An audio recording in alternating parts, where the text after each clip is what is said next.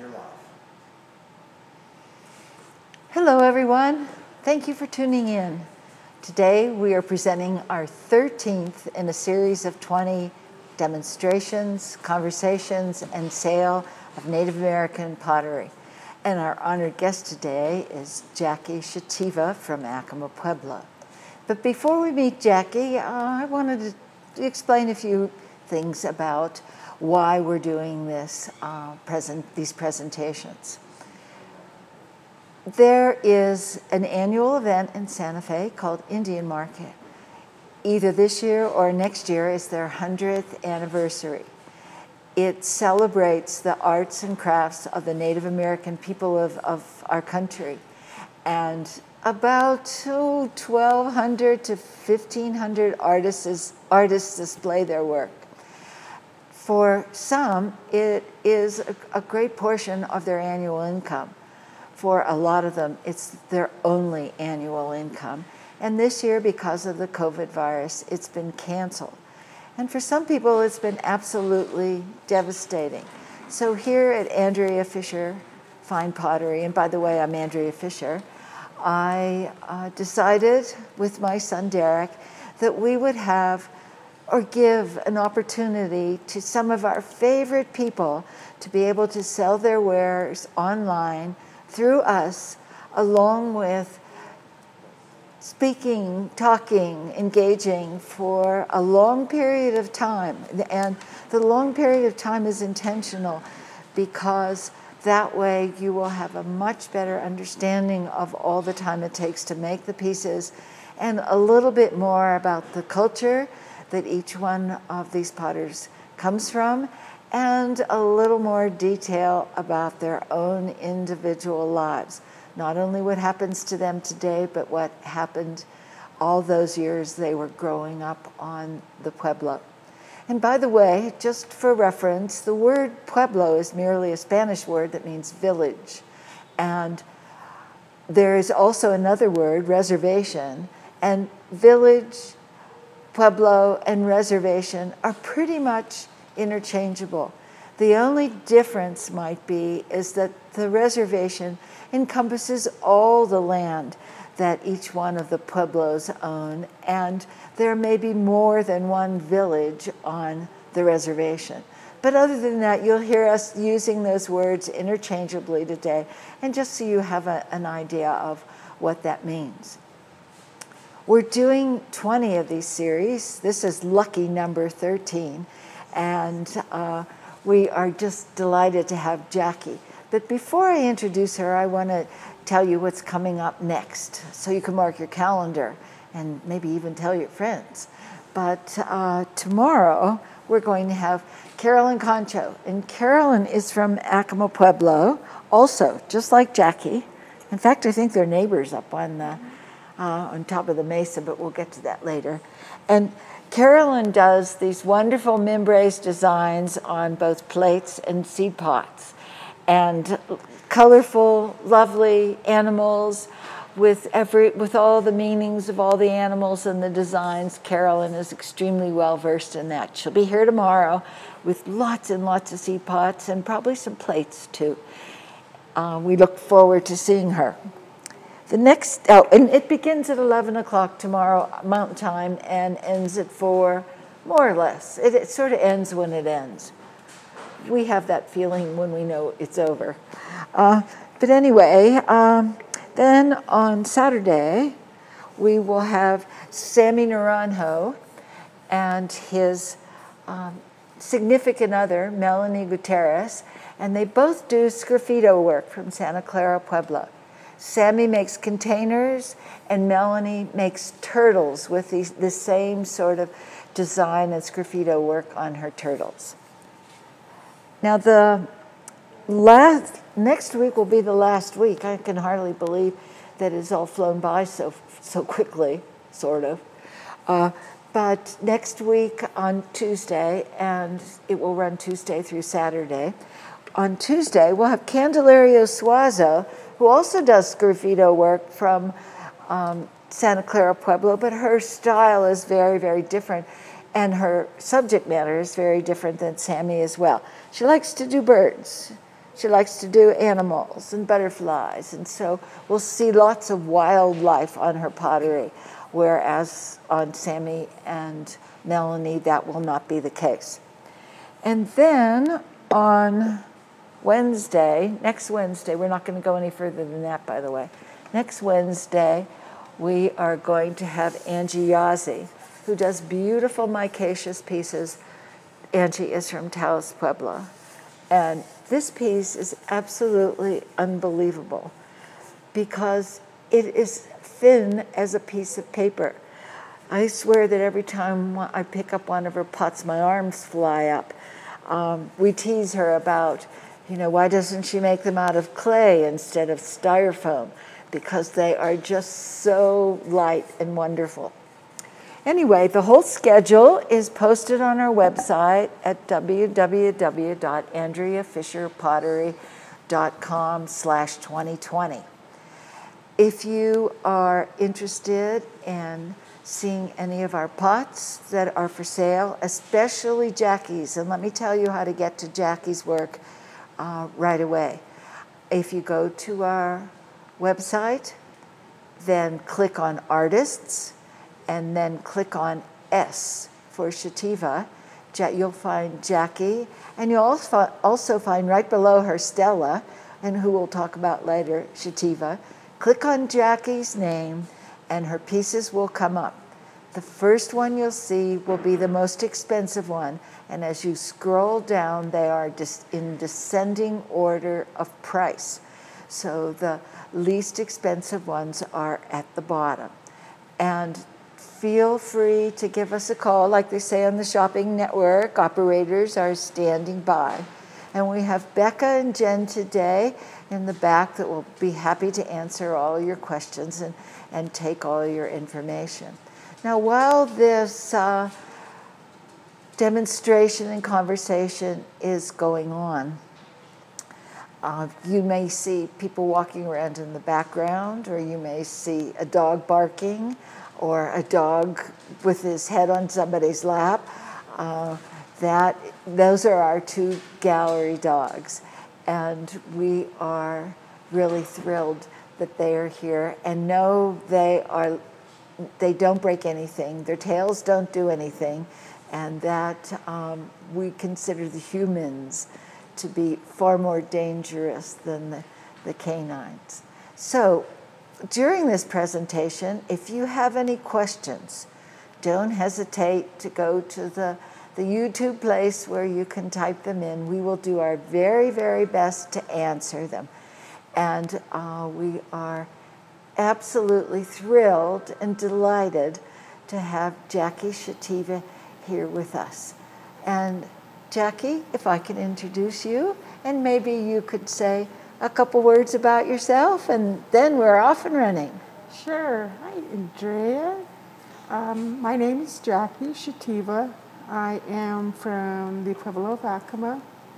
I reside there and um, lived there all my life. I uh, grew up, and as I was growing up, it just, you know, I did various things, jobs and whatnot but somehow in the back of my um, background, I had that feeling of earth.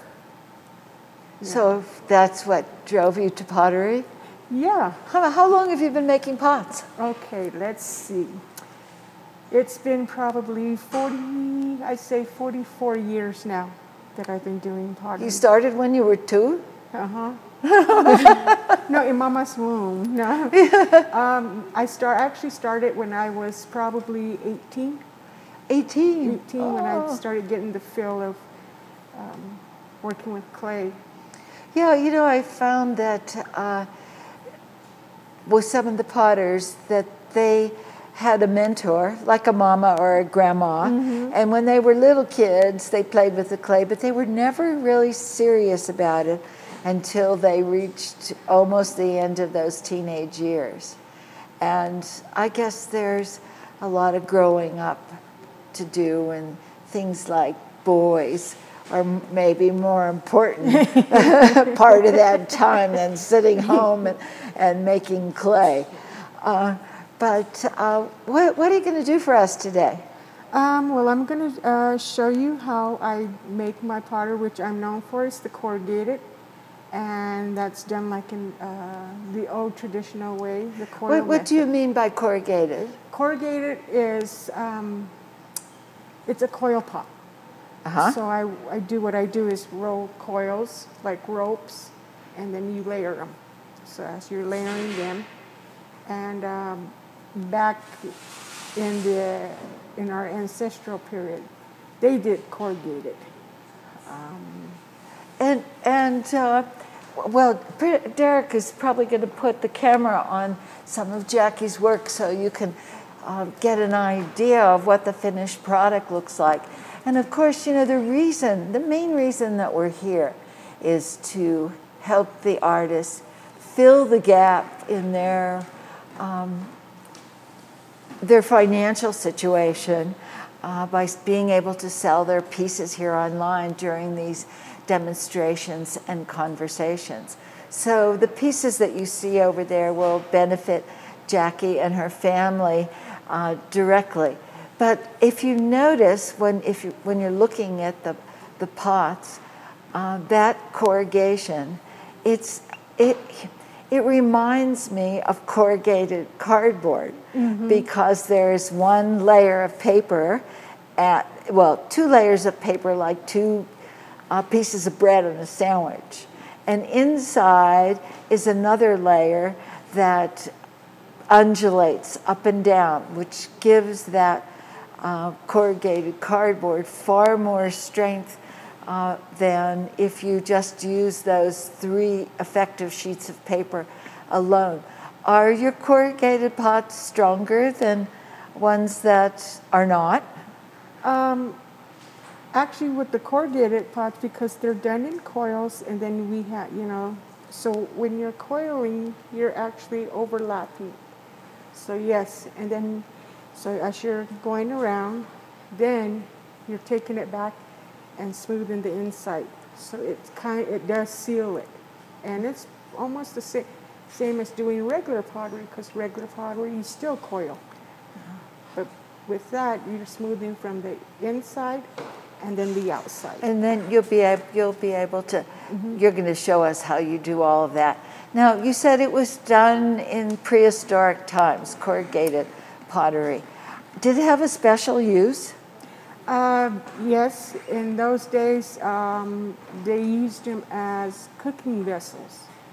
And for that reason, the reason why they had the indentations on them, and back then they used to, um, they called it pinch pot, or because that's what they did, or they used their uh, fingernail to make the indentations on the pot. So either they were pinching it as they were going along, as they were laying the coils, and the purpose for that was when you cooking them, it was it was easier for them to heat up water, cooking it faster, rather than having if you have a smooth bowl, your flames are going to go around it. With the indentations in the bowl, it's going into the little crevices. Oh, okay. Because, you know, I, I've always wondered whether maybe it retained the heat um, a little better, or maybe it was a way of telling the everyday dishes from the Sunday dishes. and so you, yeah. you know, you use the bowls that are nicely smooth and have a paint decoration on them when you serve, and all those things that um, have the corrugations, and well, they're the ones that belong in the fire. But there is a, a, a reason Mm-hmm. so that the heating is faster, or Yes. Is faster. It's faster, and it, it um, like I said, it takes the heat's going to take in more faster, and it cooks. And that I think that's how they realized that trying to smooth the surface didn't work as fast as the corrugated. Yeah, and when you have to go somewhere and get the wood, Oh, yeah. you want that pot to heat up as fast as possible Mm-hmm. before you run out of wood. before Yeah. you run out and have to go get some more. Now, you said it was done in prehistoric times, but you know, if you look at the historic pieces of Acoma, you really don't see cookware, that cooking ware um, not very much of it. Is it because, I mean, there could be lots of reasons. I mean, it could be because it went out of fashion or because metal pots replaced them um, or, um, and I can't think of any others. Well, one of the reasons is, as I read the history or asked mom and my grandma would tell me, was that they traveled, they moved from different areas to different areas. So as they're traveling, of course, they're either going by uh, wagon or horseback, so the pots break. So they just leave them. And so when we go pick pottery, we find all these pieces just scattered here and there. And these are some of the pieces. This is actually corrugated. And then, of course, you have the, the traditional um, pots that they were designed. So they would just leave them because, of course, they're going to just replace it by making another bowl, another pot, you know. So, and it was lighter for them to travel too. I mean, than having Yeah, pots are heavy and they break. Yeah. It's so much easier to just take a frying pan that you get from Walmart and carry that around. But uh, so corrugation went out of style because of convenience, do you think? Uh, probably so. Yeah. And uh, people, of course, not everybody did that style or that version. So then they just went straight to the just smooth painted pots. So, um, your family, your, I know your mama, is your mama responsible for uh, sort of repopularizing corrugated pots? Uh, she was. Uh, Yeah. She's the one that actually revived the style. And her name is Stella. Stella Shutiva. And on the yeah, and on the list in in our potters, Stella's right below Jackie, and we do have uh, a couple of Stella's pieces um, now. And you know, when you go to museums and you see those dioramas with the Indians sitting around the fake fire and they have food in the, what they have fake food in the fake pots. Uh, no, I shouldn't say that. But uh, they are depicting what a scene might have looked like many hundreds of years ago of the preparation of foodstuffs by the Native Americans. That's, that's a little nicer. But when you know they were hanging out and cooking together, uh, you see those pots in the fire, those corrugated pots, and they're all gray. Um, is that because the fire? Uh, yeah. A lot of the pieces you'll find or you see are burnished black, and it is due to the firing. Then again, um, we've actually found whole pieces where it's just from the wear and tear. So as the, as the, the mm-hmm. years pass, you know, you're gonna see the the colors change on them. Well, yours and your mama's pieces are pure white, mm-hmm. except when you choose to paint a little decoration on them. But they're pure white, white, mm-hmm. so they they are strictly decoration, and they've never been in the fire other than um, to uh, do the final process in the making of the pieces. Yeah. Can you use them to cook Um, in? You can. Um, we even still use our, our jars, which are the, the wider open mouth, and we use that to store water in. So, like during the summertime, uh, and it actually, it's like a refrigerator. It keeps the water cold, but it also has this this taste. The water, it's smells like rainwater Yeah. and you, it's it's funny because you just want to keep drinking and drinking out of that pot. Yeah. But we still use them. We still you know. You, so you them, still yeah. use them. They taste like rain. They taste like summer. Mm-hmm. And that's I know that's a very difficult thing to realize if you live in an apartment building somewhere on the, the East Coast. But uh, there is that smesh, special smell Mm-hmm. uh, in New Mexico when when it begins to rain. Oh, yeah. And uh, and I'm sure that water uh, picks up that flavor. But and also, you know, the reason that they're so cold is because the pot, the water is continually leaching through the pots, and Yes. Um, as one person said, the pots are sweating. And uh, scientifically, it takes heat for evaporation. And when a water evaporates, the heat comes from the water. And uh, that's why there's a cool drink of water. But now, if you use those corrugated pots for water over and over and over again, will they disintegrate? Um, I have not yet seen that happen, so Uh-huh. I'm, you know, I'm not a, uh, I can, I can see it maybe on a daily use, you know, Yeah. but other than that, I, they've, they've held for this more- long. Yeah, more than more than likely they Yeah, break they break right. first. Somebody Yeah. drops it. Right. Uh-huh. Wow. Does the corrugation make it easier to handle the pot too? Is it easier to pick up and Yeah, Uh-huh. it, it is because you have, it's almost like a, a glove. You know, you grip it, and of course, if you have a smooth piece, you know, you. it Especially if it's out of- wet. yeah, Yeah. Yeah, you can slip out. But with the corrugated, it seems to have that, um, like I said, like a glove. You just put your hand on there, and you, you have the, the grip on it.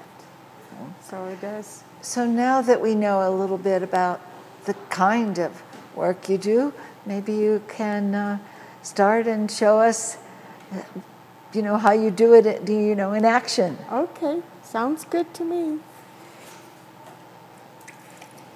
So, you have, I do mine on a, um a wood surface.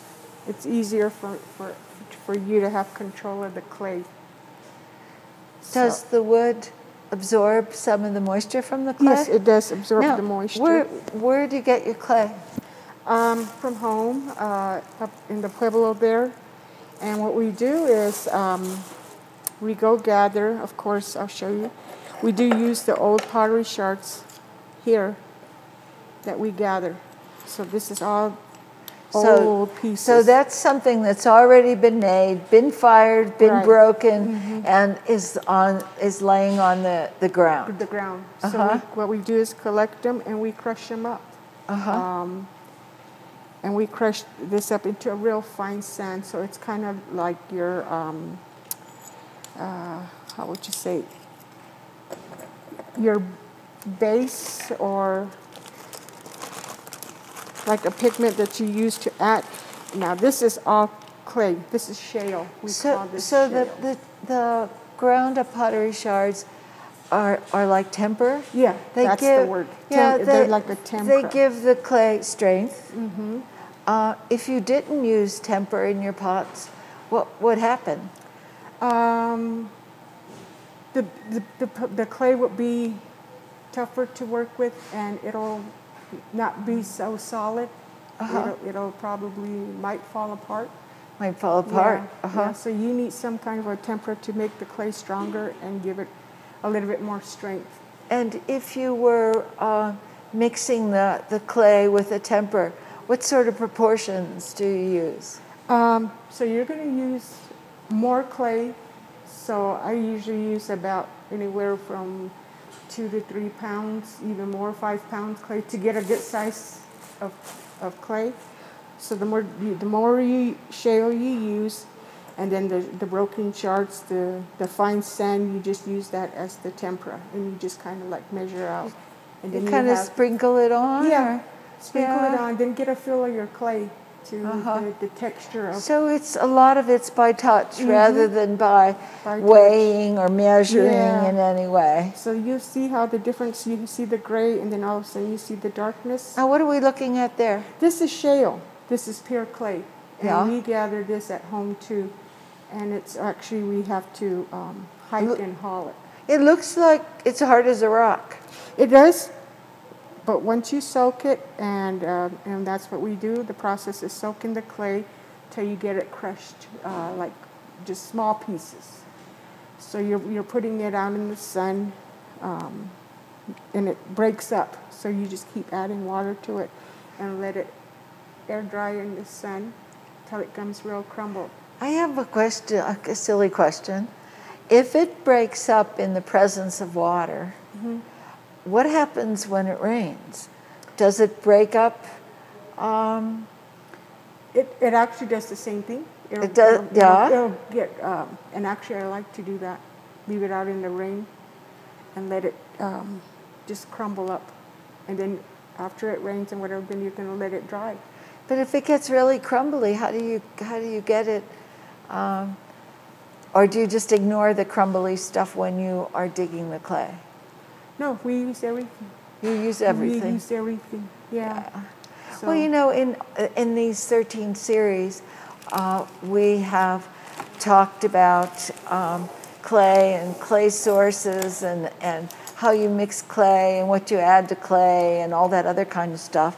And the reason that we do that with every single person, and we watch them make a pot just about with every single person, because every every area, every pueblo has a slightly different nuance. And I mean, if you look yesterday and saw Sherry Tafoya's clay, it looked like, you know, dark chocolate that you expected to turn it over and see some almonds like in a Hershey bar.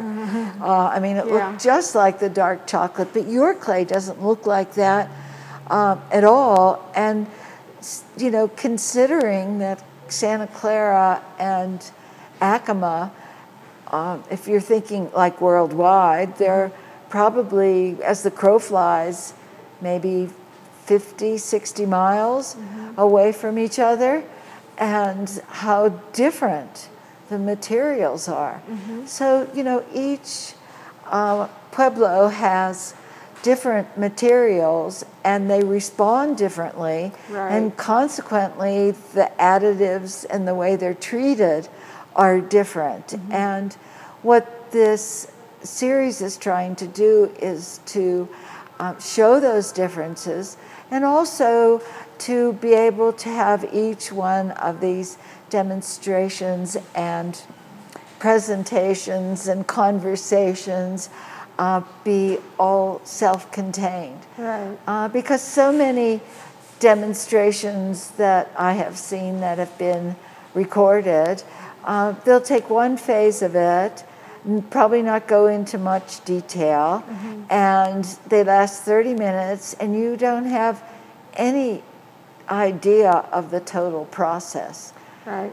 And so the clay looks like that dark gray. Now, Mm-hmm. when you go collect clay, uh, you said you get it at home. You Yeah. mean like like in the in the back bedroom, Oh, or I, I wish it was that easy. Um, and actually, uh, we and we go in. This last time I went to go get clay, I took my girls and um, uh, my husband, and, and we went hiking. And it's actually further into the village, so you're going maybe, I would say about 27 miles. Then it's another two miles to hike Uh-huh. to the the pit area where to the where clay the, is the clay is? Yeah. Is there only one source of clay at Acoma, or are there as, many? As far as I, I know, there's only one section. Uh-huh. Um, I've seen other clays, with, like we have um, several other clays that you can use, and um, I've tried those, and they come out different colors. Yeah. So you you kind of I've experienced with different clays, but the clay that this type of clay here, it's in one area, and like I said, you have to hike for it, and then you have to haul it. What do families sort of lay claim to various areas? Um, Like, don't go over there and touch that because it belongs to that so and happens, so. But I think we all, as as as potters, as uh, you know, we take Mother Earth. You know, we all pray for for our clay, and that we have continued to have this for us as people. Uh. So.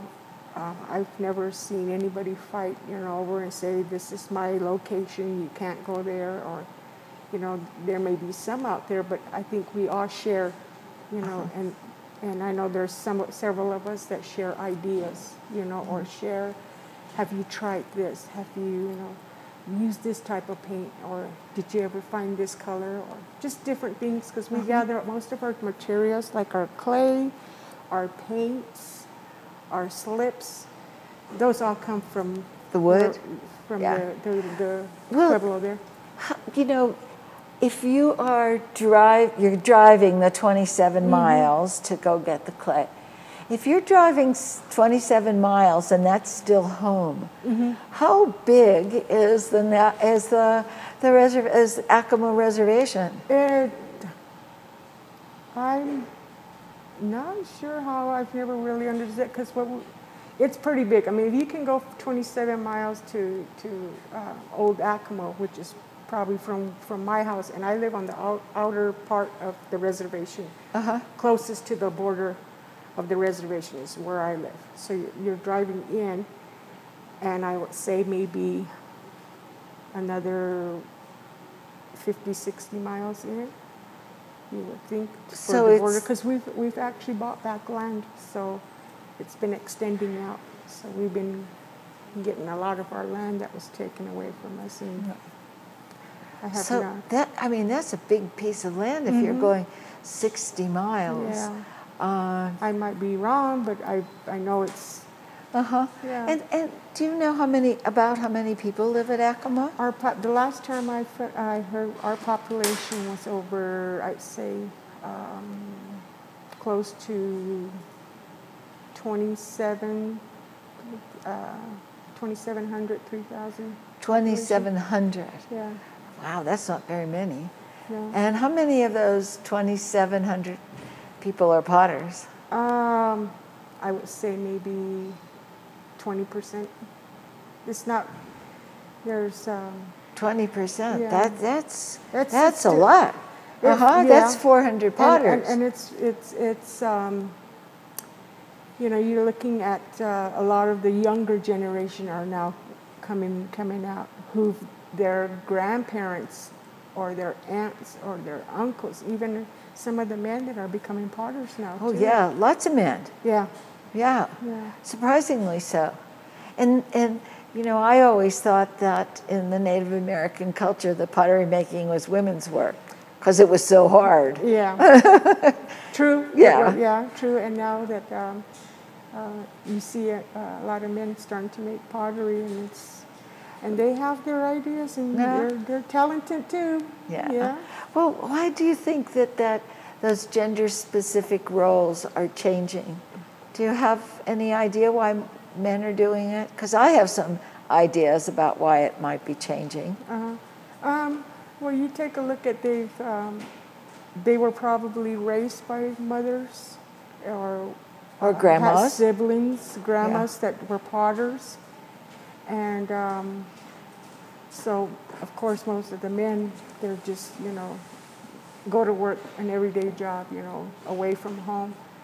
So now they've taken interest in and they've probably had that um, they had it in them t- to do work and um, Yeah, like ta- yeah, talent isn't right. gender specific, probably. Yeah, I think that's one of the reasons. Yeah, because you see, you see them doing like other artwork, you know, like carvings or whatever, um, bead work or leather work. So they said, if I can do that, let me try working Yeah. with clay. Or we're handed the clay and say, try this, you know, Yeah. work with this, see what you can make. Grandmas have a way Yeah, of doing oh, that, yeah, don't they? Yes. and then sticking by them and if they you know if they see that there's some talent there Yeah, and i think also because native american pottery is no longer considered a curio or a souvenir Right. instead it's it's really considered a piece of art and art brings more money than curios and souvenirs Right. and a, a, a person can make a decent living Mm-hmm. being a potter and and so that's true for both men and women Right. Yes. and also you know yes they go hunting but it isn't a matter of life and death to go out and chase down an animal Mm-hmm. um, you can go hunting for the sport or for the uh, the fact that uh, it's part of a ceremony and you need to have various animal parts and and and the present uh, and parts of it turned into food uh, to feed people, but it isn't an absolute daily necessity. You can go to the you know the meat counter in the grocery store and you know pick up a pound of pork chops. yeah. And so with those sorts of duties gone, maybe it gives men a little bit more time and a little less pressure Right. uh, to be able to uh, spend some time making pots. Uh, but anyway, when you collect the clay, um, how much do you get at a time? Um, we're looking at a, we haul clay. We usually take it in backpacks and stuff. So I, this last, I got uh, probably maybe over a 25 gallon um, bins, two of them. Uh huh. So the, the trash bins. Yeah. And we haul as much as we can because, um, like I said, it, it's it's a ways to go, and to try to do that on a daily basis or go when you need the clay. Yeah. We Like when bring- it's snowing. Right. Uh-huh. Winter time, it's even harder to get to, so we haul back as much as we think we can use for probably for the year or for the six months, and um, we haul it back. And it, And the 27 miles is on a dirt yeah, washboard well, it- road. it- well, you go on into the reservation and then you go off off road. So yeah, you're traveling on a dirt road, but you're also hiking up a Yeah. um, a mesa. Uh-huh. So the mesa goes up for a quarter of a mile, then you go into the top of the mesa for another mile and a half. and then you have to carry it all. Then you dig out the clay. So you're Yeah. digging out the clay and and um, having to haul it all the way back back Luck- down. Yeah, lu- luckily, um, the clay source is not, uh, you know, up downhill to begin with, so that you have to carry it back uphill. Exactly. And and um, your 25 garbage can, 25 gallon garbage cans full of clay will uh, last you how long? Uh, that actually, I'm still on my my clay, and I'm going on two years now. Two years, and you make a lot of pots. I do make a lot Yeah, of you pots. make a lot of so pots. it's it's lasting me. Plus, I've had some from previous time, but it was the time when I had all my kids. Let's go hiking. We're going on a picnic. Oh, nice. Do we have a question? We, we don't have a question, but we have a comment. The comment is that the Acoma Reservation of the Acoma Pueblo people is part of Cibola, Socorro, and Catron counties. It covers 594.96 square miles.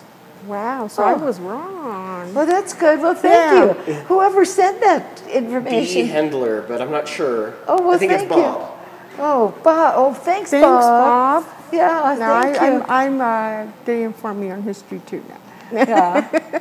But Well, well, that's good. That's really adds a lot to the presentation that we have some, you know, exact Yeah. Other than just saying it's really big. Yeah. yeah. And actually, there's areas where I haven't seen that I've, I've I know of, and um, now I'm gonna go on a venture and go find. Yeah, out. yeah. Go out and see those 500 square miles. Uh-huh. Especially when you're not allowed off the reservation now. Oh, Right. Or yeah. uh, other people aren't allowed in. Well, so you, you collect all that clay and you mix it with the temper. If you want to, uh, let's see how you start. A piece of pottery, that would be just great. Okay. So right here is my clay. So once we break, do all the shale and stuff, this is my clay here. So this is the clay here that I have. And so it's already been It's already been mixed and sifted and and sifted and everything. Uh, the, the clay is mixed. Of course, you use water and then you use your the the shard sand. And when you have the clay, you're just you're kneading it. So you're fe- feeling the texture of how much um, of the the pottery shard that we use to add to the clay. And I guess just if you add too much, it'll probably dry too quick. So you kind of have to make sure your clay is always going to be moist. and there's no formula for that. Uh, it's just by feel. By feel. So what you said is you go out and you dig the clay, Uh-huh. and then, uh, if I recall, you let it dry, and then you soak it in water, and soak it again. and then you, um, with the stuff that's you know in the water, all the seeds and roots and all that other kind of stuff. Does that all float to the top of the water? It, it will, and that's where that's where the sifting comes in because you're gonna um, sift it out. Um, so any kind of um, like grass or anything that's in Uh-huh. there or that gets in there, you just kind of um, pick it out, sift it out, and it will rise to the top. now, do you pour it through some kind of a strainer? Um, I don't. I do sift my um, my shard sand Uh-huh. because you want to get out the, the, the bigger pieces. Like you, Yeah. I I try to use the fine the fine sand, which makes it easier to work with. So if you have bigger chunks of the shards, the pottery shards, then that's where you find out in your firing process if you have a pit. You know, you'll, it'll pop. So you just and, and like I said, once we start mi- mixing the clay, we're um, kneading the, the I like to say dough. We're kneading the, dough, clay, right? Well, it is sort and of then like you bread can also dough. start when uh-huh. you're pressing down on the clay. You're feeling any um, hard objects or big pieces of the shale that didn't get crushed down. So you'll feel these, and then that's when you pull them out. You know, you'll pick pick at your clay. And if you don't take those pieces out, what happens? that's where you find out like uh, hopefully you're going to get it when you when the pot's dry and you're scraping your pots and smoothing them out. And then you have your stones that you use and they'll pop out. So that's your second chance of getting those. Ah, uh-huh. and then the third one is when you're firing that's when you find out that it you left one in there because it will pop. Uh-huh. yeah So that third chance is really no chance Yeah, at all. It could, it could end. It could end in disaster. yeah How, does that So- happen to you often? It, it has, you know, and that's where I learned to tr- try to be um, critique at when I'm mixing my clay and making sure that that doesn't happen again. So who did, who taught you all of this? Uh, my mother, Stella, was the one that taught taught me how to do um, corrugated. Of course, I learned how to do uh, the smooth pots, but my I always wanted to because I would sit there and watch her make, do her coiling, and I was like, "God, mom, it, she was so smooth, just just her the way she made her potteries, the the coiling, and then going back and making. I said, that's what I want to learn. One day I want to learn that style. So I, she gave me a clay and says, "Here's And- and- handed me the clay." Your your mom's no longer alive. My mother's, uh, she's passed on. She's been gone for now um, 28 years. You know, I remember that. I remember because I was up at the Wheelwright Museum and it was, I mean, she was really young. Yes, she was. My mother was only 49, 49? 49 years old when she passed Oh, on. jeez. So That's, she- that's too, She was very young. yeah. Wow. But look at the legacy she left behind. Yeah. She left you to carry on. You know, when when um, I have to tell you this story. So as I was learning to make pottery, and coil, coiling was my thing that I really wanted to learn. So I would make pieces, just little, little bows and stuff. Then I started expanding to maybe a bowl this size. So I was making, and of course, sitting next to mom right there, and she was saying, "You're doing good. You're doing good." So I had um, gotten to a point where I got to the um, finished part of it. So my bowl was actually about this size here, Yeah. completed and everything. Did my corrugated, and I mean my coils weren't as straight as hers. So I said, "Here, mom, look, I finished." And she goes, "Oh, let me see." So I handed her my bow. She goes, "Oh my gosh, that looks good." Okay.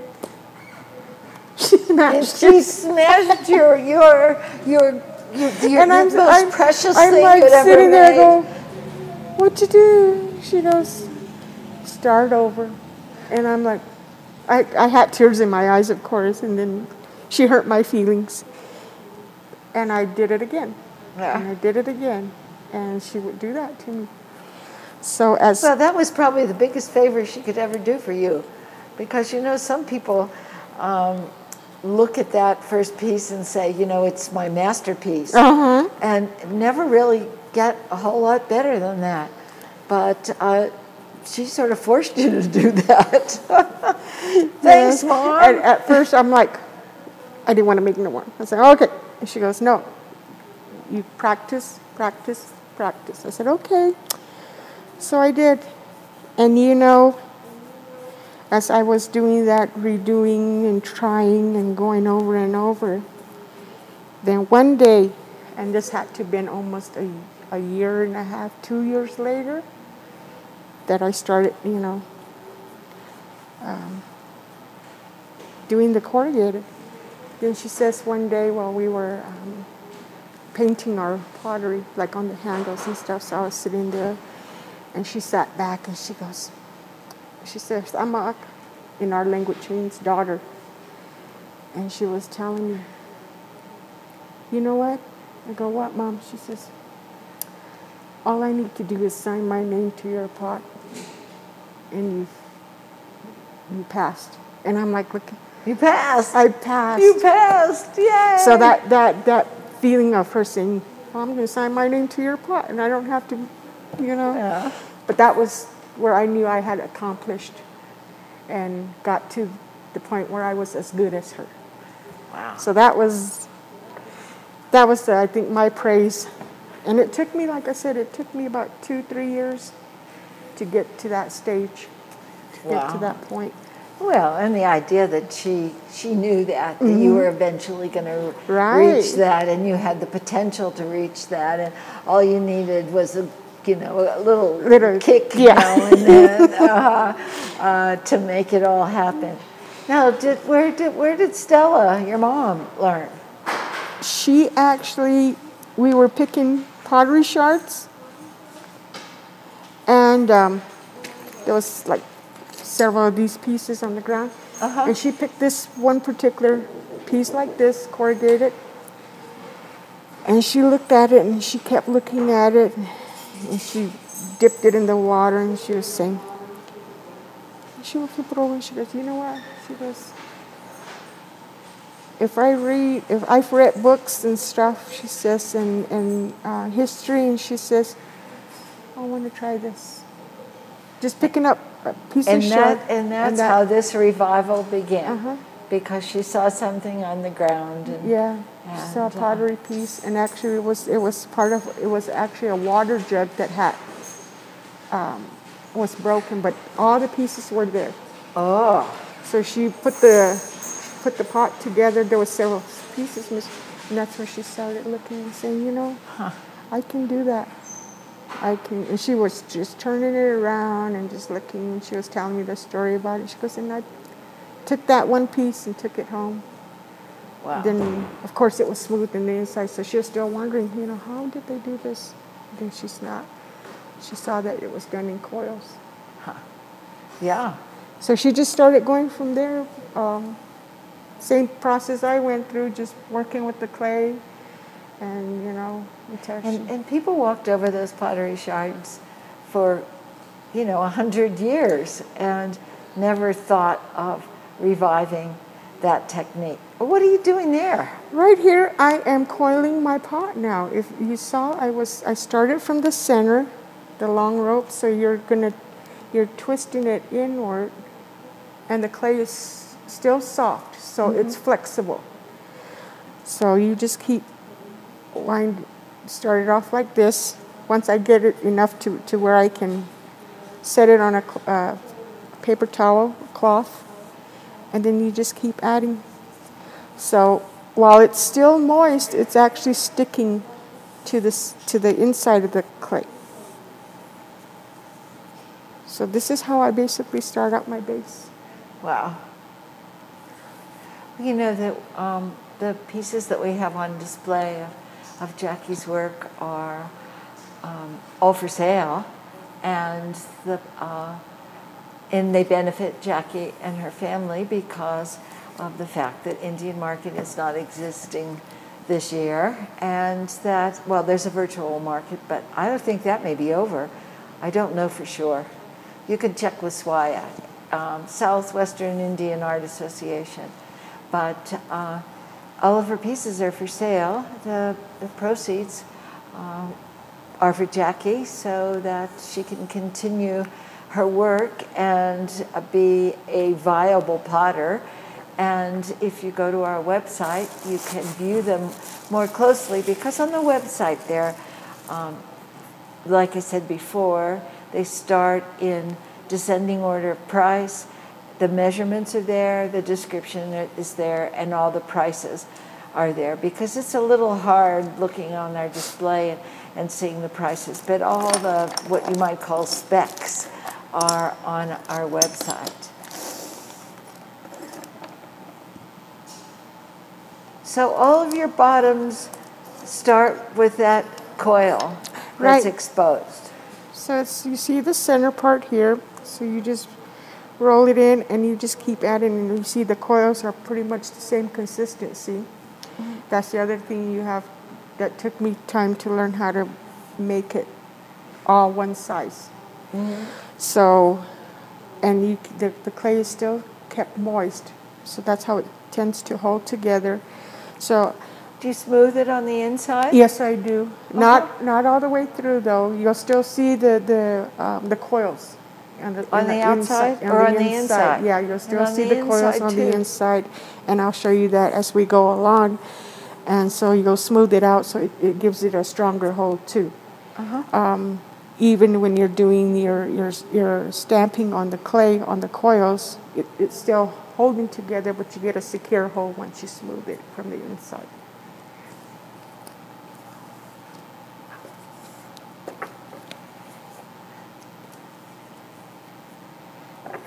So what I'm going to do is I'm going to do the coil pot and then I'm going to try I'm going to do a smooth pot so you have the idea because I do um, do the regular smooth traditional pot but I also do like a half it's called half corrugated so these are more or less decorative pieces that I do where the bottom base of the pot is going to be smooth and the top will be coiled. Oh, uh-huh. And- And, um, oh, well, that would be good. Uh, uh, the combo plate. Right. Uh-huh. Combination plate. Yeah, there, yeah, absolutely. And um, uh, on some of your pieces, uh, you do some painting. Right. Uh, and a few of the pieces that we have, they are painted on handles, The handles. on the handles of the wedding vase, and trying to remember, I think on the, on some other handles on the the, the sides of the the, the, water, the canteens, and then I saw I like the half the smooth pot.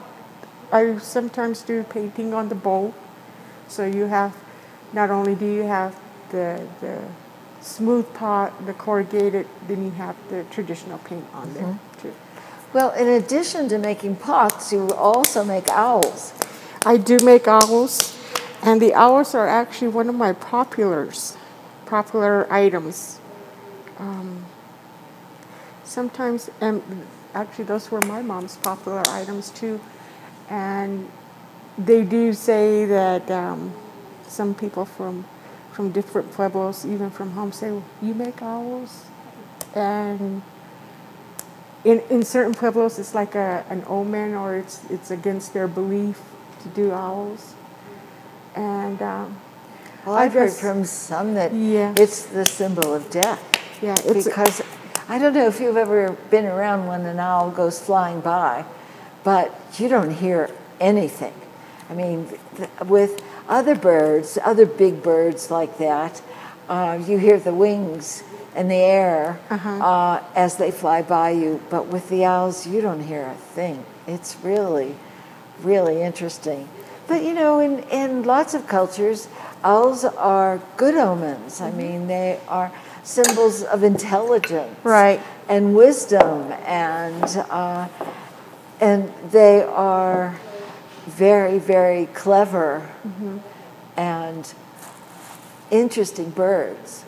Uh, but with some cultures, Yeah. owls it's it's yeah. They, They say don't have or that yeah, same- trying to have them cross their path. It's like uh oh, you know. Uh-oh. But my um, my mother would make the owls, and and uh, her mom had asked her one time, "Why do you make owls?" And she goes, "Because they're fun." And um, Because they're fun. Uh-huh. she always thought they were a fun ca- character because she would do the owls, she would do turkeys. Um, she did even did a, a she, And owls are smart, and turkeys are the dumbest thing on the planet. I mean, if it, there's a rainstorm, you know, they open their their mouths, and the rain goes in, and they drown. I mean, they don't- they don't have the sense to close their mouth. Yeah, but she said it's just it's fun. People enjoy them, and um, you know she she says I I was requ- asked to make an owl. That's how she actually got started. Was someone asking her, "Do you make animal characters? Do you make birds?" You know, Uh-huh. and she says, "Yeah, I, I do owls." And so Yeah. ever since then, she's that was like a popular item. People took that as um, like you say, it's for some people it's luck. You know, for Yeah. and, and we've- I've always done the owls. I always thought they were character. Oh, I just love the way that their their heads turn around, almost through. You know, they could almost go round and round full circle, and uh, and also they keep the rodent population down. I mean, True. if you have a few owls in the neighborhood, you don't have to worry about mice because um, that's you know that's dinner for them, and. Uh, Yeah, yeah, and some of them, oh, like snowy owls, they are so beautiful to look at. Those and some white of them with that, that Yeah. heart-shaped face, oh, they're just absolutely gorgeous. oh yeah. It. I think any bird. Uh, we have, uh, in fact, at home we have uh, uh, hummingbirds. You know, Oh yeah, I know about hummingbirds. and then we have these just the regular bluebirds, yellow birds, and um, of course then we have the crows and the buzzards and Yeah. But, you know, and that's one of my designs that I do is hummingbirds. I, I if I paint my pots and stuff, I do hummingbirds. Well, you know, hummingbirds are really interesting. We have zillions of them here in New Mexico because we're on one the the great migratory flyway, and several of the varieties of hummingbirds come up from South America, and they nest here and hang out at the feeders in my backyard and uh, build nests in some of the strangest places. I have one on the electrical plug uh, that where my garage door opener, my, my garage door plugs into inside the garage. I have one that's in the lamp uh, on my front porch. Uh, these tiny, tiny little nests, and boy, they are they're really strong and and and flexible. Uh, and I just found out recently that hummingbird nests are made out of spider webs Oh, really? I didn't know that. and they gather all these spider webs and the eggs are you know like tic tacs they're so tiny. And the hummingbirds grow really fast and they're much too big for the nest. And that's why they use the spider webs because the nest can stretch to accommodate the little fat kids uh, that are in it until it's time for mama to kick them out and say you're on your own.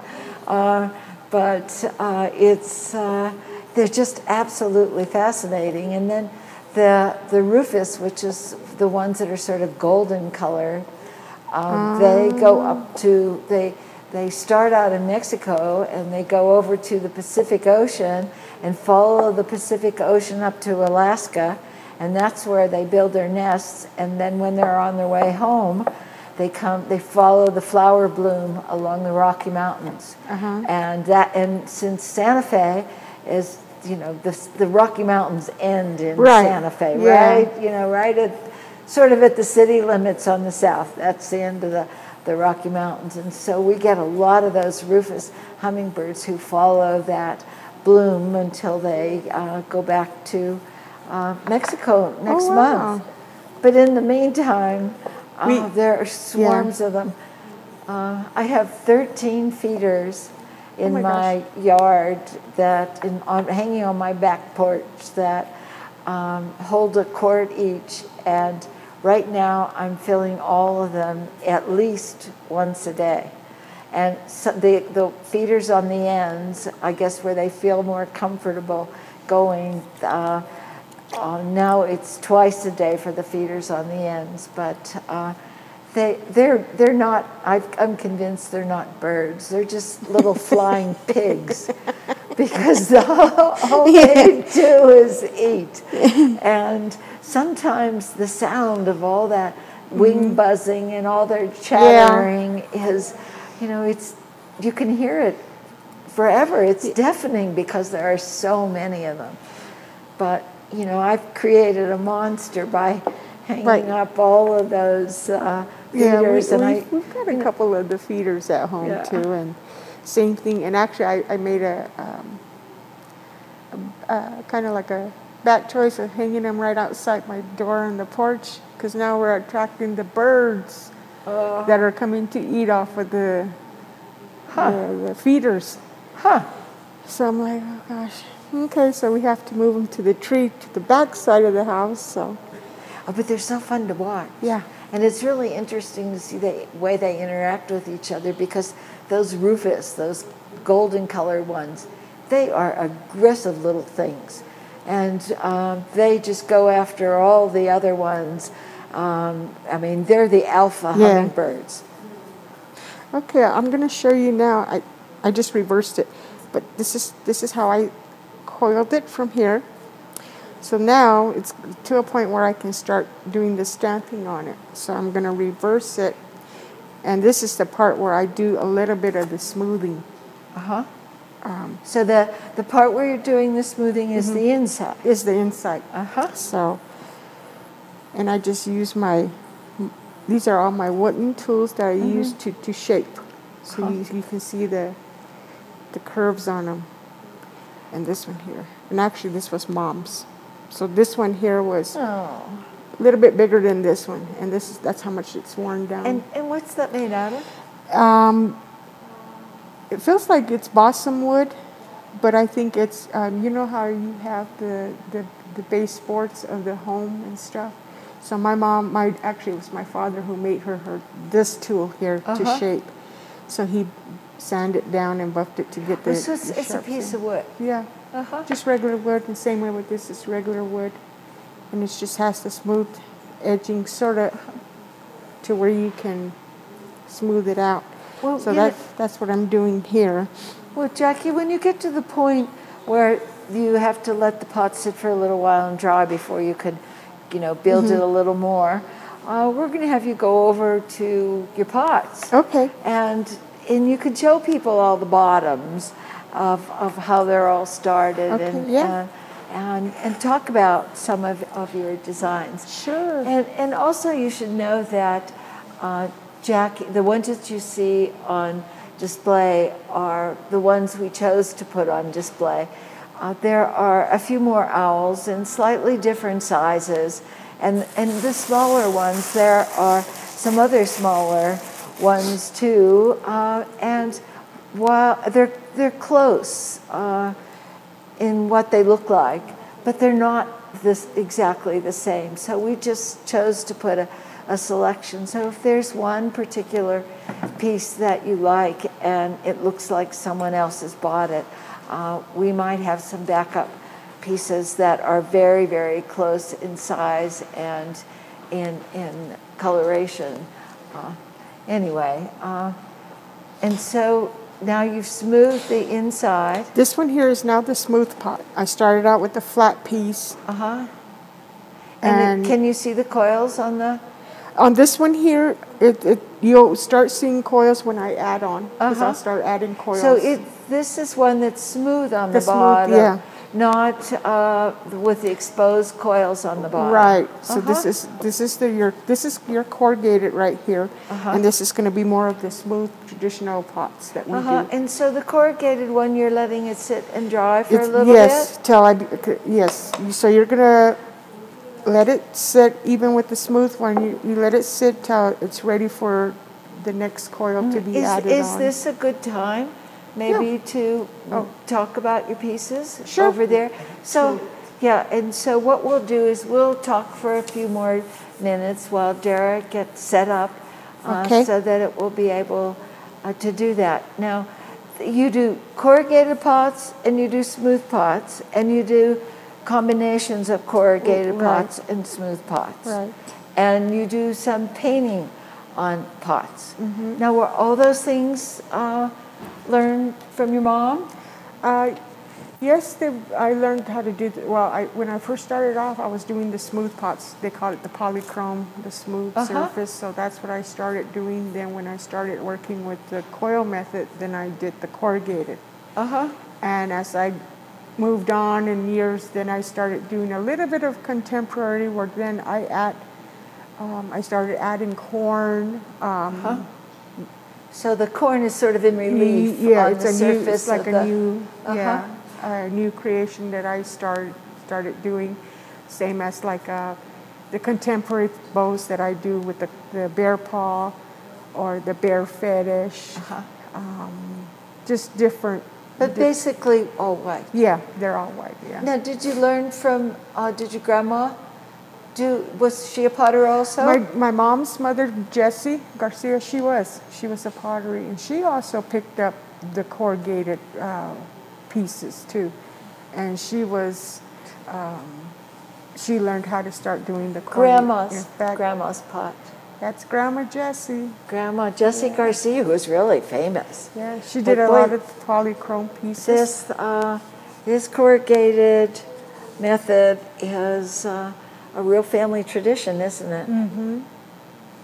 Wow, and you know the texture is really wonderful, and they feel good. They feel good, um, and I really like what Jessie did with this painted design in here, and you almost feel as though this ribbon is just folded right on the on the top of it.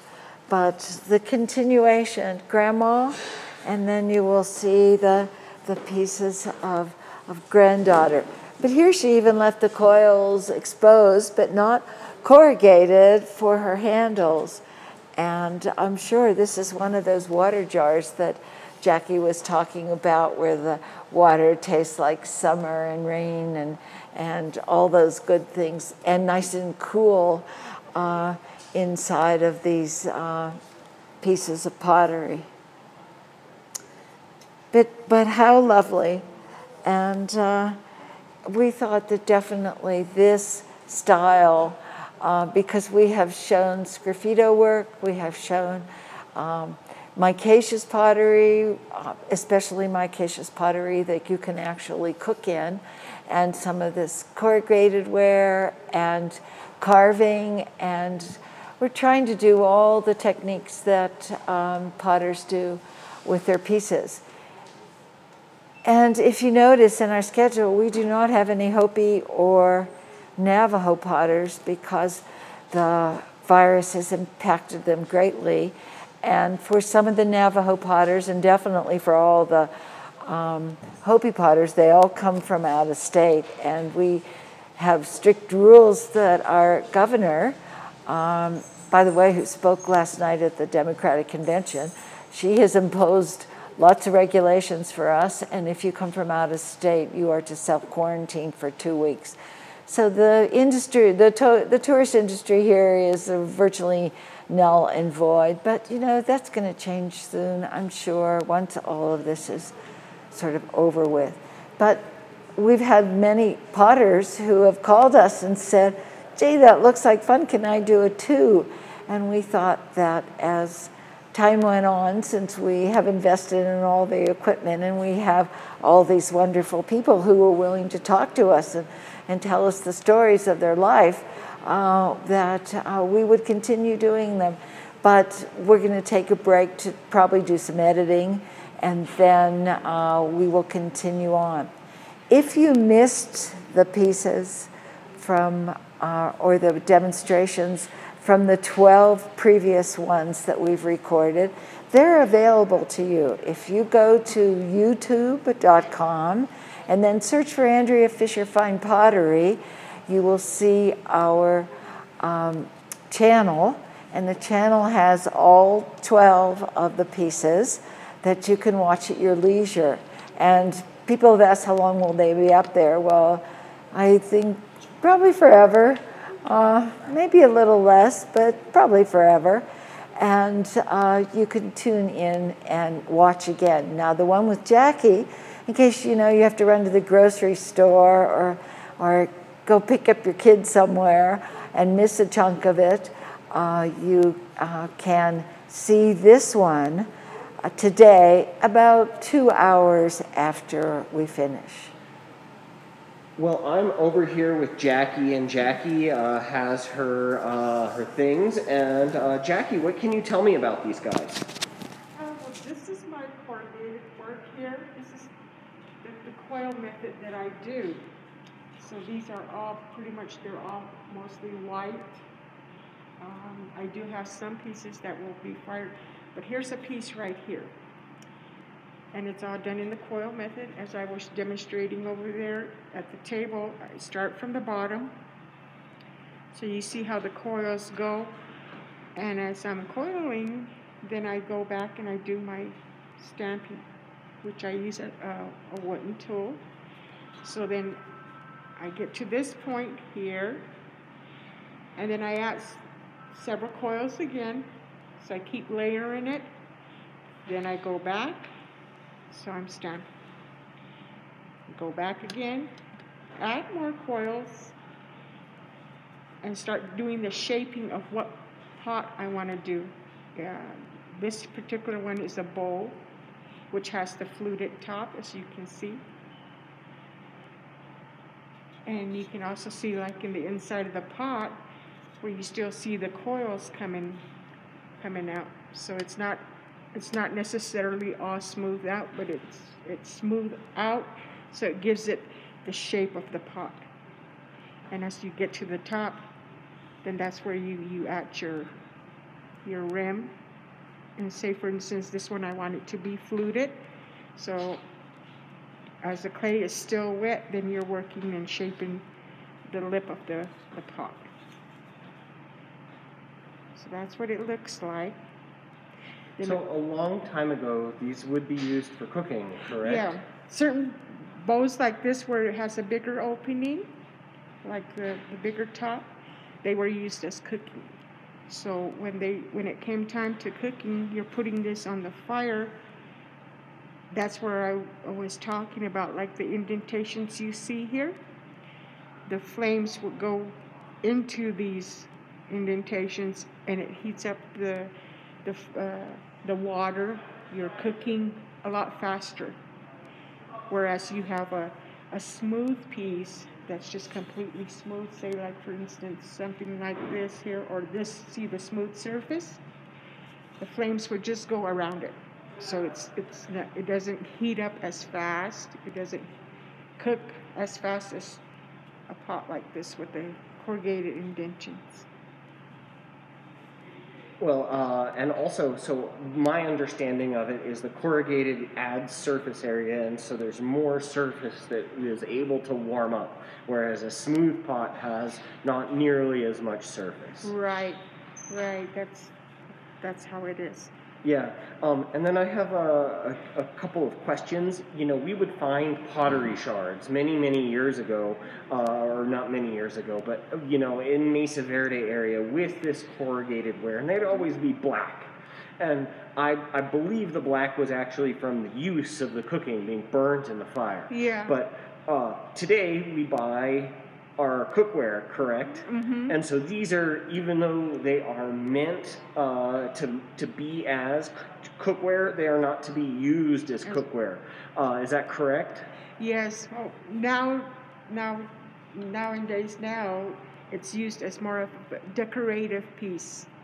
Um, but they still can be used as cooking um, to this day. But but it would destroy the yeah, the color, color of of it, it, yeah, and uh, it would probably destroy the piece after a short period of use. Mm-hmm. And for the people at home, it's difficult for uh, the people at home to make another one. Whereas Jackie here, I, I'm sure, could probably make another one if she wanted to. But uh, we, we just want to remind everybody Yeah. that even though these were used for cooking many, many, many years ago, that we should not use them today as cookware. Right, right. It's more of a decorative piece Mhm. of art. hmm And so, can you tell me about these with the two spouts? Okay, so we're talking about the wedding vase.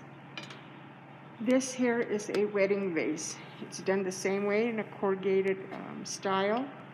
You see that there's the handle and the two spouts. And what do those represent?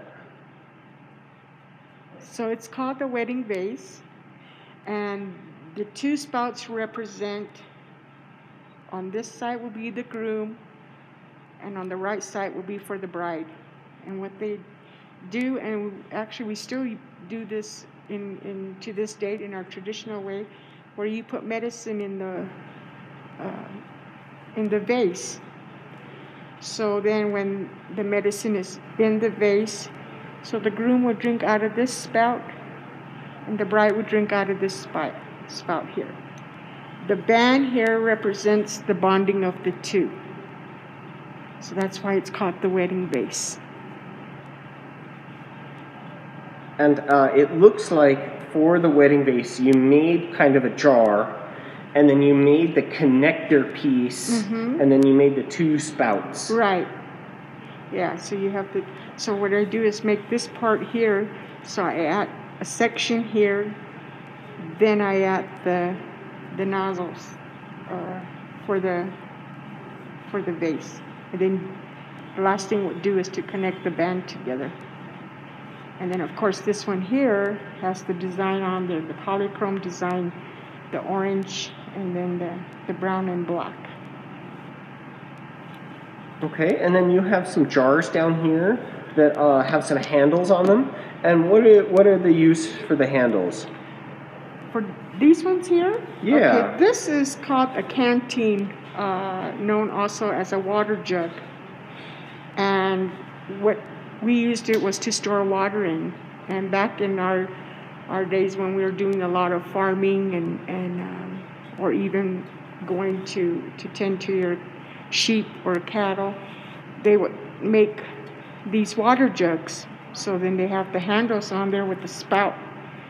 So with the spout, that's the part where you drink out of, and they used to get either a corn cob or a piece of cottonwood and plug the spout with. So they hauled it on their horseback or on the wagon and stuff. And then with the handles, they tied leather straps. So you could either put it over your shoulder too, or um, use use the handles with the straps to hang it onto your horse, the saddle. So that's what that was made for. But it is a drinking vessel. And just to remind people, you shouldn't drink out of it these Right. days because they will eventually dissolve. But actually, in their dissolving, they it forms a function, and the function is is that the water seeps uh, to the outside of the piece because they're not high fired, they're not glazed, so they don't hold water. The water eventually will seep out to the front s- or to the outside surface. It then evaporates uh, from the outside surface, kind of like very similar to a swamp cooler, and cools the interior for a nice, cool drink of water. So, uh, not only was it functional in a lot of ways, uh, it was uh, something that was uh, early refrigeration techniques. Right. Yep, that's how they had the, like uh, Derek said, the refrigeration and the water will stay cold in this. But like today, nowadays, it's also used as a decorative piece. So, you know, I don't recommend that you store water in, in you know, in them for long, for any period of time. Yeah, we don't recommend you put water in any Native American pots except for one artist, which is Clarence Cruz. Uh, and he is somebody who fires in a way that uh, allows it to be usable in its micaceous clay. So, Well, Jackie, have we talked about the black and white pieces? Uh, not yet. Not yet. Well, I see one that is just going round and round and round, and it looks like that there are just a gazillion bugs all over it. Does it come with a can of Raid? This one, this particular piece here is called a Mimbres pot. And the reason it's called Mimbres pot is because it has the little characters on here. All these different animals, insects, um, birds, you see, fish, rabbits.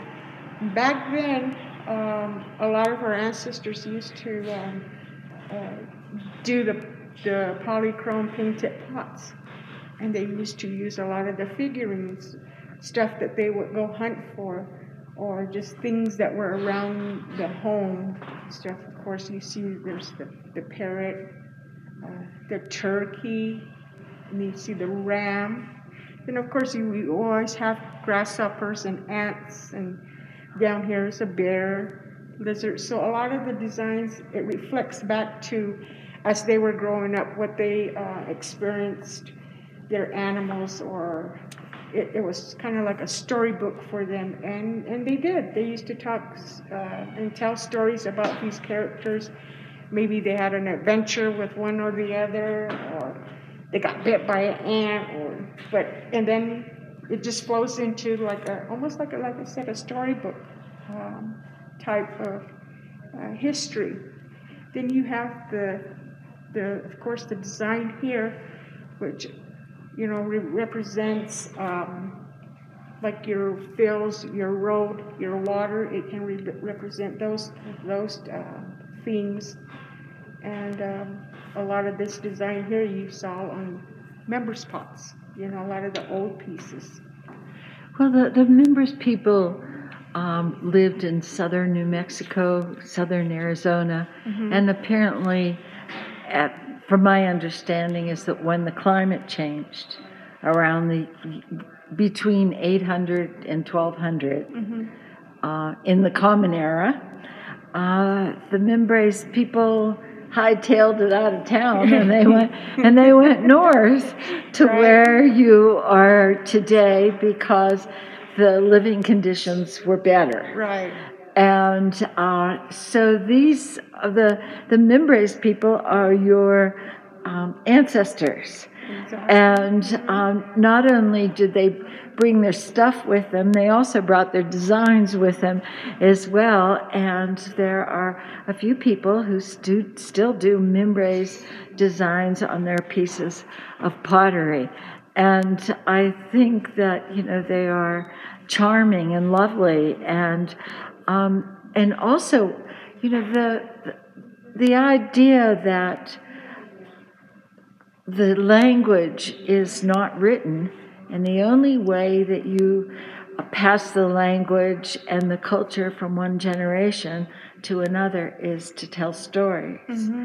And you'll see figures, and we're going to have two Acoma storytellers uh, demonstrating next week. One is Judy Lewis, and the other one is her sister Marilyn Ray Okay. and uh, but they tell the stories of the culture and oftentimes the stories have to do with animals uh, and the animals are the clever ones or the animals are the sneaky ones or the animals are the ones that get into trouble and it's yeah it's a way of the of to learn the culture in a very palatable way uh, because you know there are no written texts. And the storytellers the the person who passes that information on uh, is is usually a grandparent.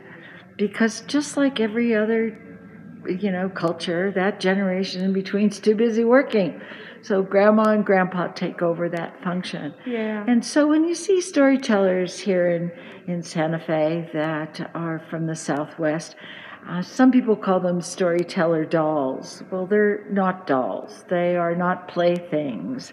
Uh, what they are is sort of uh, figures that honor grandparents who take on the responsibility of teaching their grandchildren um, the uh, the culture and uh, what has happened to their people in in the past. Uh, now I see that pot has something else with it, and if you could grab it here, let me move this one and tell us what that's Okay. all about. Well, in uh, actually last year, I attended an art show in Farmington, and it was my first time I've ever did this show. So they, uh, I found out it was a judging competition. So I entered this piece here, and it wound up taking uh, the best of show at the competition. So that was really like I was so excited. Was- Yeah, congratulations. How often this. does that happen to anyone? right? Uh huh. I was so excited about that, but this is the ribbon that it came with. And it's the ribbon that will come with the pot if someone chooses to, to, pur- own purchase. it. Yeah. Uh huh. Yeah, how nice, how nice.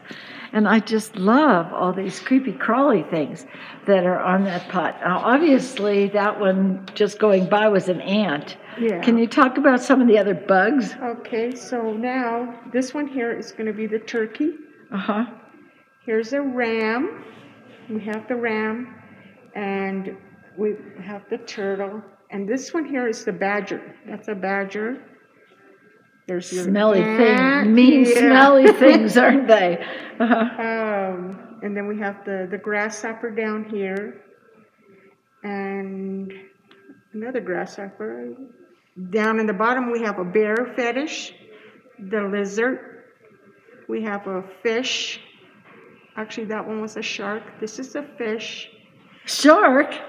I mean, like a shark that's in the Rio Grande River? It's a river shark? Yeah, river shark. Yeah. Then you have the turtle, and there's the ant just went by. Then we have a quail on this side that's coming around. Here's the quail. Well, So- well, it is just a menagerie of local, uh, fauna, no, flora, fauna, of local fauna, uh, except for the shark. Yeah, except for the, The shark. shark, I was I mean- at see how what Uh, a tuna. Let's say it's a tuna. well, then there, we have the deer. yeah. So these and these creatures are, are these designs I've seen on, um, like I said, on old Mimbres' pots. You Yeah. know, their plates. A lot of them were on plates that they, I guess, ate off of or served on. Or most- bowls. yeah, Mm-hmm. and bowls too. Yes, but it's really a wonderful piece.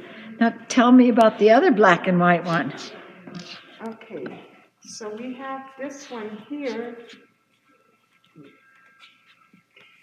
Let me just move in here a little. There, I'm getting to camera, so if anybody is wondering why it's all doing all kinds of weird things, it's because of me. Okay, this is uh, a large vase with the fluted top. I and the other piece that you saw also had the fluted top, and that was one of my new, uh, I would say, creations that I started doing. Instead of having the smooth, straight surface top, I was doing the fluted top where it sways.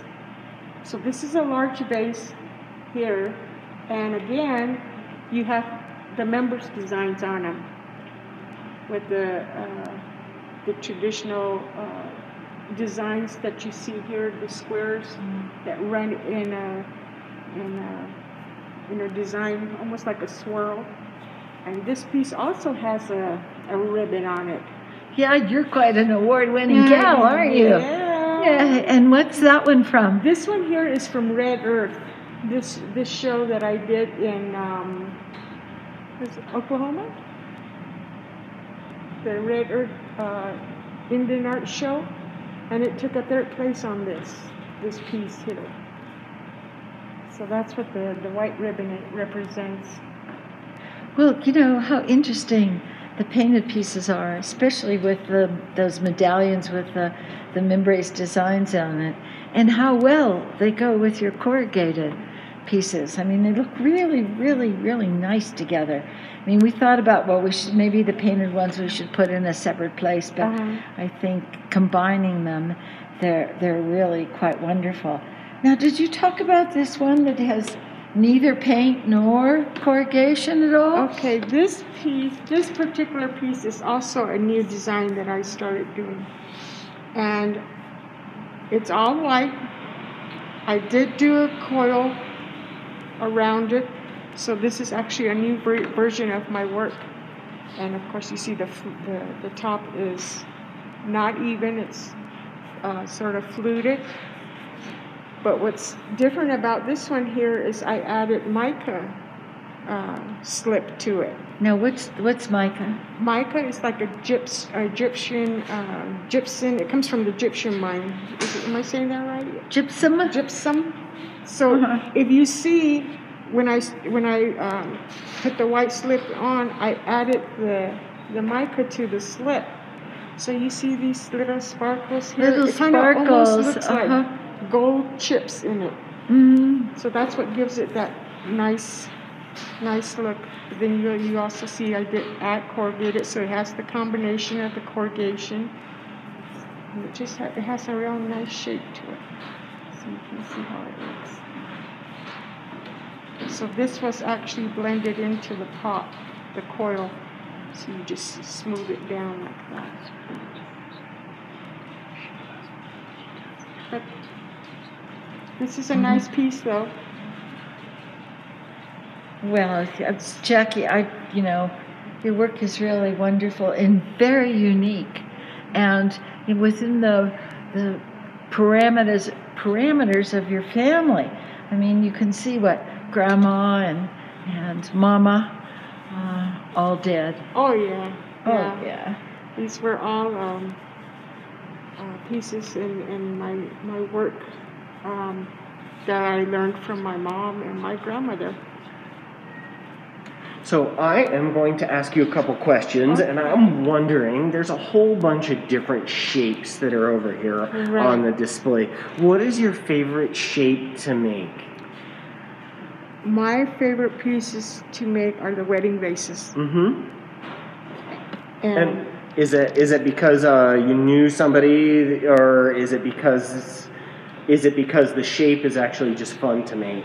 the shape is fun to make. It's also it's also a little bit tedious because you're working and, and adding your handles, your your uh, nozzles and stuff. So it, it's for me it's more um, more carefulness with the clay. Um, but I enjoy making the wedding vases, and then of course I also enjoy making um, my owls you know, the, the owls right here that I have. And those are fun characters to make. Those are so fun, especially when you start adding the wings and, and uh, the nose and the eyes. And that, those were fun pieces. Those are fun pieces to do also. Okay, well, thank you very much for showing me all of this stuff. Um, um, I am about to turn it back over to Andrea, so she is going to tell you a little bit about the schedule and what is going on. So let her get set for one second.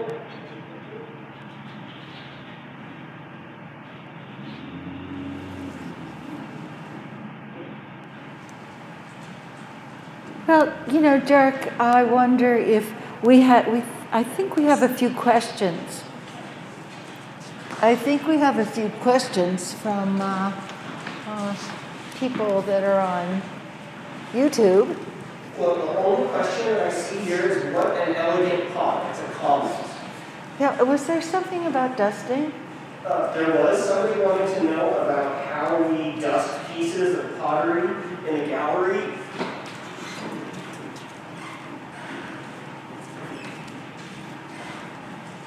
So how do we dust pieces of pottery in a gallery?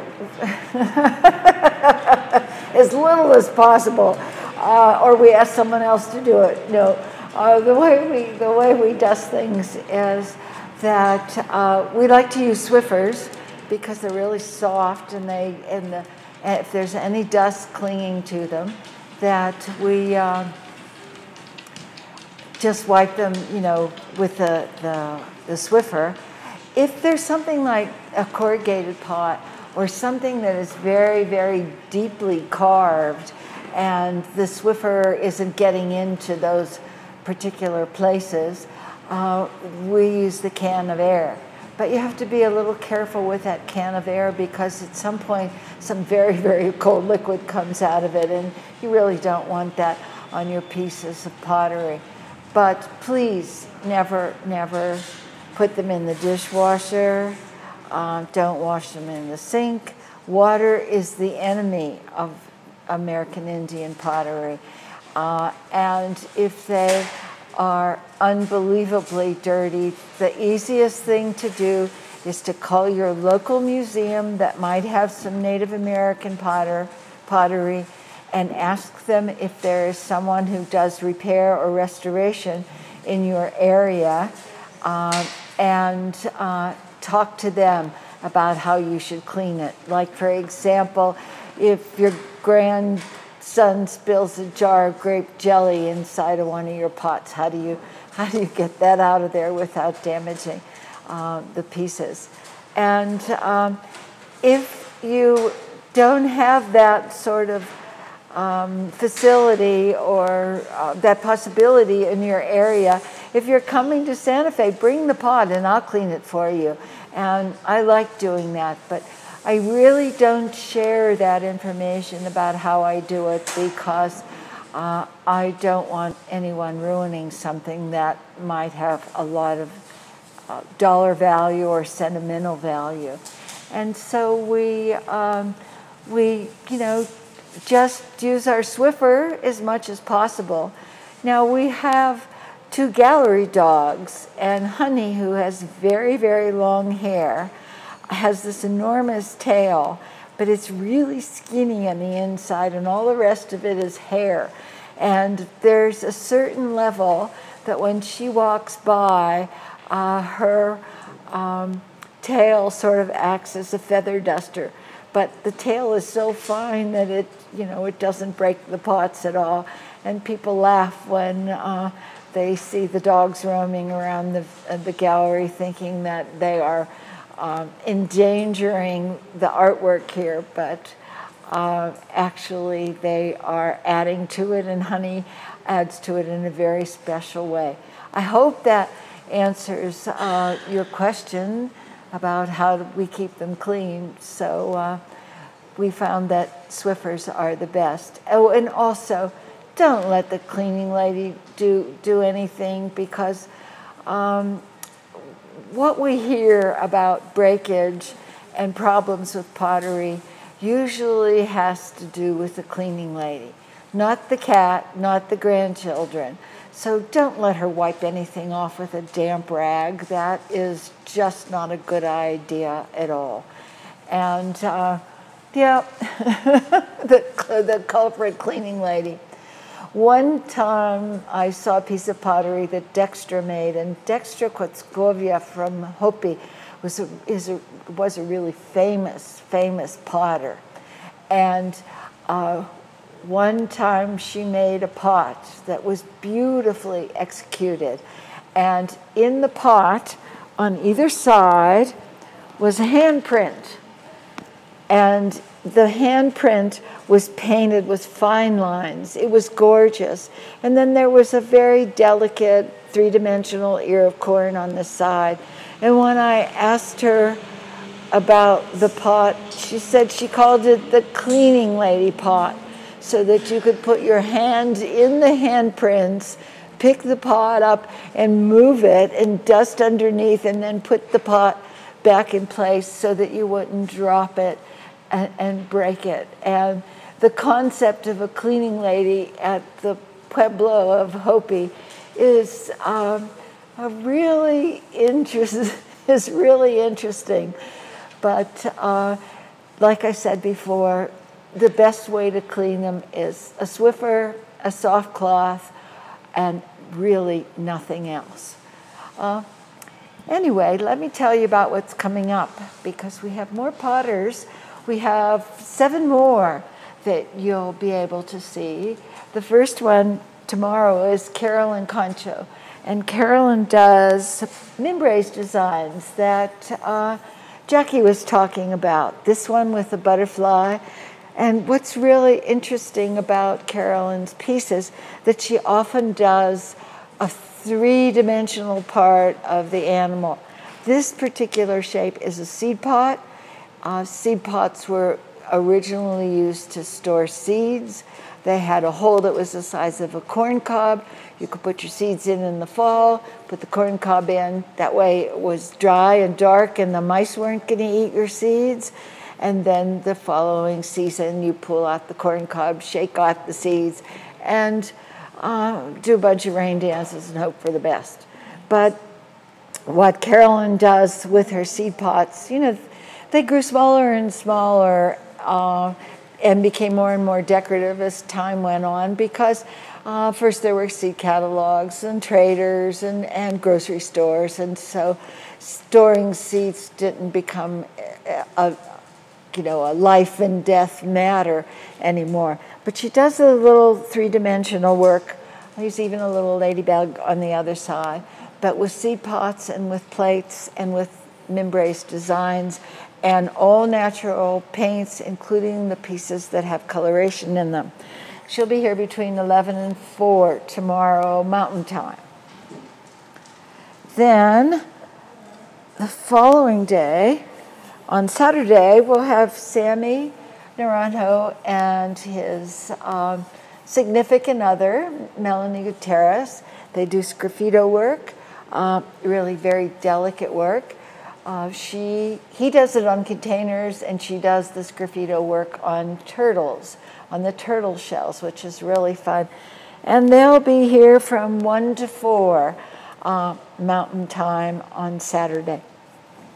Now, for our final week of doing this, uh, Tuesday through Saturday of next week, on Tuesday, we will have Candelaria Suazo. She will also be here from 11 to 4, like Carolyn. And she does sgraffito work also, but with lots and lots of animals and uh, really lovely, lovely pieces. And then on Wednesday, and I'm not going to go any further than Wednesday, we'll have Angie Yazzie from Taos Pueblo, who makes these paper, paper, paper thin pots I mean, they are so light, it's just, I mean, a, a, pot that's 30 inches in diameter, I can easily pick it up and carry it around if, you know, as though I were um, carrying a, a, you know, a, a bag of groceries. I mean, they're just, they're so, a small bag of groceries. They're just so light. It's really, really amazing. And she does reduction firing and just plain wood firing of my micaceous uh, pottery, and she has won more awards at Indian Market than anyone can ever imagine. And she'll be here from 1 until 3 on next Wednesday. Anyway, uh, that's the future for these demos. The past, the 12 that we have recorded before that are available on YouTube go to youtube.com, search for Andrea Fisher Fine Pottery. Uh, we have our own channel. They'll all come up. You can watch them in their entirety if you choose. And uh, the one from today will be posted about two hours after um, we conclude here today. But uh, today uh, we have Jackie Shutiva from Acoma Pueblo who uniquely does the corrugated ware, the ware that she learned from her mama, uh, Stella Shutiva, and her grandma, Jessie Garcia. Both of those ladies were very, very important in the um, history of Acoma pottery and very well known and very, very collectible. We have both Jessie's and Stella's pieces here, as well as uh, so many of Jackie's. And the reason that we're doing this basically is because uh, the largest con- congregation, you might call them, of Native Americans uh, is was canceled. Indian Market that usually takes place on the third weekend of August here in Santa Fe. And so, uh, consequently, uh, so many of our potters uh, do not have a source of income. I mean, there's no unemployment insurance, or you don't get a check from the government because you've contributed uh, into the Social Security and Medicare system because they're all independent, self, um, you know, they're, they're self-employed, and uh, that really, really makes a, a big difference when their main source of income is cut away. And if you notice, Jackie talked about the places where she exhibited her work in, in Kansas and uh, in, in various places and received awards and ribbons. Well, all of those opportunities have been canceled also. And so by buying their pieces, you really, really support the artist, and uh, it will, it, you know, will truly make a difference in their lives. And you know, that's the reason why why we're doing all this. So you know, if you would like to help them out, uh, this is a very, very convenient way. And in return, you get something really beautiful to display in your home. So we have Jackie back, and I got a question from the internet, and the, the question is from, uh, well, I'm not sure. Oh, excuse me, it's from Charles. And she, he says that we have a wedding vase made by Jackie's grandmother, Jessie Garcia. And we have been unable to locate a picture of Jessie and would appreciate any information you might be able to provide about Jessie. Oh, wow. Okay. Um, I'll have to look into um, some of my photos and stuff. In fact, I think I have a picture of her while she was making a piece. Oh, nice, So nice. It- maybe you could make a copy Yeah, of it, or so if I can find or it- take a picture of the picture and Yeah. email it to Charles. Yeah, I can do that. And then um, any other information I find, I can get it to Derek, and then Der- Derek can forward it to Charles. Great. Does uh, do you know if her picture has been published in any books? Um, I'm not sure if she was published herself, but I know some of her work was in uh, some of the um, older books that came out for uh, Southwest Pottery. Um, I'm not sure the name of the books, but there was several of her pieces in, in some of those books, which was, uh, I believe, the last one I saw was about in the uh, early '80s edition of the Southwest uh, Pueblo Potters. So. Uh-huh. Well, I know there's a really nice picture of you and your mom Oh. in um, Talking with the Clay, uh, the book that Stephen Trimble wrote. When we have Talking with the Clay here, uh, if anyone is interested, both in soft and hardcover, and uh, but a real, real nice picture of the the two of you together a long, long Yes, time that- ago. That's been a while back. Yeah, because that book is about 25 years old. The, the first edition is about 25 years old. Uh-huh. Do you have another question? And there's also an update to that Talking with the Clay book, a 20 or 25 year revision. 20 year. Yeah, 20 year revision. Yep. And so we have a, it's actually a question for Andrea, and it says. The answer is yes. Yeah, and that's, and that's the right answer. Uh, uh, I hope that, this is from Joan. Joan says that I hope that after market you'll still do the virtual live stream demonstrations for the people like me who are out of state. Well, actually, we are going to do them, but uh, doing 20 of them in a row has turned out to be really difficult because for someone like me who has to talk for five hours, I thought I could talk, you know, for a, a million years. It wouldn't be so bad. But after five hours of talking, it's really exhausting. And so after the month of August, and uh, because of people like you who are kind enough to say that um, you are in, you like watching these and getting all this information, we and with artists who have called us and said, "It really looks like fun. Can I do one too?" Uh, we uh, decided that we will continue on with these. But we're probably going to have a, a break for a while. I think I'm going to go sit in a cave somewhere and not say a word for a while. Uh, and uh, after that, uh, we will resume them. And if you noticed on our schedule, and the complete schedule is at and, um, andreafisherpottery.com slash 2020. Uh, if you notice, there are no Hopi or Navajo potters uh, on our list, only because uh, the greater part of the Navajo reservation and all the Hopi reservation is in the state of Arizona, and our governor has, uh, well, she's she's more than requested that uh, everyone who is from out of state to um, stay away for uh, two weeks, to stay indoors for two weeks, to quarantine for two weeks before you can, uh, you know, go. You can go out into New Mexico, and consequently, that has, you know, made the the city of Santa Fe, a tourist des- destination, pretty close to a ghost town at this point. But uh, this too will pass, and when it does, uh, we will um, be able to have some of the Navajo and Hopi potters join us. Now, uh, Jackie, question. Yes. How is the, the virus affecting Acoma Pueblo?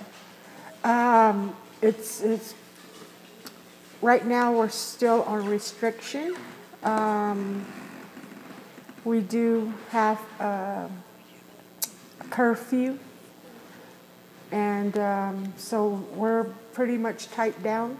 You know, we have to be back within the reservation if anybody is to go out and get their necessities or go do daily chores or take their kids to appointments or go to appointments.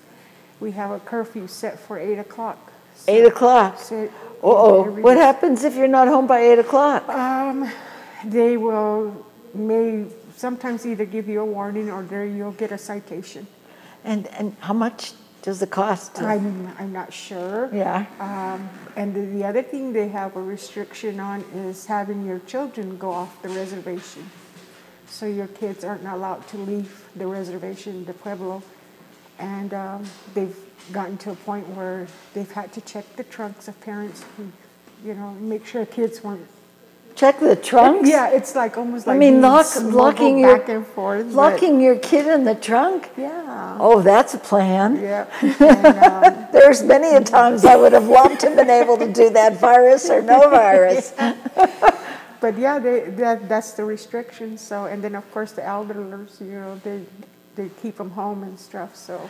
Well, have they, you had many positive test cases? Uh, right now, we've only, we've uh, had tests done, and uh, I believe uh, we've only had four cases of deaths on our pueblo uh-huh. um, due to the corona. But they also had uh, other issues, you yeah. know. So that was part of that, and um, some tested, of course, uh, positive, so they were quarantined for the 14 days. And, mm-hmm. and anybody that made contact with them, um, same thing would take place.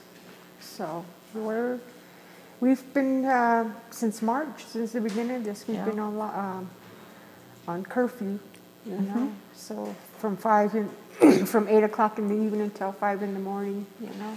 So you can leave at 5 a.m. Yeah. if you have a, Yeah. a job that Right. is Yeah. necessary. Yeah, and if you do work like off the reservation, or if you're living uh, in town and have to work on the reservation, you have to have a, a letter stating that, you know, you, so that you can come in and off.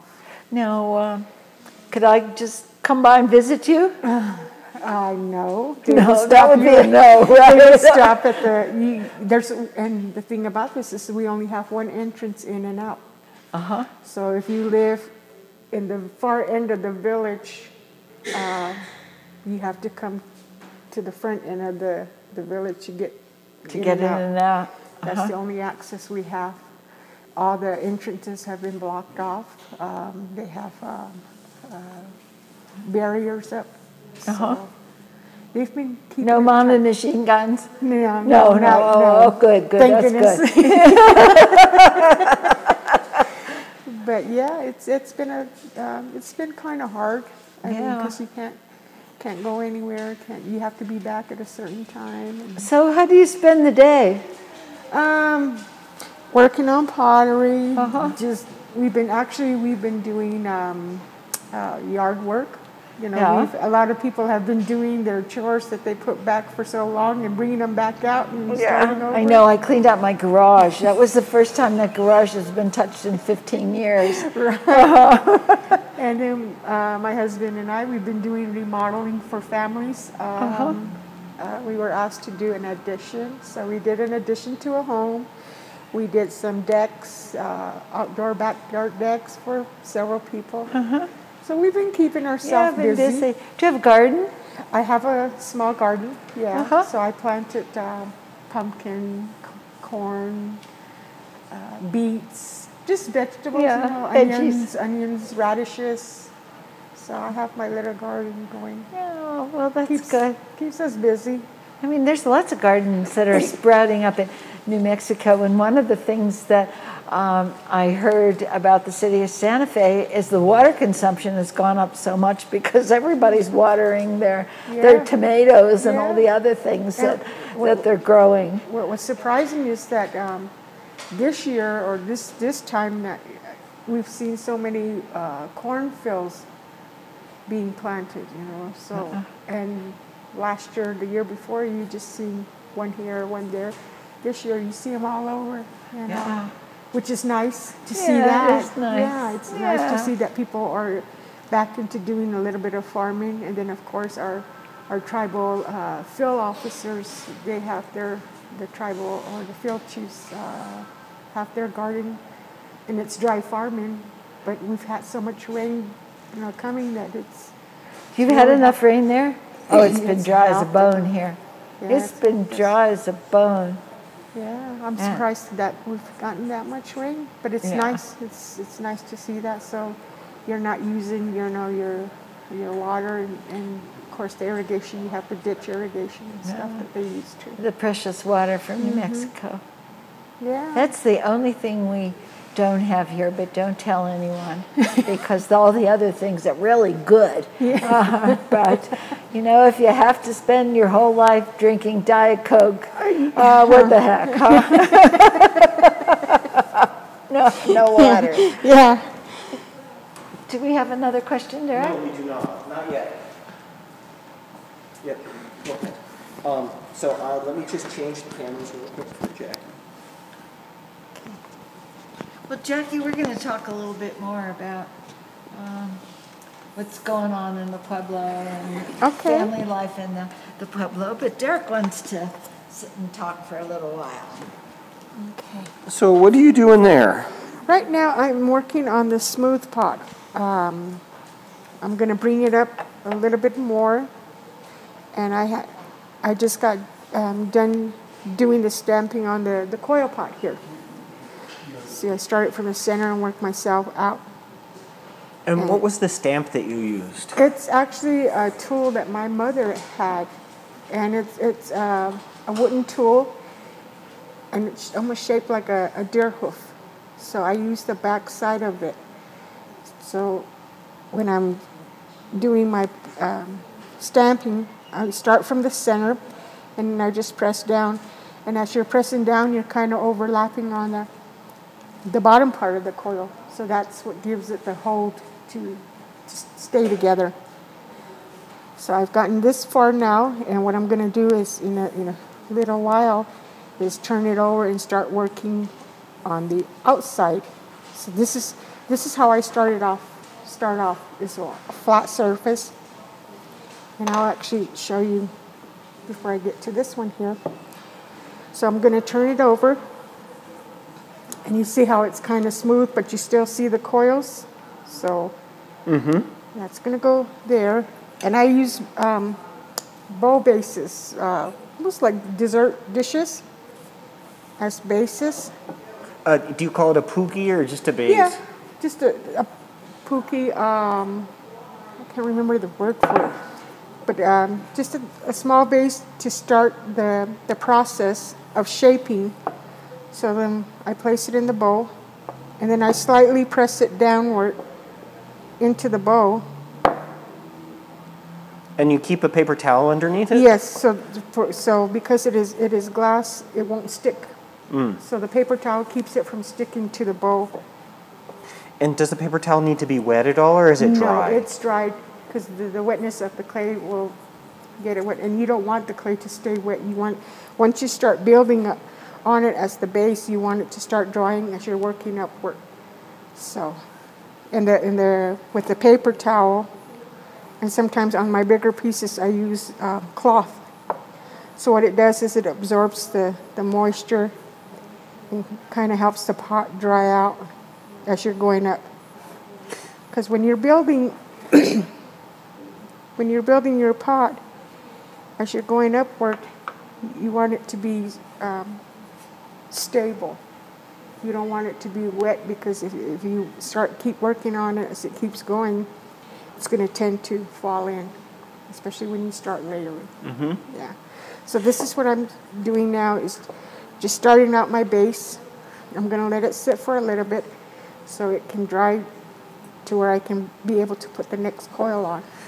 And so uh, you did flip it over with the texture already on the bottom, Yes. correct? Yes, so And so the texture is on the bottom, and so it still remains there. yes, so even when I started smoothing it out, you'll see the the corrugated on the bottom.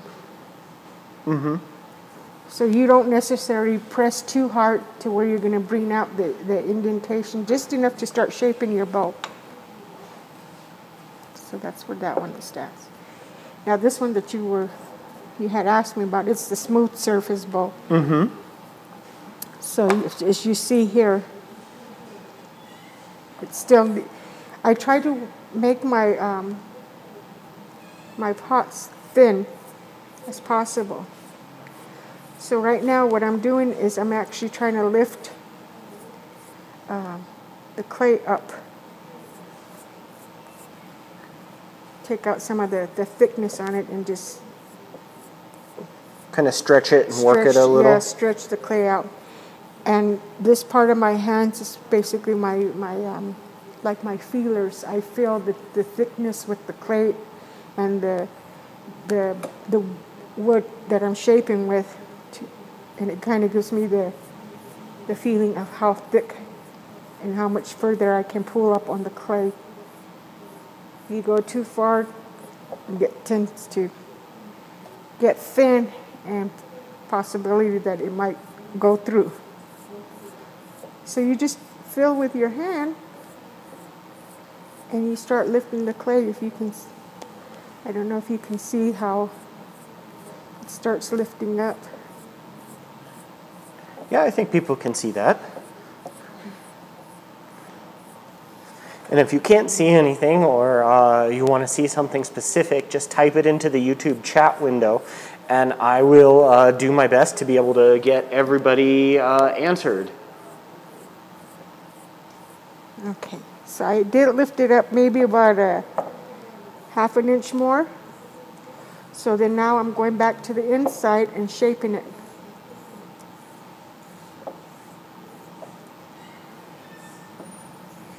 And you can see that on the inside of my hand, I can feel the wood applying a little bit of pressure, but just enough to get it to shape. So, uh, and you want to you you want to keep your pots thin because uh, in having the pots thin, uh, it means you have to go collect less clay. Is that correct? yes. Um, and also, uh, Acoma pottery is known for being able to go relatively thin uh, because there is a lot of the pottery shards that are added to the to the clay, To the which clay. gives it that temper, Yeah. which gives it the structure uh, that it needs to go thin as well. right. Yeah. So you can see, you can basically see how the, the thickness of it is. That's how that's how much, pretty much how thin it's gonna go. And I see you're not using a wheel or uh, anything besides just a coil. just the coil method, and these are these here are my tools for shaping and, and and building the pots, and then this is the tool that I used to stamp with. Um, I have tried using a wheel, and I I was so frustrated. and you know, the, I, I took a class just to experience what it how to, and figuring well maybe I can use a wheel. No, It didn't work. it didn't work. I'm like, my clay was going here, it was going there. I'm like, okay, I'll go back to what I'm doing. well, you're obviously very good at what you do. So, uh, you know, uh, but it's it's great that you were trying to learn and try Yeah. something new. And I just got a question, and the question is from Dan in San Diego. And Dan would like to know, uh, after seeing the piece of by Jessie Garcia, your grandmother, Uh-huh. uh did Jessie do corrugated pieces before Jackie's mother, uh, Stella, or was it after? It was after. oh, so So she- my so- mom was probably uh, at the time teaching her mom how to do the corrugated. Mm-hmm. So it was it was a experience knowing that my mom's teaching her mother how to do something for Yeah. changing. well, there's there's been a few examples of that in the pottery world. For instance, Joseph Lone Wolf from Uh-huh. Santa Clara Pueblo really popularized the very fine, detailed sgraffito work. And then uh, his dad, Camilio, started doing the same kind of fine, detailed sgraffito work.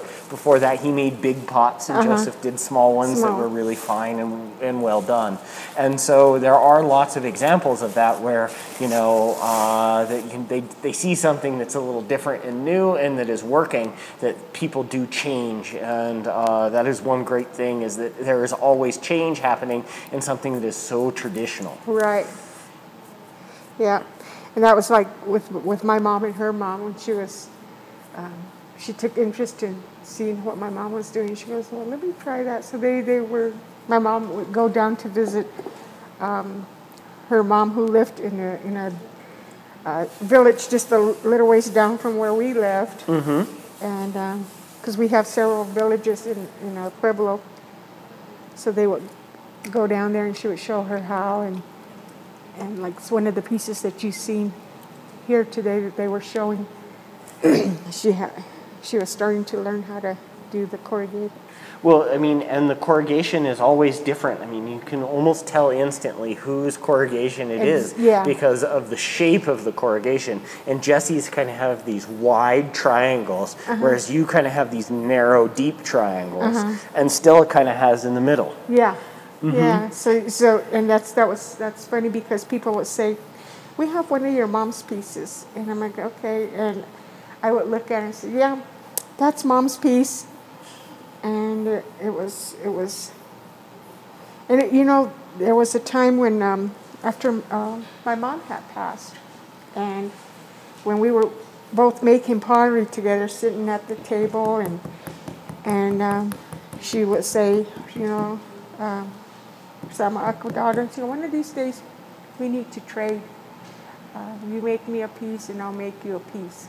So we said okay and um, Well, I hope that happened before she passed. it, it never did Oh, I'm sorry to hear yeah, that. Yeah, it never did.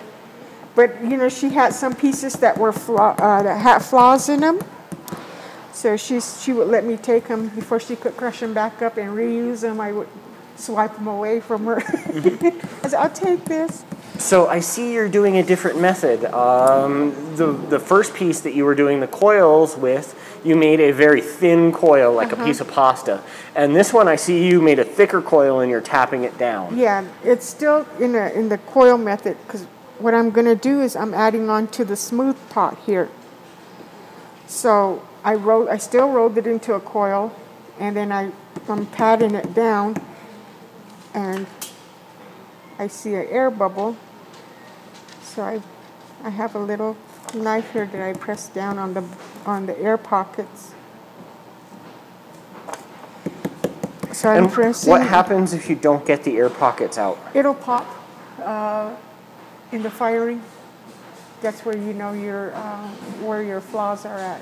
Mm-hmm. If you don't get it out, but if, even if like when you're smoothing the pot out too, you'll you'll tend to find it but sometimes it doesn't happen where you just kind of go over it, but the pocket's still in there, the air pocket. So when it comes time for firing, because the pressure builds up in that pocket, it'll pop. So you you'll have a sort of like a blowout on Yeah. one piece. And do you fire one piece at a time, or do you do I- many at a time? I do several, several pieces. And are you using a kiln or traditional methods? I'm still studying the traditional method. I've tried the, t- traditional method, um, and I still like to try to do that.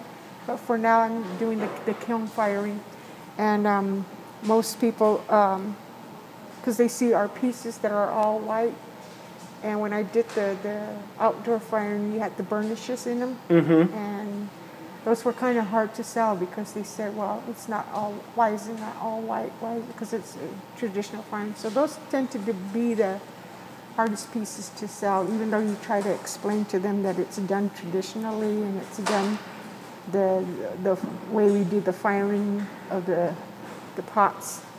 Yeah, so um, uh, just to back up for our viewers, um, so Acoma Pueblo generally has moved away from the traditional firing methods uh, because of what exactly what Jackie was talking about right here, which is fire clouds or burn marks or discolorations coming from the, uh, uh, the, the, the unevenness of a natural fire in, in the ground.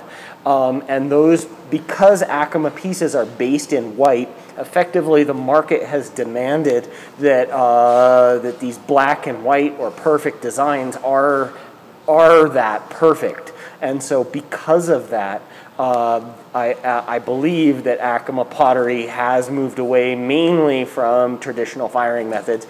And there's, there's only a few people today who still know how to fire traditionally. Um, so, you've fired traditionally before? Yes, I have. Yeah, and and of course my mom. That's how she did most of her firing was all traditional. So when she was doing the traditional firing, we were the ones that were going to gather her materials to do her firing, which of course was she used um, the um cow dung for her firing. Yeah, so I've seen it done with sheep's dung, with Yeah. cow's dung, with horse dung. Um, and it actually takes a surprisingly long time to fire traditionally. Yes, um, The fire sometimes can burn for a few hours. Oh yeah, it actually we've um, from start to finish because you're still having you're building the kiln basically. Mm-hmm. You know with the the corn done and, and just having to set it um, from beginning to start is a long process. Firing itself takes anywhere probably from uh, three to six hours from start once it starts burning to to when it cools down. So it, it, it, is uh, it's a long process. Sometimes I think it's more harder than you know because you're sitting waiting with the kiln, whereas for the pit firing, you know you're kind of watching and making sure. Um, when you're doing firings like that, the day is perfect too. Mm-hmm. Uh, you don't want wind the wind coming in, you know, and that's how you get your burnishes on pieces like that, or on a wet day. Well, personally, I really love the traditionally fired Acoma Mm-hmm. pieces. I mean, it's almost kind of like that the fire gives its own final design influence to the piece. Yeah. And, you know, I, I kind of appreciate that as a connoisseur of this sort of thing. Mm-hmm. And, uh, you know, I, I fully support all artists that want to do the outdoor firing, Mm-hmm. especially at Acoma, because for some reason, since, oh, I would say the 1970s or so, it has been falling off. Yeah. And uh, I, I want that tradition to stay alive as, as long as possible, just like I want the tradition of these handmade pots to stay alive. And that is, again, why we're doing all these demos, so that we can provide an outlet for all of the artists that may no longer have an outlet through Indian Market. And Indian Market, for those of you who don't know, is the largest juried Indian art show in the world. It happens on the Santa Fe Plaza every year in August, and it is a fun, fun spectacle to go see and to see all the people and their artwork. But not only is it a market of, you know, a place that artists sell their wares, it is also a very large social event because many of the artists don't get to see each other, even though they live in some cases next to each other. Mm-hmm. They don't see each other for, you know, months and months and months. And it's a, it's a wonderful social gathering. And all I, I'll, I only have positive things to say about Indian Market. And, you know, hopefully next year we'll be through this thing and, you know, we'll be back to somewhat of a normality. Right. And uh, yeah, I mean, that's uh, kind of why we're doing this. Um, it took us some serious effort to get this uh, this guy started. We actually came up with the idea in March when uh, the pandemic started and decided to order the equipment then. Well, that was the smartest move that we could have possibly done because uh, the equipment only showed up in late July um, because apparently everybody is trying to do these sort of streaming events. And so we're, we were really lucky uh, and fortunate to be able to put these guys on for you and very, very happy that we can do it for you as well.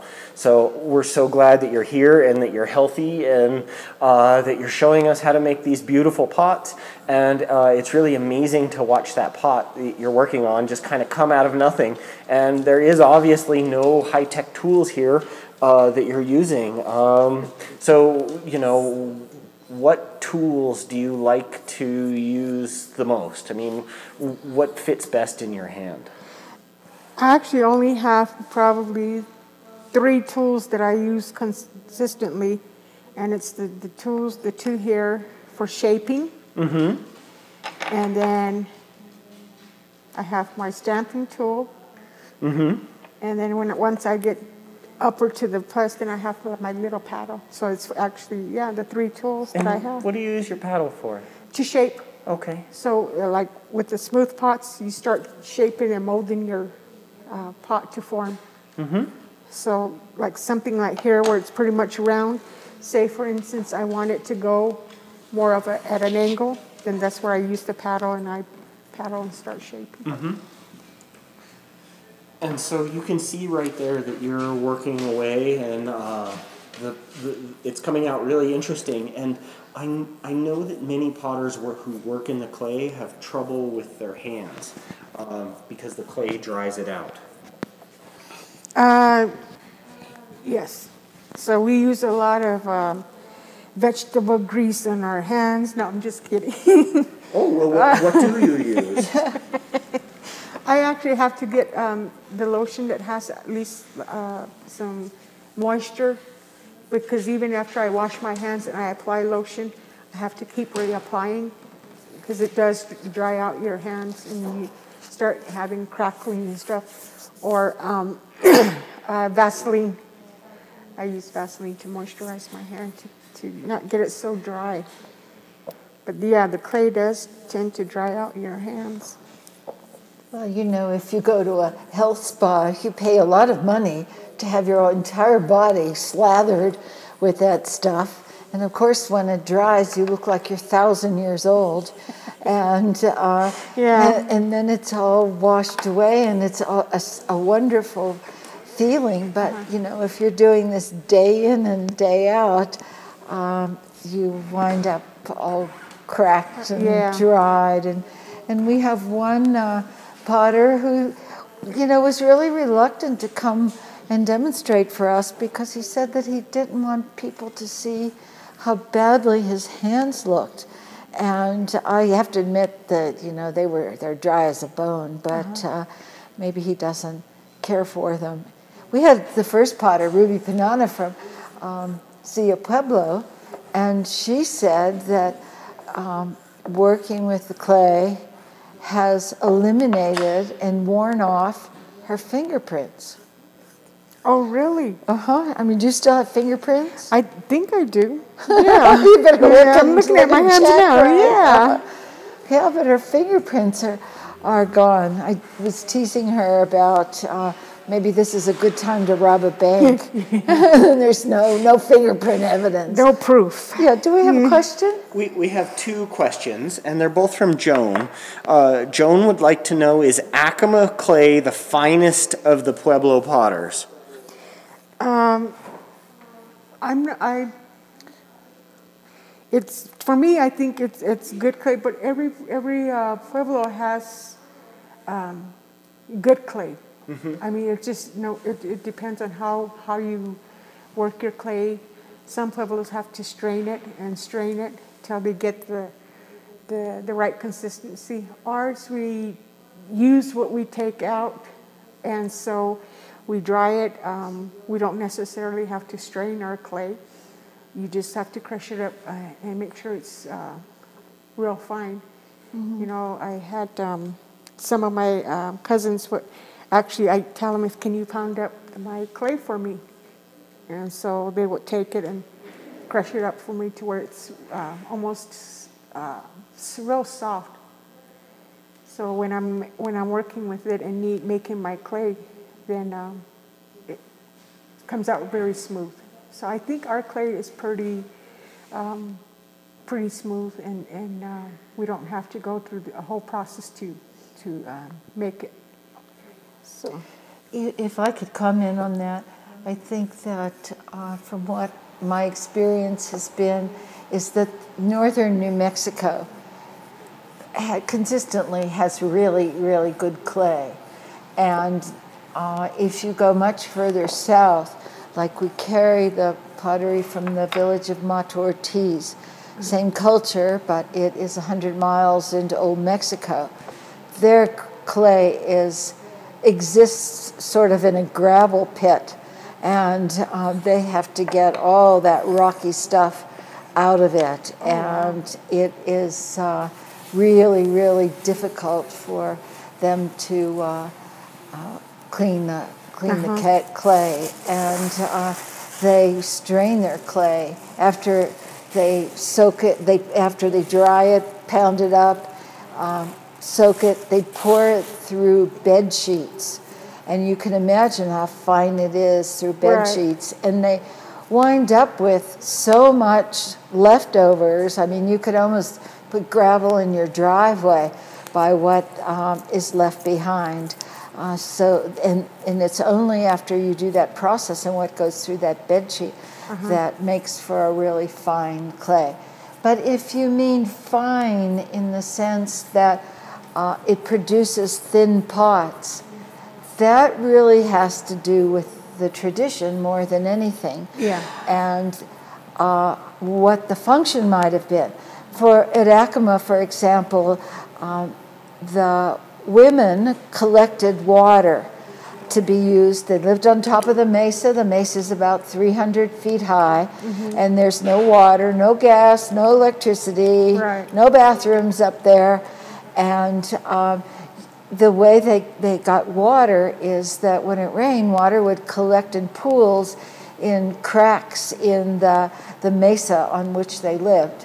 And the way that they got, th- that was their water source. And so the women would climb down the cliffs with places where that were carved into the rock where you could put your hands and your feet uh, in order to um, to climb both ways. And the only other appendage you sort of had to carry the pot was on your head. Right. So you'd put the pot on the empty pot on your head, climb down the cliff, scoop up the water with the pot, put the water back on top of your head, and then climb back up to the top where you lived. Well, um, water is really heavy stuff, and and you can't change the weight of water. The only control you had would be to change the weight of the pot. And so the pots were made just as thin as they possibly could be. And if you notice, Jackie talked about the temper in the beginning, and the temper is ground up pottery shards. So effectively, you're strengthening your clay with something that's already been fired. So you could make a really, really thin wall. But Right. you have a limitation when you do that because those ground up pottery shards, that temper that allows the very little of the clay to be used and to fire into a, a container, um, in order to put all that temper in, you lose the ability to do a really, really high polish like they do at Santa Clara or San Ildefonso Yeah. because of that, that fine grit that's, that's in the clay. And so if you're thinking about fine and fineness equating with thinness, that had to do with functionality. Um, with Santa Clara clay, which I think is would be the opposite uh, in terms of uh, the process of making the pots. Well, first of all, the water source is the river. And the river, you know, you just walk down to the river, scoop up the, the pot, and carry it home, which is not quite the same as putting it on your head and climbing up those cliffs uh, with that heavy jug of water on your head. And uh, also, Santa Clara does uh, really deeply carved pieces. So the fact that water was nearby and you didn't have to, you, the, the weight of the pot wasn't really as important as it was in, in Acoma, and the fact that you carve deeply into the pots, um, their pottery tends to be very, very heavy in comparison to uh, uh, Acoma pots. And for carving, when the clay shrinks so much in the drying process, as much as like 20%. So if you have a 10 inch pot, you're going to wind up with an 8 inch pot uh, after the pot dries. And when it shrinks as it dries, the faster it dries, the more, the qu- more quickly it shrinks. And if you're doing deep carving, the thinner part is going to dry faster than the thicker part mm-hmm. and shrink faster and crack more easily.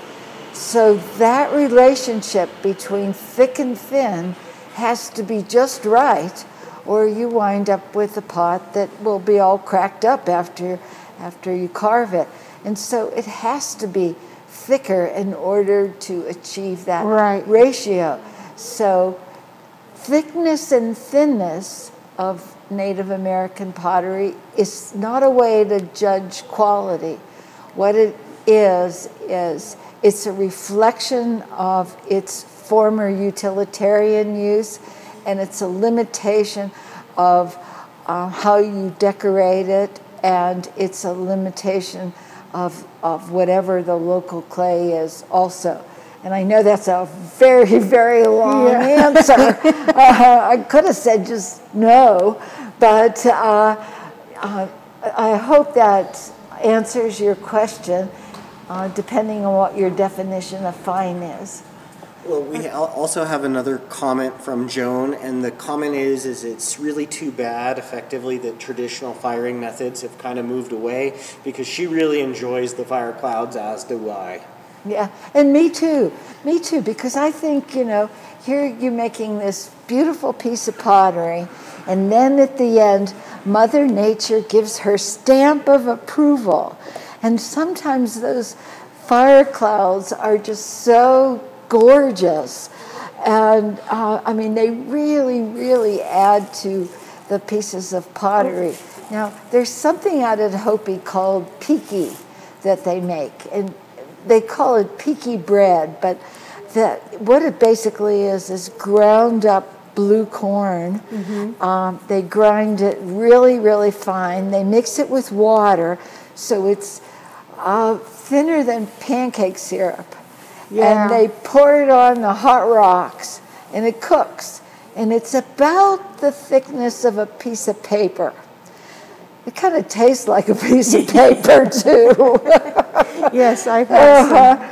And those really fine paper thin sheets of piki, they roll them up um, and layer after layer after layer, and they're sort of, you know, like in the shape of a cigar. And that's what you use to eat a stew, a watery, meaty, veggie, vegetable-y sort of uh, meal, and you eat that piki bread with, with the meal and uh, they make piki bowls. And the piki bowls are for mixing that watery cornmeal that you cook on the rock.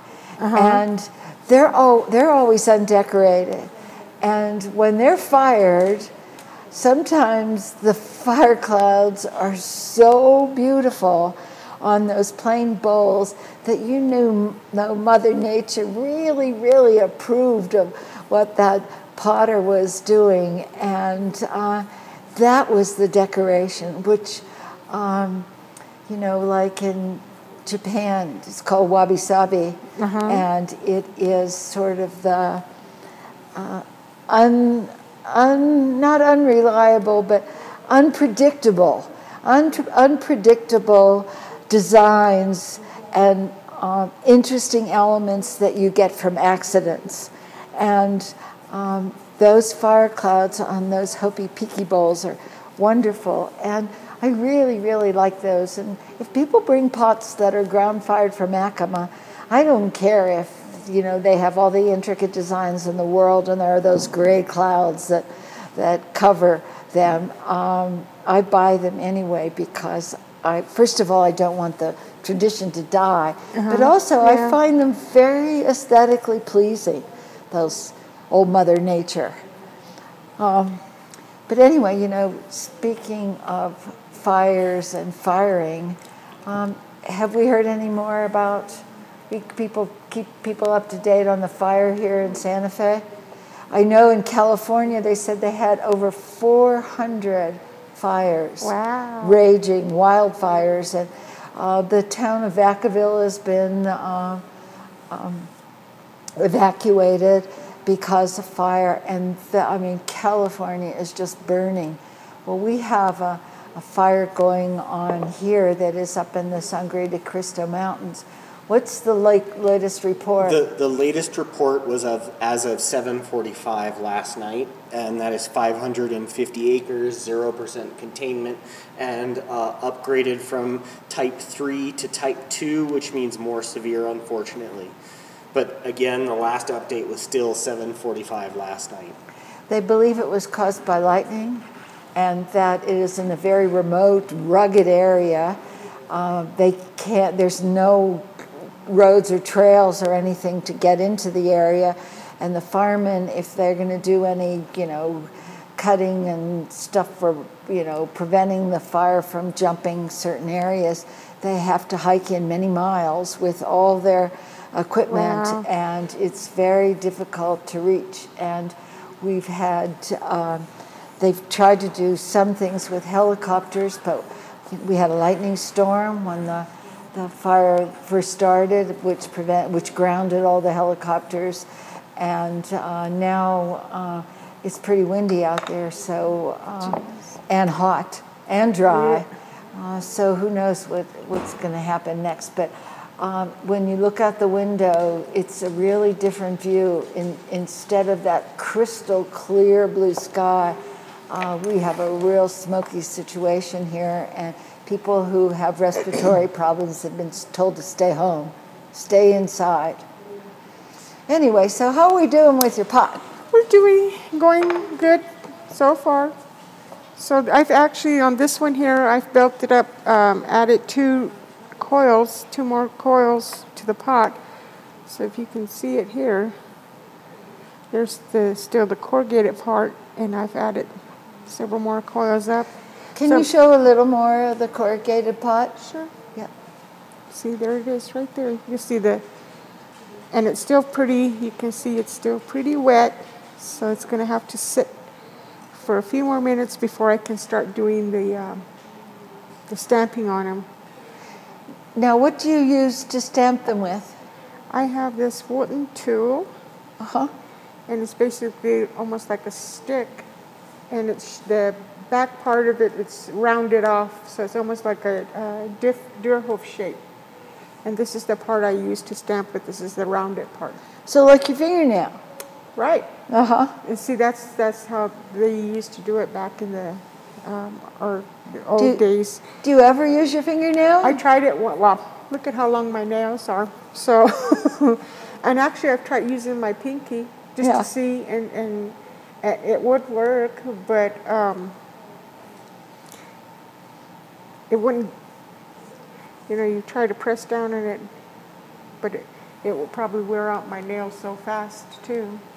And you know, this, this here piece belonged to mom, and it was actually this long. Wow. So over the years that she's used it and I've used it, it's already come down maybe two inches. So I'm now to down to this, and I can, I'm, I'm holding it basically on the inner part. So it's getting smaller and smaller. you so need an extension. well, just think if you would have used your finger. Yeah, you I might- I might have the- your finger would have been. Yeah, there would have just been a little stump there at the end. Your finger would have worn completely down. So it does, you know, you don't think that uh, it'll wear down, but it has, and I'm, I was surprised to see how much it's gone. And then just from holding it, I have this little indentation from just holding as I'm stamping down. So it's actually, I, I don't press on it, but it feels like I've been pressing a little hard on the, on Yeah. the, so you have this little indentation here. So that's what I used to stamp with. And you know, I've seen on uh, your grandma Jessie Garcia's pots that there are um, like not necessarily like a little groove, but like little holes. Uh, do you know what she used to do that? I, I, I think she was using um, a popsicle stick. Cherry or grape? Grape's my favorite. So I think that's what she was, or she had to have had a, uh, seems like a flatter piece of wood because it's shaped like a triangle. So Yeah, it might have been- been a, a, yeah. a thin wood, but more more of a triangle shape to it. And then, my, of course, my mom used the same one, and and um, um, so it's just one side. I think she tried making the other side the same way, but it, it broke. Either one of us broke it too, as we Oh. were kids. Started eating on it. Yeah, kids, right? Kids. but um, have you ever thought about using like a different design other than just, you know, like that little dip? I Uh, have I have tried, and I've I tried to make one with a um, like a star shape to it, Uh huh. and uh, it, it it- as could because as small as my coils were, I, it couldn't fit on there.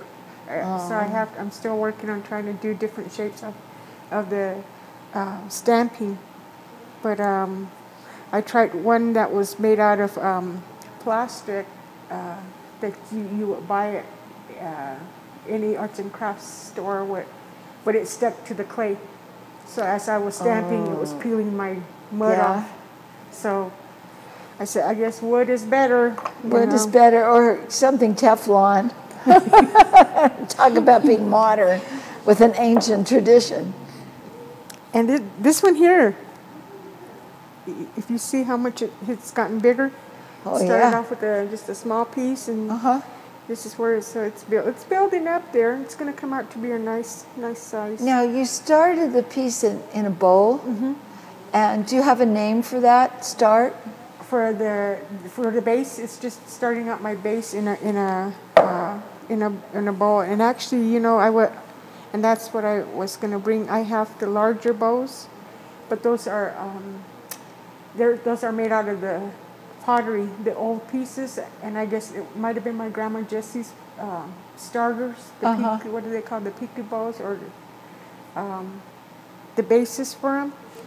And in those ones, she had, if you look in the bottom, um, it had the indentation or the dent in it. Uh-huh. So when they, like you were talking about hauling water, or if you notice that some of the potters, um, they used to put a, um, on the bottom of the bowl, they made it curved. Yeah, they still do. And so Uh-huh. when it sat on your head, it was like, you know, it, it made it easier to settle, you know, on your head. Unless, of course, you had a flat head. I, Right. I, I haven't seen too many people like that. So that's what um, those ones I, I use, and then like when I do some of my half corrugated pieces, I'll use some of those. Do you, do you call the bowl a certain name? um, Because I know in Tewa it's Puki. the puki bowls, my, you know, I can't remember what my mom used to call them, um, but she, she most of the time we just call them base bowls. Well, we were laughing because uh, Kevin Naranjo is here and Clarence Cruz is here, and They are from adjoining pueblos, from uh, Santa Clara and from um, Ohkay Owingeh, which was formerly San Juan, and the two pueblos Right. Border each other, and they said it was called a puki. But in Tewa, a puki is what you sit down on a chair, which is sort of rounded yeah. like that. Uh-huh. Uh, except for some men who's, are, who are very flat, but uh, that uh, it uh, that rounded part of your anatomy in Tewa is a puki as well as the container that you start your pots in. And of course, you know they were laughing hilariously about. Uh, uh, the fact that you know when they hear people who don't speak their language talk about pukis, uh, it has a completely different, Different, meaning for yeah. them. totally different. meaning. yeah. So what are you doing there? Right now, I am bu- um building up my clay. So I'm actually stretching the clay again. So to get it more thinner. So I'm, I'm working on the thickness of the pot now. And also trying to, um, if there's any air pockets in there also. It helps me Those nasty air pockets. yeah. So it actually helps while I'm while I'm bringing it up. I'm also feeling with my hand on the inside, so you can actually feel um, the thickness, and then you can also feel if there's any um, bubbles, air pockets popping up as you're stretching the clay. So uh, I have another question from Joan, and Joan would like. Joan says, "Wow, I like the look of the corrugated and the coil. Do you ever make a pot with that, that kind of contrast?" The combination of the 2 Mm-hmm. Yeah, I, I do the, the, like this one here is going to be half corrugated. So you have the smoothness on the bottom and then the coil corrugated on top. So it'll be like a vase. So once I come up here to this point here, then I'll make the neck out of cor, coil pot, corrugated pots. So that's how it'll come out. And that's what this shape is turning out to be. That's what it's, I'm going to make out of this one is a half corrugated. Oh, Well, that sounds just perfect then. Uh, we'll get to see it all. Do you, were you going to begin your corrugation soon? The corrugated coils? If, if, if it's um, if it dries enough, so as you're building it, you got to make sure that your your pot is dry enough to add to the top. Because once you start building on the top, yes, Yeah. that it doesn't come. So you're going to be angling it upward, and you want to make sure that the pot is um, sturdy enough to hold the, the coils on top. So I should have brought my hair dryer. A fan, yeah, a fan. a fan. Yeah, there we go. you know that's the other thing about about working with clay and mother nature is that um, you have to work with nature so like now it's it's uh, nice and if you have to dry. yeah so it'll the pots will tend to um, go they go actually the clay will go at its pace uh-huh. um, So you're not in control, are you? No, Uh-uh. You're, you have to work with Mother Nature. So like it's over if it's overcast and it's gonna rain, it takes the pot a lot longer for it to dry because the clay won't dry. Uh-huh. So you're you're you just kind of base it on what your day is gonna be look like, your weather. Uh, if it's sunny and blowing, of course it's gonna dry quicker and faster. So that's where I have control how many pieces that I can work with at a time. And how many do you work with at a time? Uh, it again, it depends like on the size. On smaller pieces such as this one here, I usually can do six at a time. So what I do is I start all the bases off, and I just go in rotation. Uh-huh. So by the time I get to the sixth piece, the first one's already ready to be worked on. Is that a day's work? Pretty much a day work. Uh-huh. Yeah, a day's work, and and I can be sitting there making anywhere from four to eight, and I've actually been, especially on my large pieces, I, am I'm working with them for almost ten hours a day, just depending on the size. Um, small pieces can take me a day. I get to the next size, the mediums, two three days. And I So get, if you have all these six pieces started and they're about a third of the way done, and you get a call from um, one of your grandchildren who says, Grandma, my ride from school left me behind. Can you come and pick me up? Uh, do you, what do you do to ensure that those pots aren't going to dry out completely and you're going to be stuck with pots that are half finished? And that's actually happened to me several times. Grandma, I'm like, okay. So what I do is at that time, then of course, thanks to the old hefty bags, Uh-huh. you know, I I take the bags and I, I put them inside and, and cover them and make sure that um, no air gets into them because you don't want them to dry while you're gone because you don't know how long you're going to be gone. So, so covering them with the, the plastic bags helps helps a lot. It keeps them keeps the moisture in there and keeps them to where if you were ready to work on them when you got back.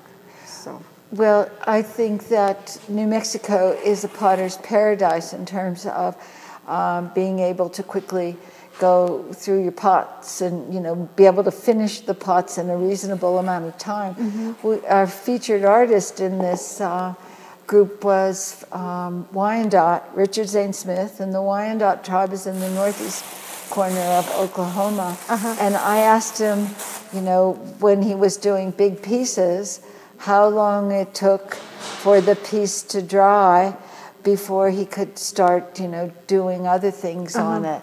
And he said up to two months Wow. because of all the humidity in the air. And you know, we've seen it here over Yeah. and over again when it's pouring raining outside, the mm-hmm. humidity's 42%. Yeah. So, yeah, it's really yeah, I can imagine, and, and that's like I said at home for, for for them to be able to to dry, and the next stage would be for um, the coil pots is to paint them, and so you make you make sure that they're completely dry too, and it, it can take several days for us. Just again, you can't depending on what um, nature has for you, you know. If, if you are um, in, are you, if you're at this point, are you waiting for those two pieces to Yeah, dry? I want to add another coil to start. As you can see, the shape of it, Uh-huh. it's starting to come to form. So it's going to be coming in. So from here, so you want to let the the rim dry enough to you can add your coils, and then uh, start bringing it in. Well, then, while your pieces are drying, maybe um, after we chat a little bit, you can go over and talk about some of the pieces you have over there with me because I think there's a lot more to know about wedding vases if people aren't, uh, if people um, have any questions about it. But, uh, you know, I think that they're an important part of the culture Mm-hmm. and uh, we should be as, de- as detailed as we possibly can about wedding vases. Yeah. And uh, uh, anyway, um,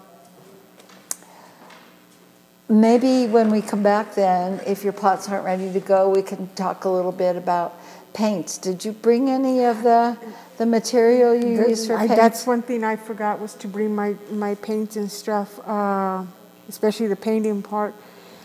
but but, uh, you we know- can talk about the Yeah, what we- we, yeah, we- use and where we gather and find our Uh-huh. paints. Yeah. Absolutely, we can do that. And by the way, for those people that are listening, you don't go to Lowe's and buy a gallon of uh, Indian red uh, to paint on your pots. Uh, these these are not those kinds of paints. These are paints that are made out of minerals and clays and and uh, that are all found in the local area. That's right. So yeah, yeah, all of our Mm-hmm. uh, all of our paints are uh, from home. We gather them up the river, um, or we have to go actually um, like our our different colors that we use. We go Mm-hmm. find them. Yeah. Yeah, we, we, you can point out some of those paints on, on the pieces that we have of yours. And, you know, just a, a friendly reminder for everyone out here the reason that we're doing that is because um, the economic source of um, a lot of the Native American artists, Indian market was canceled this year, and their income has just been decimated. And uh, we're hoping that uh, many of you out there will take this opportunity to give them a hand, and in return, uh, you will be able to have one of Jackie's, for example, beautiful, beautiful pieces. Now we have about 30 other potters in these 20 videos that we're doing. Uh, traditionally, pottery making is a family affair. So we've had a husband and wife. Um, and in one case, they collaborated. In another case, they each did their own thing. Uh, we've had mother and daughter. We've had mother and son and, uh, and a bunch of individuals who, of course, uh, learned all of their skills from um, their mama and her mama and her mama all the way up the line. Over at the display with Jackie. And Jackie, what can you tell me about some of these pieces? And I think uh, my mom wanted to know a little bit more about the wedding vases. Okay, the wedding vase here, as you can see, it's, all done in corrugated, the coil method, where I start from the bottom and I work my way up. Then I go back and I stamp. So I go several coils to stamp. Then I add some more coils and then I go back and stamp it and just start forming it to the shape. So when I get to this point here, then this is the, the uh, centerpiece is added on, do the stamping on it again, and then I start doing the, uh, the nozzles. And yes, of course, you can see there's two, and per- the reason why it's called the wedding vase is because in, in our tradition, and many other the Pueblos traditions, uh, when a couple is to be married or, and wed, um, they used to um, give them wedding vases. And what they do is they put medicine in the in the vase, and at the time you'll have uh, whoever, if, if it's their sponsor or whoever uh, sponsors the couple, then they have the groom drink out of the spout here, and then the, the bride out of the other spout. So they drink the medicine, and you see the band that's right here. This re- represents the bonding of the two. So you see the spout comes up and it connects. So what it is is bonding the marriage um, and making it complete. So that's why they have the wedding vase. Oh, when you said medicine, I mean, do you mean like cough syrup or, or Tylenol? It's or it, it's it's actually herbs that that we have from Uh-huh. home within the home, which uh, is prepared, you know, and um, you you either have a, a if somebody that was in the traditional part of the medicine and stuff, they'll they'll make the uh, well, when you were married, did you have a, a wedding vase that you Mm-hmm. drank from? yes. What's the medicine taste like? um, different herbs. Oh, so it's Um, like a, a nice tea. Oh, similar to a tea. Uh huh. and you can taste like um, I tasted like different kind of roots. Uh huh. um, it has just a different taste to it. Is it pleasant? It's pleasant, so you'll have a good marriage. If it tastes really bad, does Yeah. it mean it's going to be over soon? Yeah, that means it's going to only last a couple years. No. a couple of years, right? And then you're out of here. Now, uh, did uh, where where do these couples get this wedding vase from? Um, either from a family member that, Uh-huh. that makes pottery, or they'll they'll ask uh, someone who does wedding vases. You know, um, most of the time I'm, uh, people have asked me. In fact, I've gotten many, many orders of wedding vases. Well, we've sold a lot of your wedding vases that people wanted to use in ceremonies, Uh-huh. along with you know what white guys do to get married. and uh, That's one way for them to get into the, Yeah. family. Yeah. But you know, it's a, a, a well. And speaking of that, uh, I know in some of the the cultures, it is a, gift to the bride and groom Mhm. from a sister of the mother of the bride.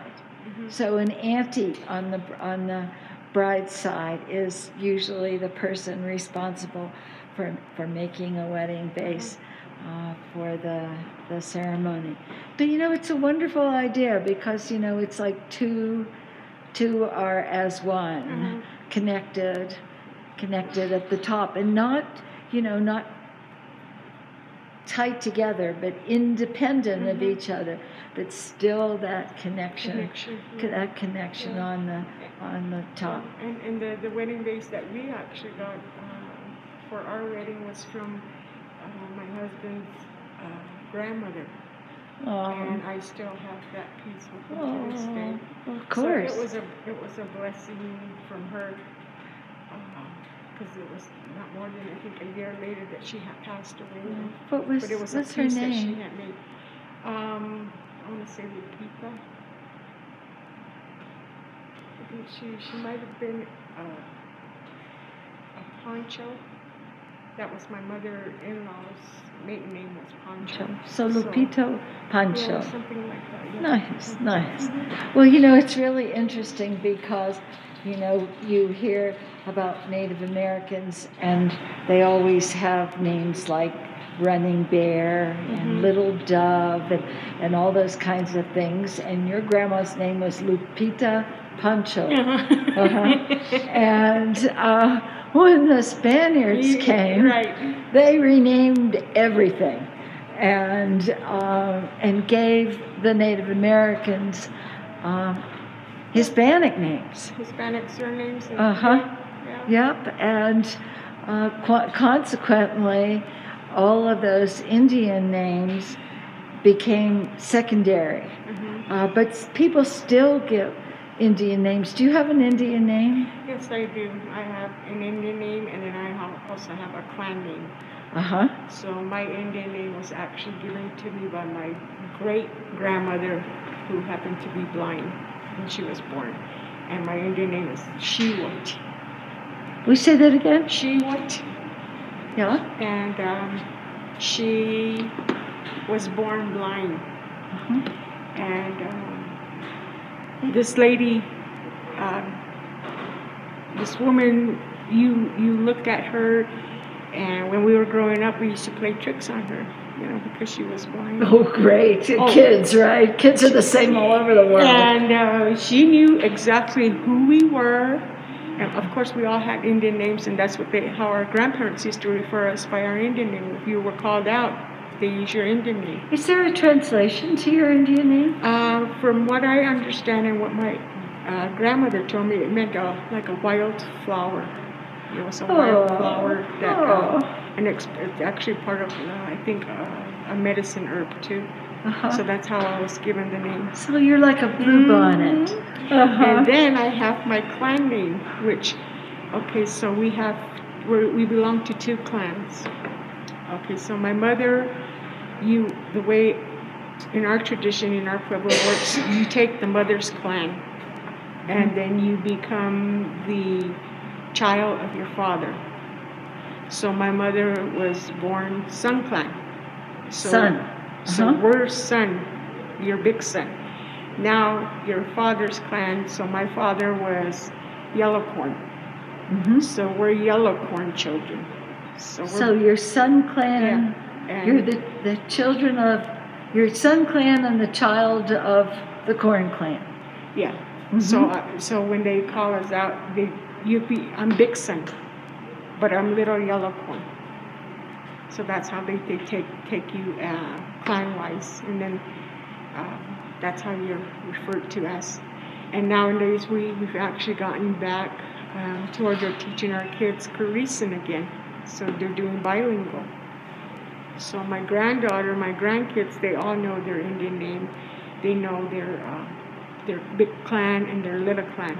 So I have my little That's Mama's the big Yeah. clan and Papa's the little clan. Yeah. Now, what's the purpose of clans? That's how they um, recognize you as what family you come from. Because uh, we have the different clans. The, the highest clan is the Antelope clan. You have all these different clans. So that's how they know your relation to families. Uh-huh. I mean, you can be a big son and you can have, you see other little sons. So you're the, the way they see it is you're the mother of the little ones. Anybody that's Sun clan, you're you're the mother-in-law. Unless they're a big son with you, then you're related very closely. So, So that's if you meet someone from a Sun clan that's from Acoma Pueblo that might live in Los Angeles, um, that's someone that you would marry? well, you're supposedly not supposed to marry your your clan. This is funny because I did not know when I was married to my husband that he was also uh, uh, sun sun corn, corn clan. So he was red corn, and I'm yellow corn. So And they're different clans, red corn and yellow corn? they're all in the same clan because they're all corn clan. Uh-huh. So then we had our kids be named on popcorn. Popcorn. Because you know you mix the corn together, you become popcorn. So, there- there and we go. never knew that for the longest time until finally our, uh, you know, we were told. My mom goes because she had asked, asked him one dinner time. We were talking about growing up and playing and stuff, and and she wasn't sure what uh, his dad was and what kind of plan. So then we started talking about that. We go, wow. And then my mom goes, well, you weren't supposed to be married to him. He's, he's your cousin. And I go, Whoops. Whoops. Whoops. Whoops. But yeah, that's how they distinguish you about who, what family you come from, and who Uh-huh. you're related to, and what your relations are. Well, it sure makes it a whole lot easier when you didn't have any paper and pencil to do family trees. Right. If you could just, you know, have a clan identification. Mm-hmm. Now you have you and you have a, a clan name. Um, well, like I said, big son. So I'm um, Ushat Hano. That's how they say son. Ushat Hano. And then they say uh, they'll ask you like if, if an elder asks you, "Kawa Efrat Ashia," and how uh, who's your family? Who you know what family do you come from? So that's where you respond and say, "I'm Ushat Hano Yak Akukanish Yak Awashti." So you're calling out and saying what your clan is. So they, oh. oh, then they right away they automatically know. Oh, so your dad, Ganesh there is you know. So they refer to my dad as with his Indian name. So that's how you find out who everybody is. Would it be possible for us to, you know, sort of move away and you take your mask off and say all those words without the mask on?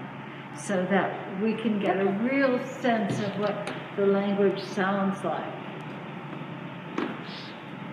Just come, just come right up, Okay. close to the camera. And, and repeat what you would, you know, what a grandparent might say, like who you are.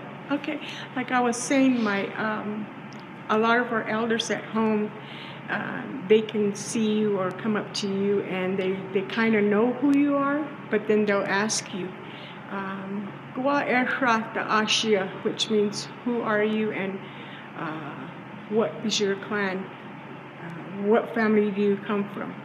So in response, then you're gonna say, um, because I'm Big Son and Yellow Corn Child, I will respond to them. I'm, I'm Urat Hano Yaga Kukanishwashti, which means I'm Big Son, Little Yellow Corn Child.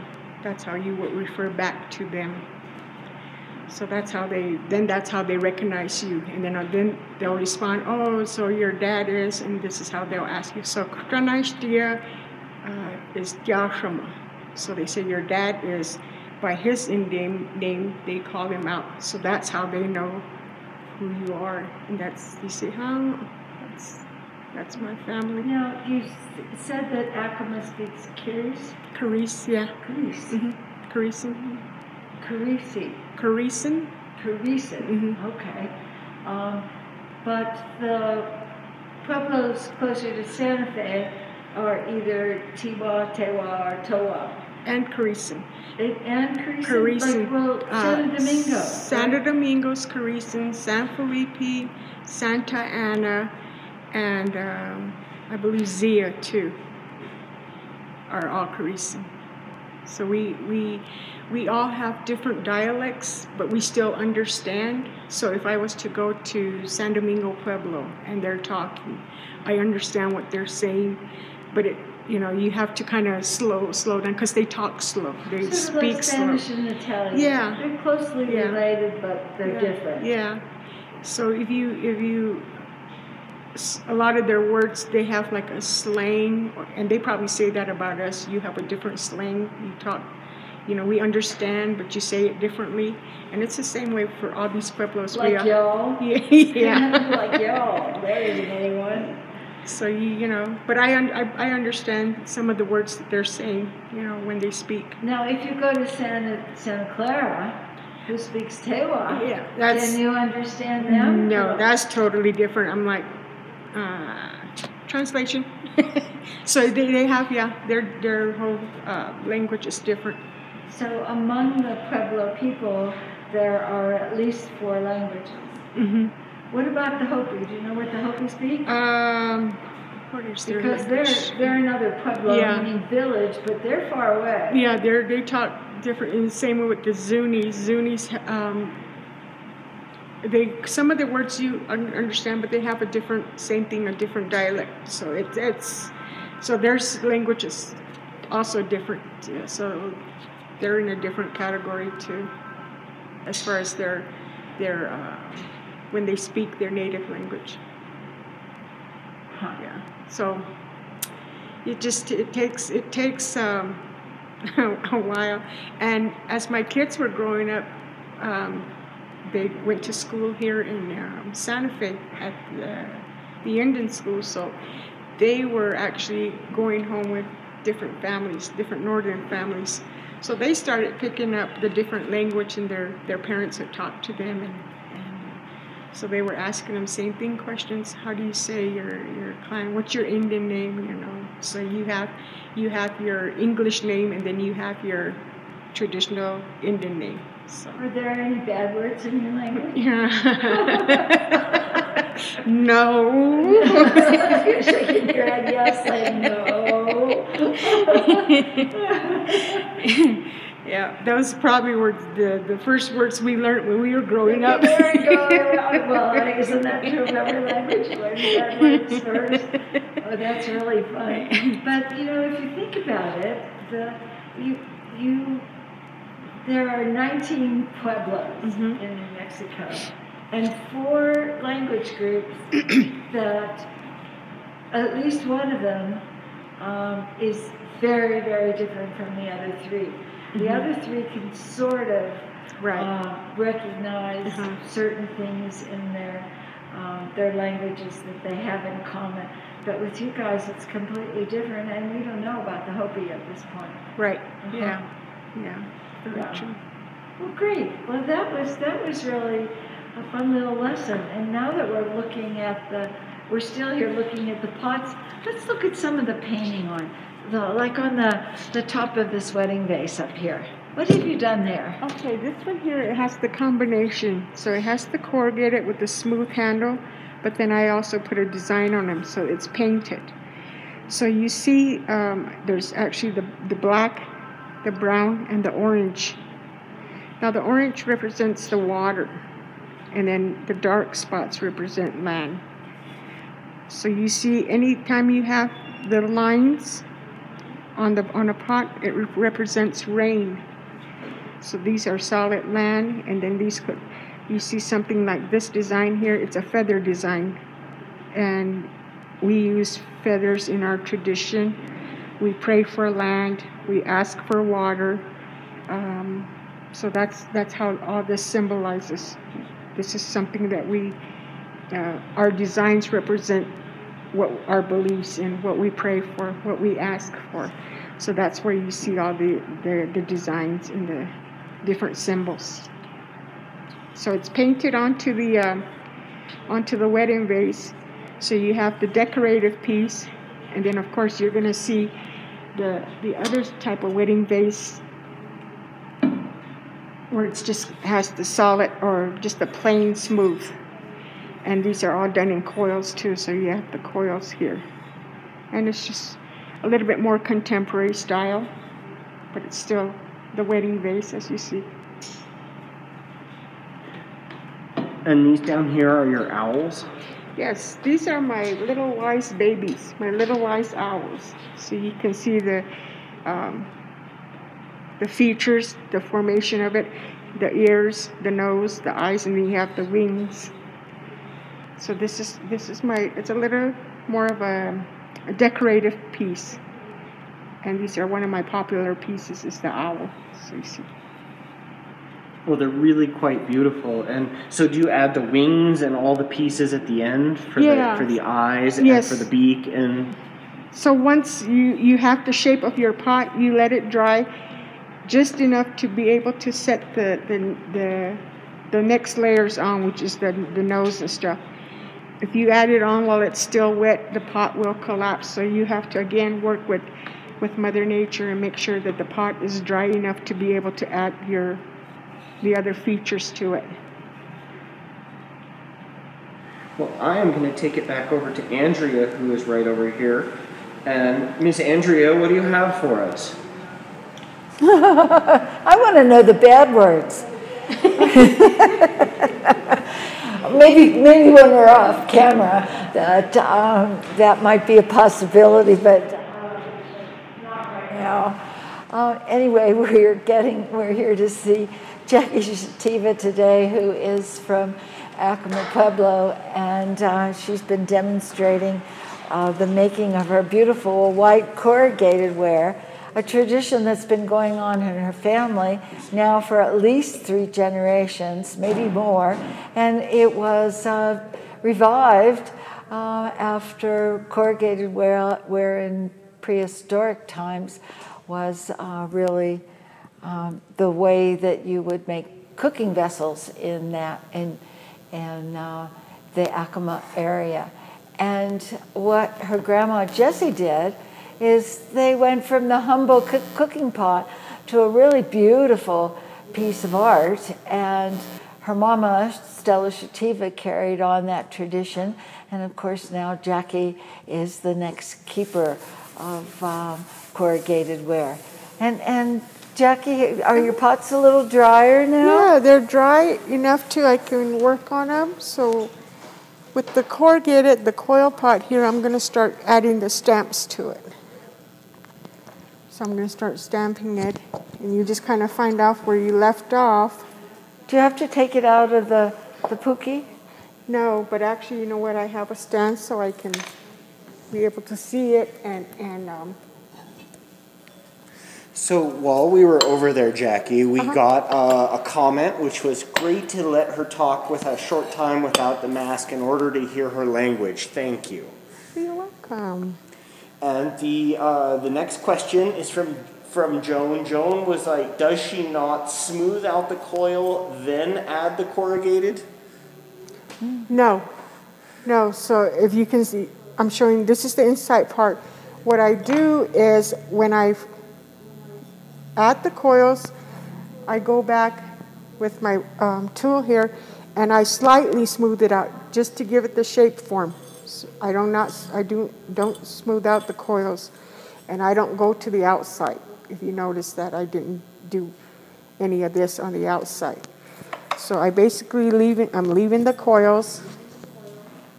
And so I've smoothed the inside out. So now I'm going back to where I left off and um, start doing my stamping.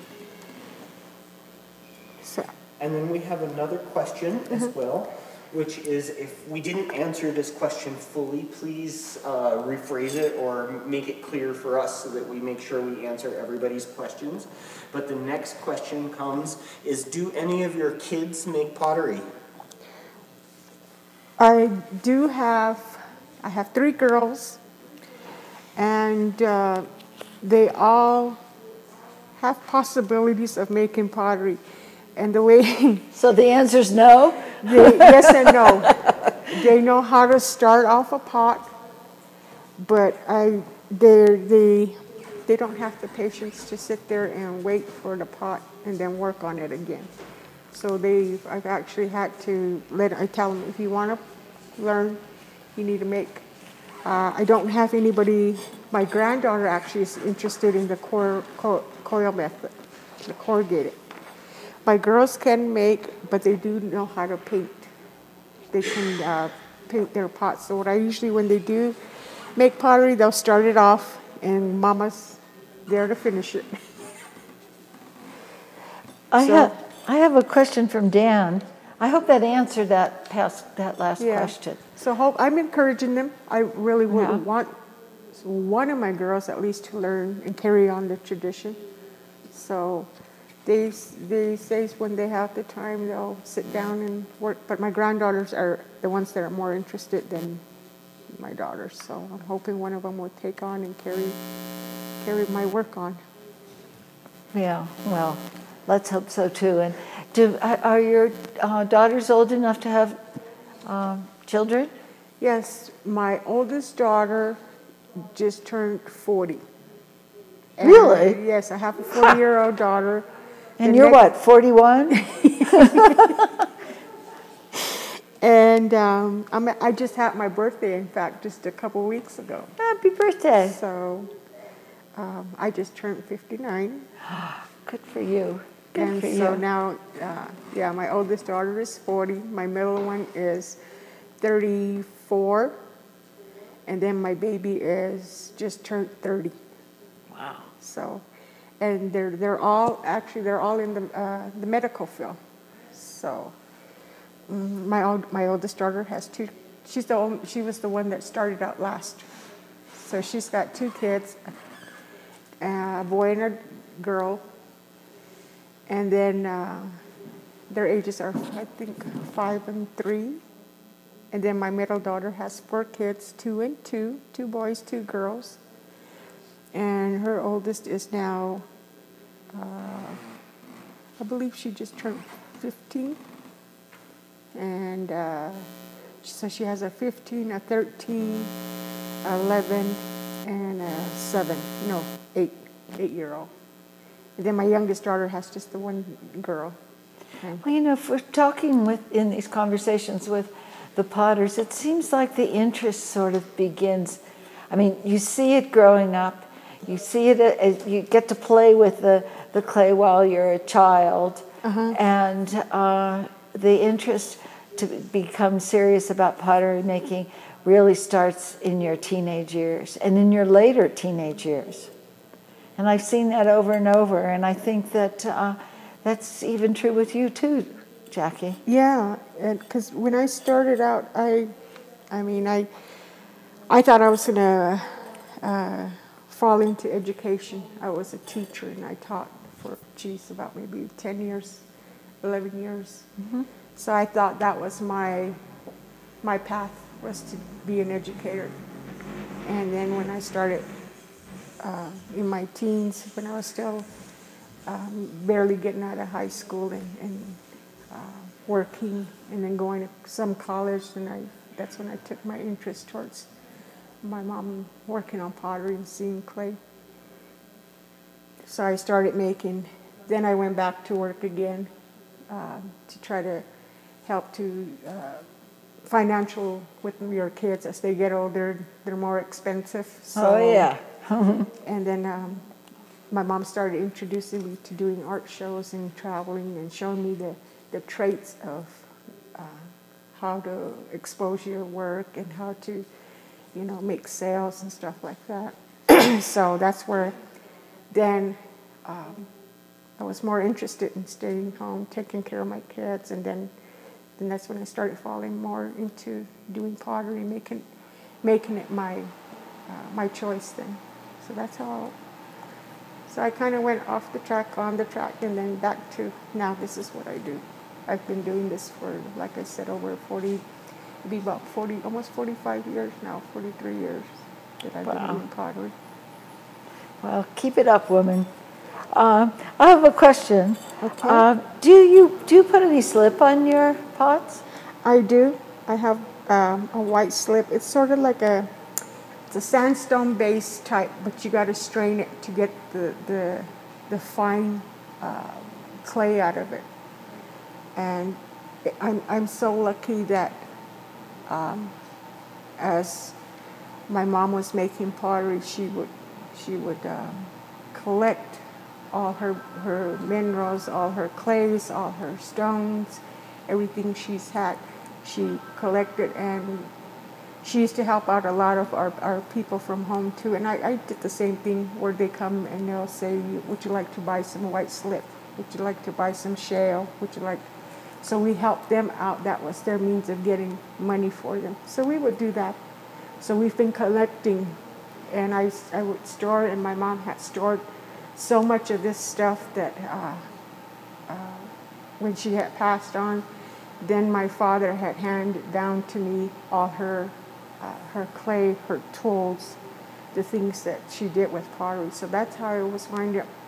And I couldn't believe how much she had stored away for as many years, you know, that she was making that I started collecting all that. So I have all this, and I, uh, like even to this day, people will still come and ask me, "What you want? Do you want some orange uh, paint? Uh, do you want some white slip?" I said, "Sure." So I, I do use the white slip to answer your question. I still do that. And how many coats of slip do you apply? Um, depending if your slip is, um, sometimes you can uh, make it too watery, so you'll have to use a couple coats. But I, I learned to be able to um, know the thickness of it, so I usually, on my smooth pots here, I apply it because I stone polish it. So once you apply the slip on, then um, I have a soft cloth, so I, I rub it down, and then that's when you have your stones that you stone polish it. So that gives it that smooth surface for you to be able to um, paint on.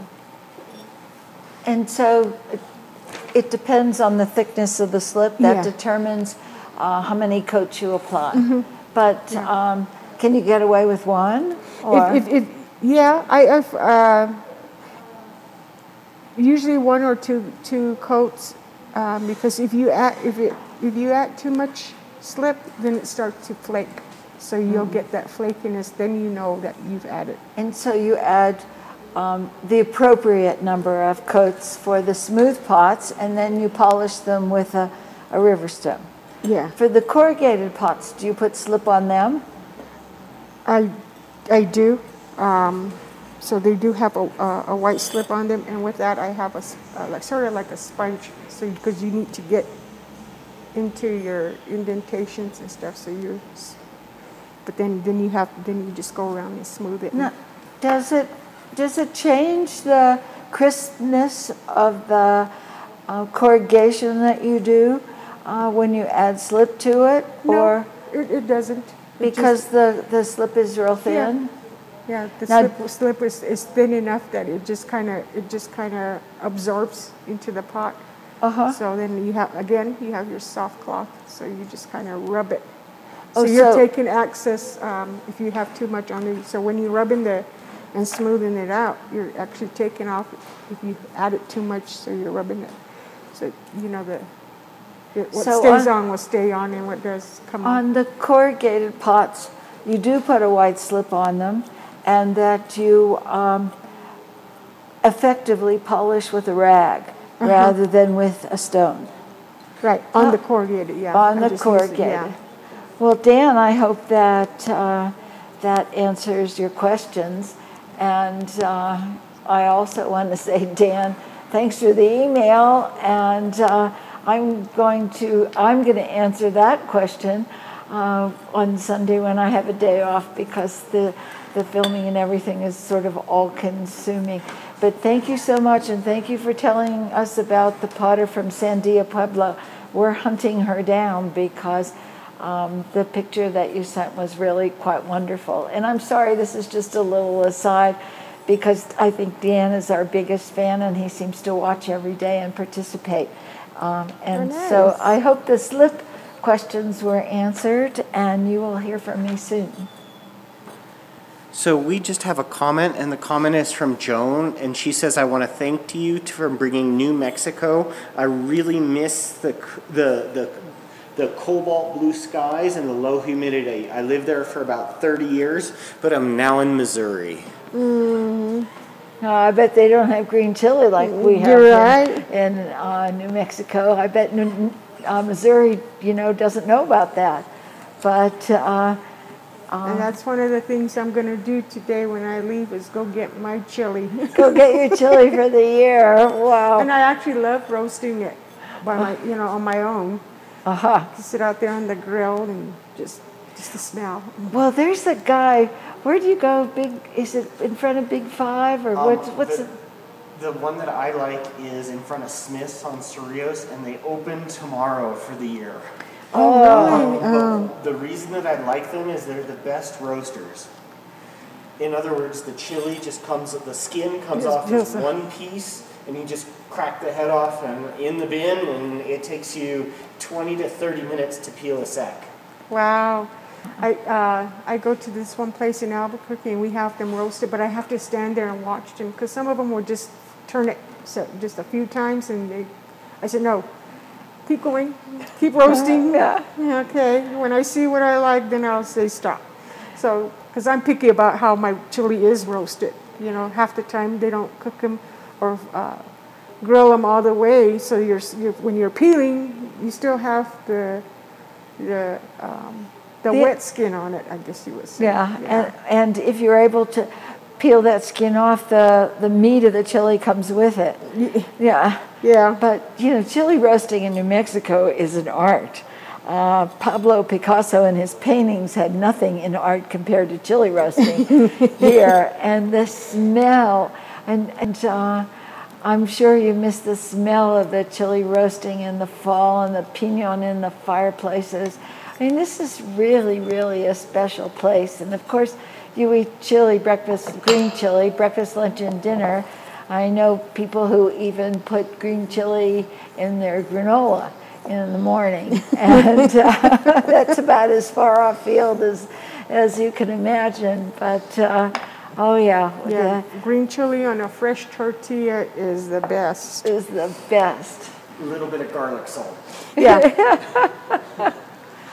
we, um, you know, during this time of when they have the market here, there's a couple of uh, ladies that are from San Domingo, and I, for, I, ever that I've known doing the market, the same ladies and then their their children will come out in the morning about eight o'clock, nine o'clock for the lunch, and there they have the the thick, fresh tortillas.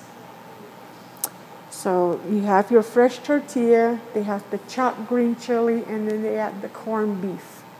Ooh, ah. So they make it into a sandwich. And every year I look forward to having one of those because it's the, the same family that makes it and their kids. Now it's their probably their grandkids. Oh, that is Yeah. so good. well, you know, just like Derek was saying, Indian market is more than just a big sale. Uh, it's um, it's a way of people renewing their friendships. Uh, it, because you know that person that you know you're basically in the same booth year after year. Yeah. And that person that's next to you might be from Oklahoma. Yeah. And they only and you made friends with them because you've been in those same booths year after year for 20 years.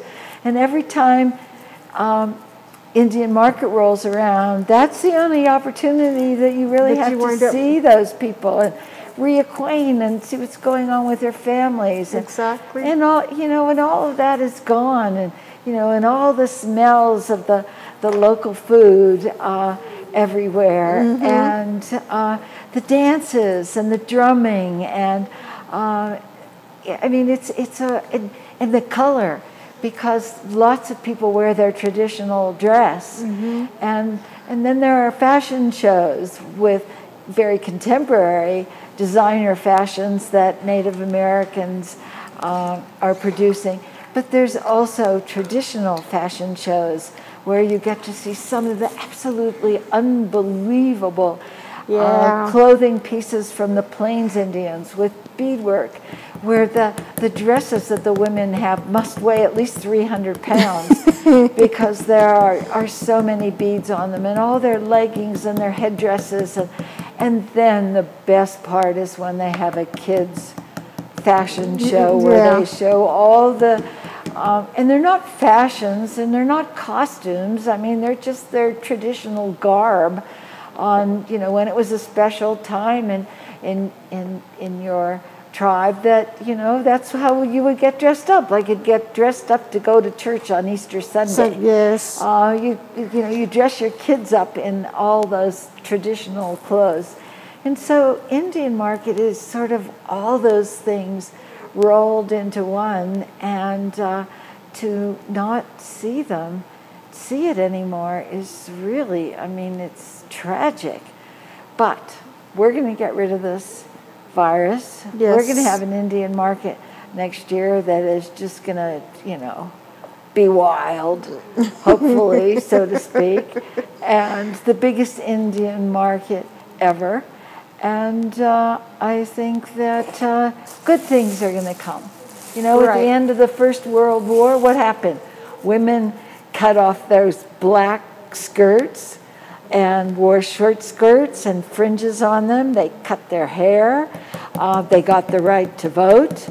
Uh, and um, great things happened after that last pandemic. So Right, yeah. I'm really hopeful that we are going to have some great technology. And, you know, I was talking about this in one of the other uh, demonstrations that they had. And what I would love to see is that, you know, in the garage, you had a whole stash of robots. And one would go to the grocery store for you, and one would cook meals, and one would clean the house, and one would drive the kids, and and all these robots would do all these things, and and you know you could hike in the woods and and do all the and do all the things that you've always wanted to do, and let all the those robots, that new technology, take over all those you know mundane, crappy jobs right. that women usually do. anyway, but now that's just fooling around. So what are you doing now? Okay, I just got done adding this, the next coil. And so what I'm doing is now blending it into the bottom part of the pot. Well, that coil wasn't round. It started out round and then I started flattening it. So you, you um, and it, it makes it easier for me to, to add on. So then you have about an inch of the, the white width, the width of the clay. So when you flatten it down, it's about maybe that wide. So I add it on.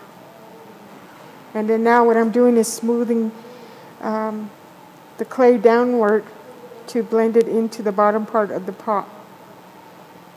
And it was just perfect enough to add on the, the, the dryness of the clay was just right.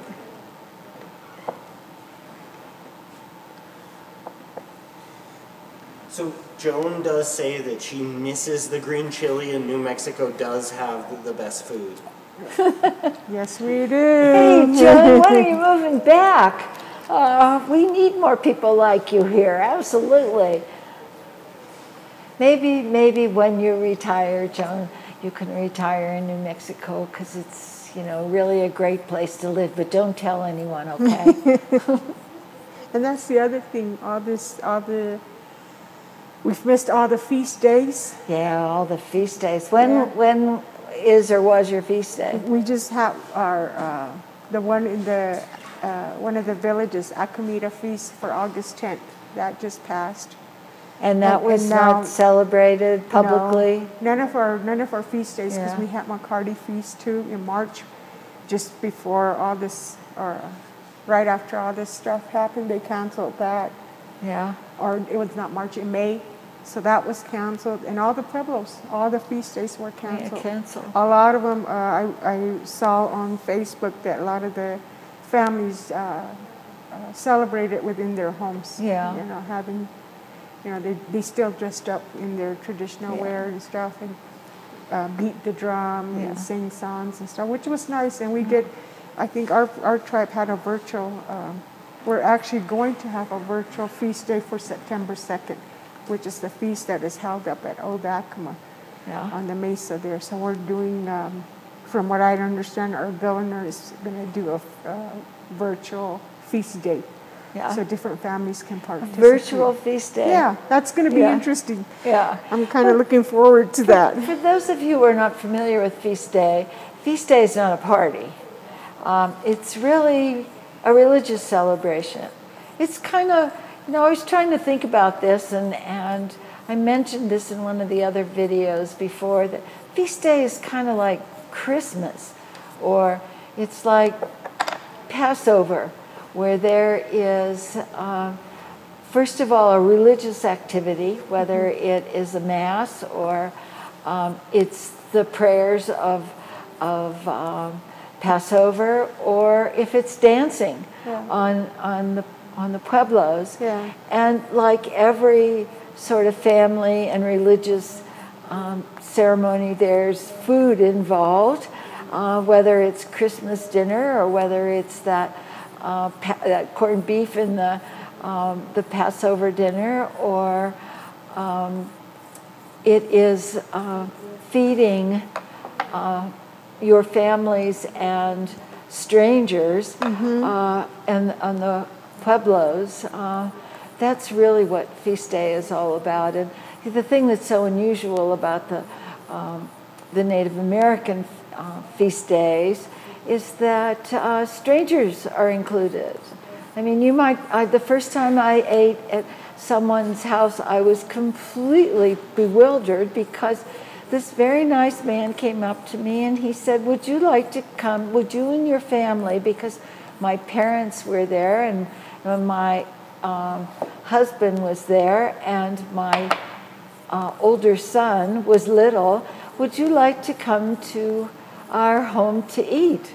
Well, I, you know, it was like, sure, uh, but uh, we didn't know what to do or, or how to behave because uh, here we were, strangers, uh, and invited to come in. And we just sort of watched everybody else. And so you just stood around and you waited till it was like your turn.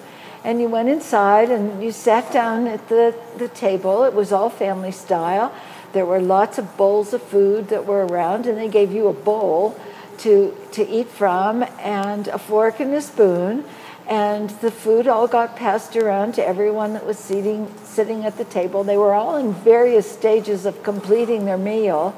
And people talked to each other, and, uh, and you know, you sort of became friendly and talked about the things that you had in common and, and all these delicious dishes, and some, some that I had never seen before. I mean, and of course there was green chili and there was red chili and there was posole, which is a dried corn that is cooked with um, the, with meat and, and waters to make like a stew. And, and then there were things that were I thought were pretty strange, like uh, Jello and Cool Whip, and uh, and and but salad and uh, lots of potato salad and coleslaw, and everybody filled their plates and filled their stomachs and gabbed away. And when you were finished eating, you didn't linger. You got up and you left and you thanked the, the people that invited you and you went on your way and somebody else took your place. And I was told uh, later on that the, the uh, most insulting thing you could do was offer to pay someone for a meal because this is the Native Americans' way of saying we're celebrating our religion and this is a very special time for us and we want to share it with you. Uh, but if you are invited to eat sometime ahead of time and you want to take something to people, I mean, first of all, a bottle of wine is not appropriate, but uh, you can, you know, like take a bag of peaches or or something that you grew in the vegetable garden or something that you made. Uh, you know, it might be a pot holder or uh, it might be a drawing that one of your grandkids did. But, you know, something that's rather personal or something that is food stuff and uh, that would be an appropriate would be an appropriate sort of hostess gift. And i hope everyone out there that's watching has the opportunity to do it because it's really really an interesting experience. And then you go out the door you go see more of the dances and uh, then you go home and remember that oh that experience forever. And so do you do you feed people on feast day? Yes, we do.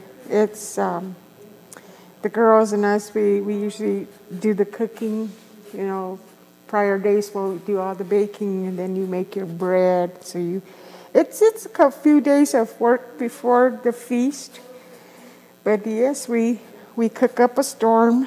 We make all our chilies, tamales, uh, oven bread, salads. So, and like you say, you know, you can basically walk up to any house, knock on the door, and um, And they'll invite you they'll in. invite you in. Yeah. Table set. They're all, you're feeding, you know, throughout the whole day, and you just keep. So for you know, you think sometimes you wonder, it says, "Gosh, did we make enough food?" You know, we, but you know, Everybody always worries out. about that. The, Yeah. never, the food does not ever run out. You may think, "Oh gosh, we didn't make enough chili." Somehow it replenishes itself. Yeah. And and my mom used to always tell me, "Dude, she goes, don't ever worry about not having enough food because it's always going to be there." I'm like, okay, and sure enough. But yeah, we invite people, we dance. Part of us will be feeding, the other half will be dancing, you know, during the feast days. So, but it's it's a good celebration. It's time when you get together with different families, go visiting, and, and you, you invite your friends, and um, they enjoy themselves, and it's a big, fun, full event. And you know, we uh, most of the feasts consist of celebrating the uh, patriot saints. You know, the saints, like we have uh, uh, Saint Lawrence Day, Saint Saint Esteban is the feast day on September. Saint four- Stephen. yeah. Uh-huh. So you have all these different saints that, um, like our church, we have Acomita Church, which is St. Anne's Church. And then we have uh, the, the church in McCarty's, which is called uh, St. Maria's Church. So whatever church you have in your village or whatever the saint may be, that's your feast day. That's what you patronize. Well, I think that's really fascinating because the Spaniards came in and they imposed Catholicism. Yeah, exactly. But Catholicism didn't replace the native No. culture. What it did is it just overlaid on top of it. Exactly. And so there, the pueblos, most of the pueblos were named for saints, Mm-hmm. and they have special Saints' Day that coincide with the Catholic Church. Mm-hmm. Right. And I mean, one of the things that I observed is that uh, on Christmas Eve, everybody goes to Mass in the Catholic Church that's on the Pueblo, and then they go home, and then they get to go to the Kiva and their traditional dance, and then they dress. And, and they dance for hours and hours and hours. And so here you are with two completely juxtaposed uh, celebrations on the same day for kind of the same reasons. And, uh, and so I think that the, the Spaniards would have never been successful here in New Mexico uh, because uh, the, the Catholic, if they would have just said the Catholic Church is the only thing you can do, uh, the Pueblo Revolt would have been something far more bloody and, and uh, far, more, far more final than, than it was. Uh, and so, um, like I said, they, they, they're overlaid on top of each other. Right.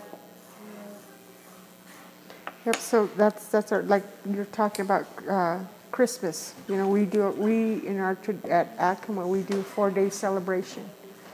Four days of Christmas to get presents every day. I pretty much do. And your family comes and you see another family next day.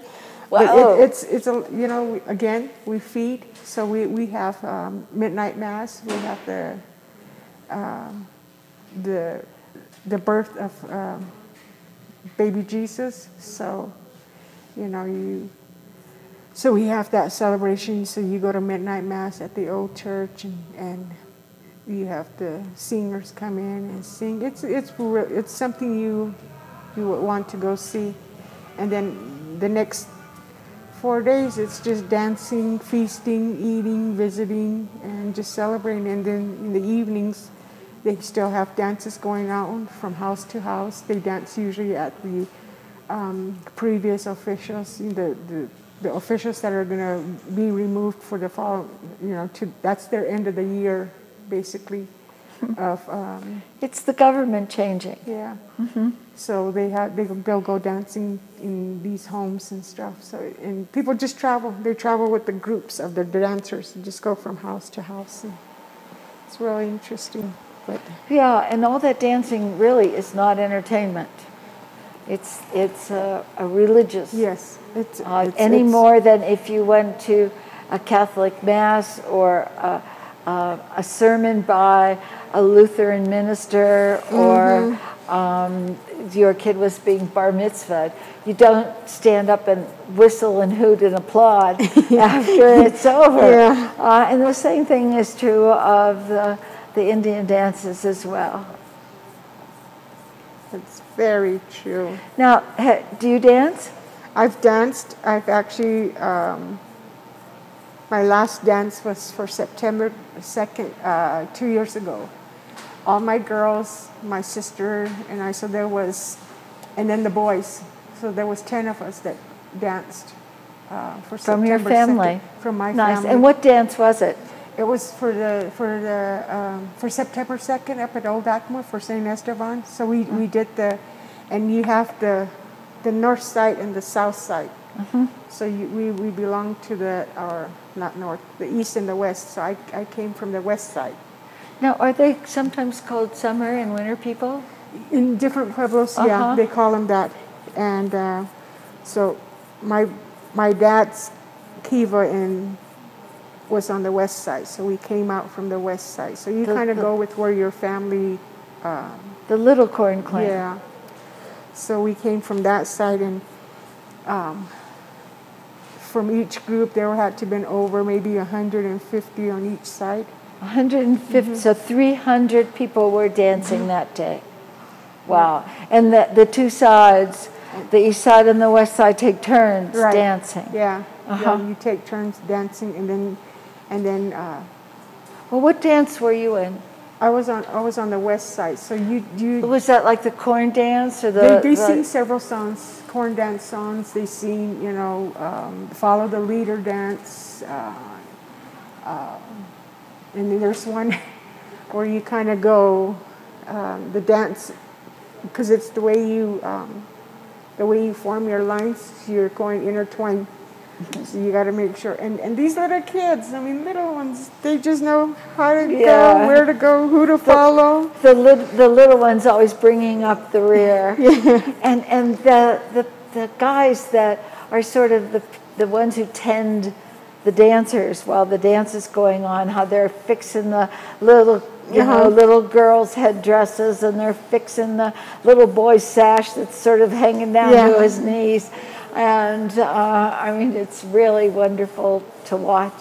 Have you ever been to Taos on Christmas to see the deer dance? No, no, I've been wanting to do that. I hear it's very nice.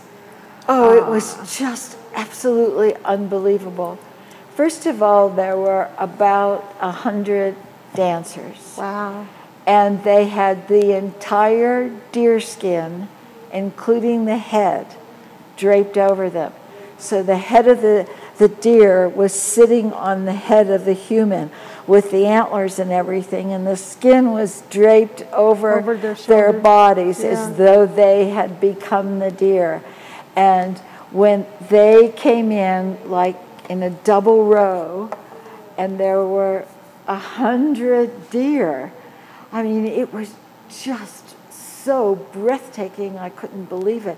And the drums are beating, and the snow is falling, and, and there's Taos Pueblo, you know, four or five, six stories high in the background. And, uh, and it was just un- absolutely unbelievable. And if you'd never ever believed in God, you would, certainly would at that point. wow. I heard about it, but I've, I've never been to to any of them. I know I went. I've gone to uh, the San Juan um, deer dances up there, um, and I know our neighbor Laguna. They have a, a same dance going on, deer dance. And at the end of their dance, the the little ones they take off. So the the people, the mo- the women go and try to catch the deer, and then what they do is they take the little deer and it's like, uh, fostering them into their family, which is which is kind of interesting. Oh, so you catch a kid and kind of adopt him as a as a, a godchild. Yeah, or a, uh-huh. yeah. Oh, Yeah. well, that's really So fun. that's that's interesting too. Well, you know, at San Ildefonso, they do a deer dance in their feast day, which is in January. Oh, Uh-huh. it's cold as can be. And uh, they start the deer dance just at first light uh, in the morning. And the deer are in sort of the rolling hills above San Ildefonso Pueblo. Uh-huh. And just as the light is appearing, you look up towards those hills and you see the silhouettes of what look like real deer, Uh-huh. but what they are is men they, who have on their traditional kilts and their traditional leggings Uh-huh. and their traditional shirts, but the headdress is uh, a rack of deer antlers. Uh-huh. And for um, in, in, in their hands there are sticks Uh-huh. so that they can bend over and hunch over using those sticks as extension of their arms to make it look like the front legs Uh-huh. of a deer and the deer stop and and you hear a drum starting to beat and when that drum starts to beat all those men deer abruptly look at the at the where the, the noise is coming Uh-huh. from and it's almost as though those they're being hunted and they're being 'cause hunted yeah. exactly, and they're alive. They're live Mm-hmm. deer up there, and after they do that sort of um, those movements in the the hills, slowly Mm-hmm. they come down to the village, and they do a very small dance, and then go to the kiva, and then later on in the uh, the morning, the rest of the the dances begin and uh, really exciting. But I don't know if I could go back to Taos again and see the deer dance, only because it was such a moving and unusual experience that I think I'd almost like to remember that, you know, that. the first time. It's like the first yeah. date, you know, the first date you have, Right. have with the, the guy that's going to be your husband. It's sort of like you never want to Oh. do that again because that first date was so special and so wonderful. And the same thing is was true with that deer dance. Yeah, we we uh, like during Christmas time we we have the different dances. We have buffalo dancers, we have deer dancers, we have butterfly dancers, just different different kind. And same way with our deer dancers, they have the ever they have the antlers, and some of them are huge, and how they can How they can even hold balance. the, yeah them. balance, Yeah. and then they have the evergreens, you know, as they're Uh-huh. covering them, and those are just you know they, they walk around the same thing with their sticks, and then they look And they move and it. they look, yeah. yeah. uh-huh. It's it's it's really interesting, but it's it's nice, and um, so we go up there, and, and this year I um, we want I wanted to go for uh, Christmas, uh, but we don't know if it's going to happen or take place. But I'd like to go back up there, and that's the time that we all get together, and and then the the whole village does the luminarias, and it comes from the first mesa that overlooks Sky City into the valley. So the luminarias are lit from the top, and it runs all the way down the road up to the village and the whole church, and people participate and put up their their so the whole village is almost lit up with the So the paper bags. Yes, the paper Uh-huh. bags. In, in New Mexico, if you're not familiar with this tr- Christmas tradition, instead of Christmas lights that twinkle and flash off and on and are, are um, um, synchronized with music, uh, that doesn't happen here. Instead, uh, you buy paper, brown paper sandwich bags, and you fold the edge over the top, like for about one inch, so it stays open. And you put some sand on the inside, and you put a candle on the inside of that paper bag. And uh, when the sun goes down, all of those candles are lit, and there they are glowing inside of those brown paper bags and flickering because you know candles tend to do that. And people line the roofs of their houses and the walls and put them along the sidewalks. And you know they're usually about a foot apart. And the light is just really really amazing and uh, on Canyon Road in Santa Fe. They really go all out to for people to decorate their businesses.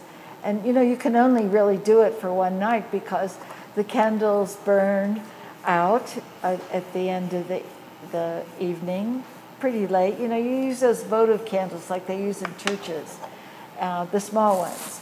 And uh, the paper bags get wet with snow if it happens to be snowing, or, you know, if something goes a little wrong, some of those paper bags catch on fire.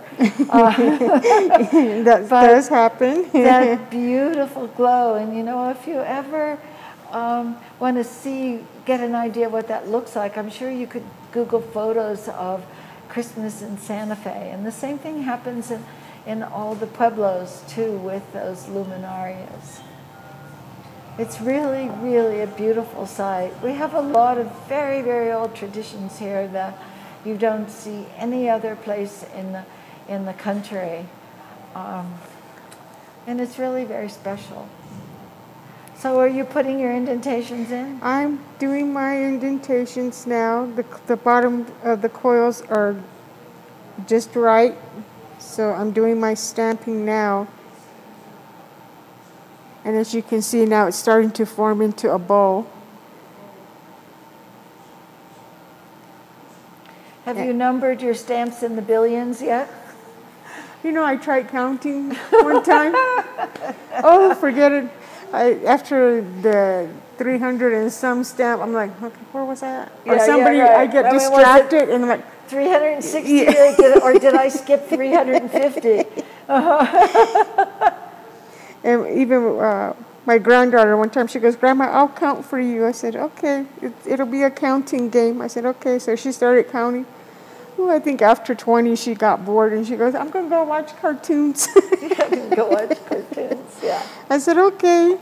Now, when, when you're making pots, do you um, have the TV on or do you uh, listen to the radio? I, sometimes I'll put on the radio and I'll just listen to the music, or sometimes I'll have the TV going and I just visualize as I'm working. I visualize it while they're talking, if it's a, if it's a soap opera or if it's a movie, and I just kind of just visualize it. But if I if it's music, then you know that just kind of keeps me in in the in my mode and helps me to relax.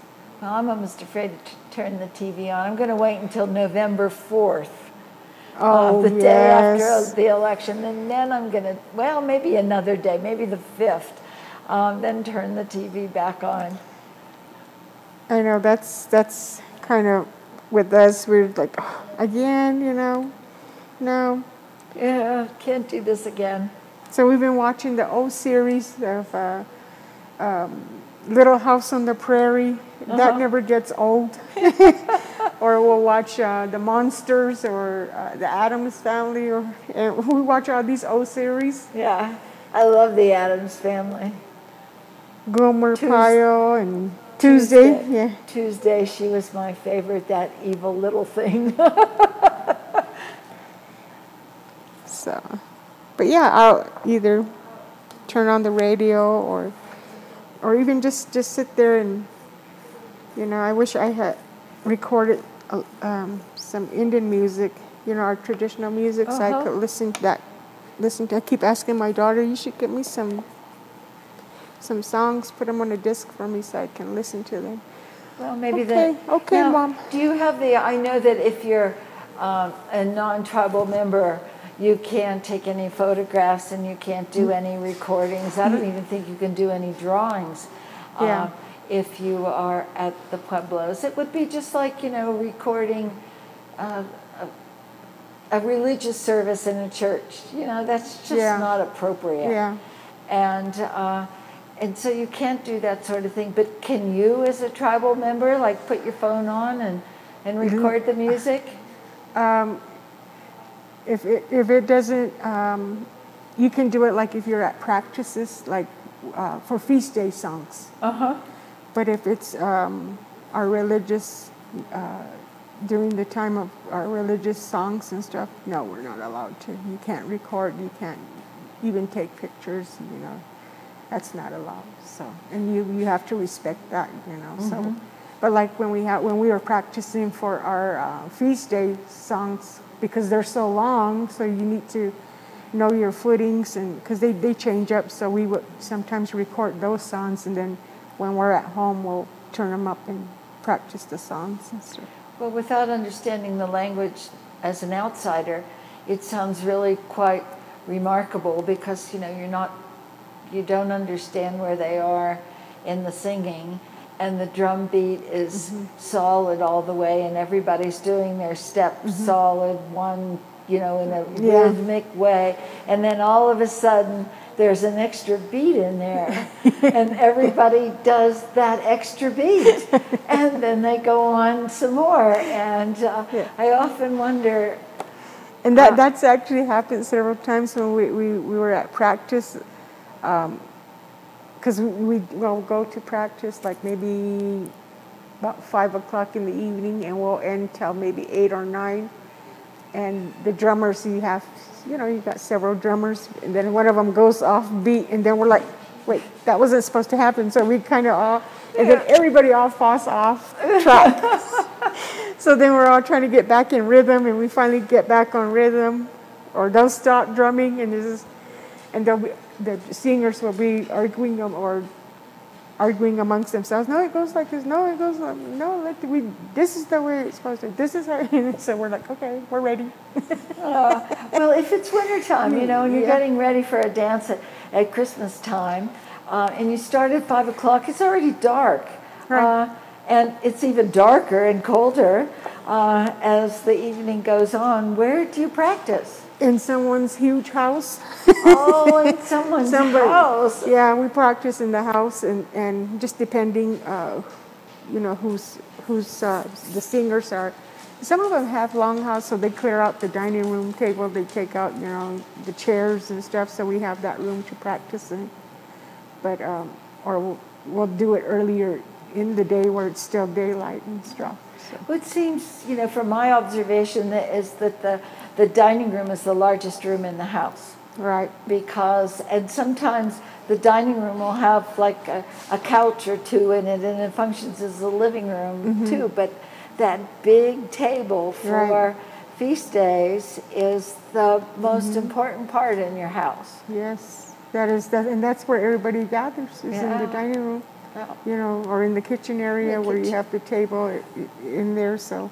oh in, And- in, what i really loved was seeing all the women working in the kitchen. And i think if corporations were run like those women in the kitchen uh, at feast day i think that they would do uh, they would, it would be so much better. Uh, first of all there isn't a ceo there's kind of a person in charge. And that's usually the person who lives in that house Right. because they know where all this stuff is. You know, if you need an extra spoon or an extra bowl or or where's another pot or where do you keep the dish soap, they know where everything is. Yeah. And the way the women move is they move according to what needs to be done. And um, there's no one saying, well, you wash the dishes. Uh, when the dishes need to be washed, someone steps in to do that job. And those people that have more skills, for example, in um, chopping or mixing, they gravitate towards those kinds of things. But they also can do all the other functions as well. Yes. And, and it's sort of like this ballet in the kitchen where the women move between the tasks easily and comfortably. You know, when you, th- you think about corporations and how the person at the bottom is trying to step on the person up above them to climb to the top. And, but the women move in the other direction. They move according to what the tasks are. And uh, I thought that was really, really interesting. And, uh, and I've even thought about, you know, in doing some of that in my own business that you know those people that have a certain skill just move into that situation and uh, It's it's it, And it, it's really and- cool. Yeah, it actually, it, and the flow is just so natural. It It's just, so it- natural. everything falls in place. Uh-huh. Yeah, that's the way. That's the way it is when we have our feast days. You know, every we, we plan a, a menu, and uh, you know we say, okay, mom, you make your chu- chili stews because we make them. You know, so we get kind of like designated to do the the, the food part. And um, like the girls, they know how to bake, so they do all the baked goods. And, and then we just, when we're on, when we're there at the house for the feast days, it, we just kind of like, okay, let's start getting the table going, and everybody just starts moving around, getting Yeah. stuff done, putting it out, and getting the feast day going, and getting everybody ready that's gonna come. And when um, you're at, when you're doing feast day, uh, what has your experience been with uh, like the number of people that you feed, Oh my gosh! you- oh, Gosh, I remember we fed at one one feast. We fed over a hundred and some people, and that's that was we weren't counting, but just the, the flow of people. And like I said, when we had the food, I said, "Gosh, I hope we have enough," you know. And it just seemed to multiply. Yeah. So, Uh oh, we talked about loaves and fishes? in, in, in bread and stews and, and the main dishes is what we were worried Yeah. about. You know, we had roast, we had chicken, we had turkey, we had just about every kind of meat you can think of, and but it was always plenty. It was always enough food to go around, and then still have some left over. Yeah. Oh, the leftovers are the best part. Mm-hmm. Uh, how how do families afford doing this? Everybody comes together, and um, we just kind of pitch in. You You pitch know, it, yeah, pitch in. Uh-huh. You know, we have and you share it with strangers. Mm-hmm. Yeah. And even we sent our friends off with a loaf of bread or take some baked goods, you know, cookies, pies. Because at the same time, you hate to take everything back home, so you just want to just give, give out. And then, of course, you have your throw, your throw days where you throw, you know, grocery items and stuff. Yeah, well, um, that's another really interesting um, endeavor because I went. I was invited to a governor's feast, Uh-huh. and Gloria Archuleta and I went as the guests of Rebecca and, and uh, Dwight. And uh, Dwight was so kind to explain exactly what was going on and with the various families and everything. But the way the Native Americans shared the wealth is on the governor's day, the governor's feast. Any other time besides the governor's feast do you do the, the throws and the, the giveaways? We do that like on um, uh, on our uh, other like St. James, uh, which are not uh, they're they're not the, like the regular feast day. This is where we have the rooster pulls and and they, they well they actually call it like the chicken fights and it's on horseback or it's they do one where you walk and uh, run around in the village. Then you do the one on horseback. So whoever is St. James. Um, yeah, well, Santiago, Uh, the yeah. patron saint of Saint- horsemen. yeah, Saint Uh-huh. John, all the the uh, the male saints. So we throw on those days. So whoever's a Paul, Peter Paul, you throw. So the family gets together and throws off the rooftops. So when they finish the, the, the rooster pull down below, everybody comes to the top of the village. And then you go from Up on the mesa. on the mesa. So you go uh-huh. from house to house to house, and whoever is Peter, Paul, John, whenever those days fall, then they throw from their house. The families will throw from their homes. So And, it's and like a what they're talking about throwing. I mean, you're not throwing rocks at people. That's for sure. Um, well, I, you know, I was joking with Rebecca that I think that on those days where there are throw days and or giveaway Uh-huh. days, that she goes and cleans out Walmart. and the day that I was there for that uh, endeavor, um, they well you know we didn't know about that. We were just invited to come. Uh-huh. And, and Rebecca had for each one of us a big, um, uh, it's sort of like a, a plastic basket that, Okay. um, like a laundry, Laundry hamper. basket, yeah. Like a laundry basket, exactly. And it was each one of us. She gave Gloria and I each Uh-huh. one, and every one of her family members and every one of Dwight's family members each had one of those laundry baskets filled with stuff. Uh-huh. And there were socks and oranges and boxes of Rice-A-Roni and cereal and fly swatters and and uh, I mean just everything Uh-huh. that you can imagine that someone might consume. And uh, when the dance was over, each one of the dancers had a pillowcase. Mm-hmm. And so you went around to each one of the dancers and you took something randomly Right. out of your laundry basket and you put it into their Uh-huh. uh, pillowcase. And when you got to the end, what you had left you threw out to the crowd. Right. And uh, one of the things that was in my basket was a five pound sack of flour. And I thought, well, first of all, I'm going to have a hard time throwing this thing. and second of all, if I did throw it, that, you know, someone at Acoma would wind up with a concussion. they would have to be helicoptered off the mesa because, you know, Yeah. I injured them. But no, uh, and there was one of the ladies that was a potter that I knew, so I just went over and gave it to her. But uh, that, you know, and you throw all this stuff out into the crowd. And I would imagine before there was a Walmart uh, or there was a general store, that what you would do would be to throw your fruits and vegetables from what you have grown or Right, the meat yeah. that you have dried. Yeah. And, and, you know, it's a really sort of generous way of evening out um, the, the, not the income, but, you know, what people have. Mm-hmm. So they, they shared everything in a Right, very yeah. interesting way. And there were no super rich people and not super poor people. There's Mm-hmm. no one on the dole. Everybody had plenty as, Mm-hmm. as long as everybody had plenty. Right. Yeah. And if it was a really, really tough time and you only had a little, well, everybody had a little.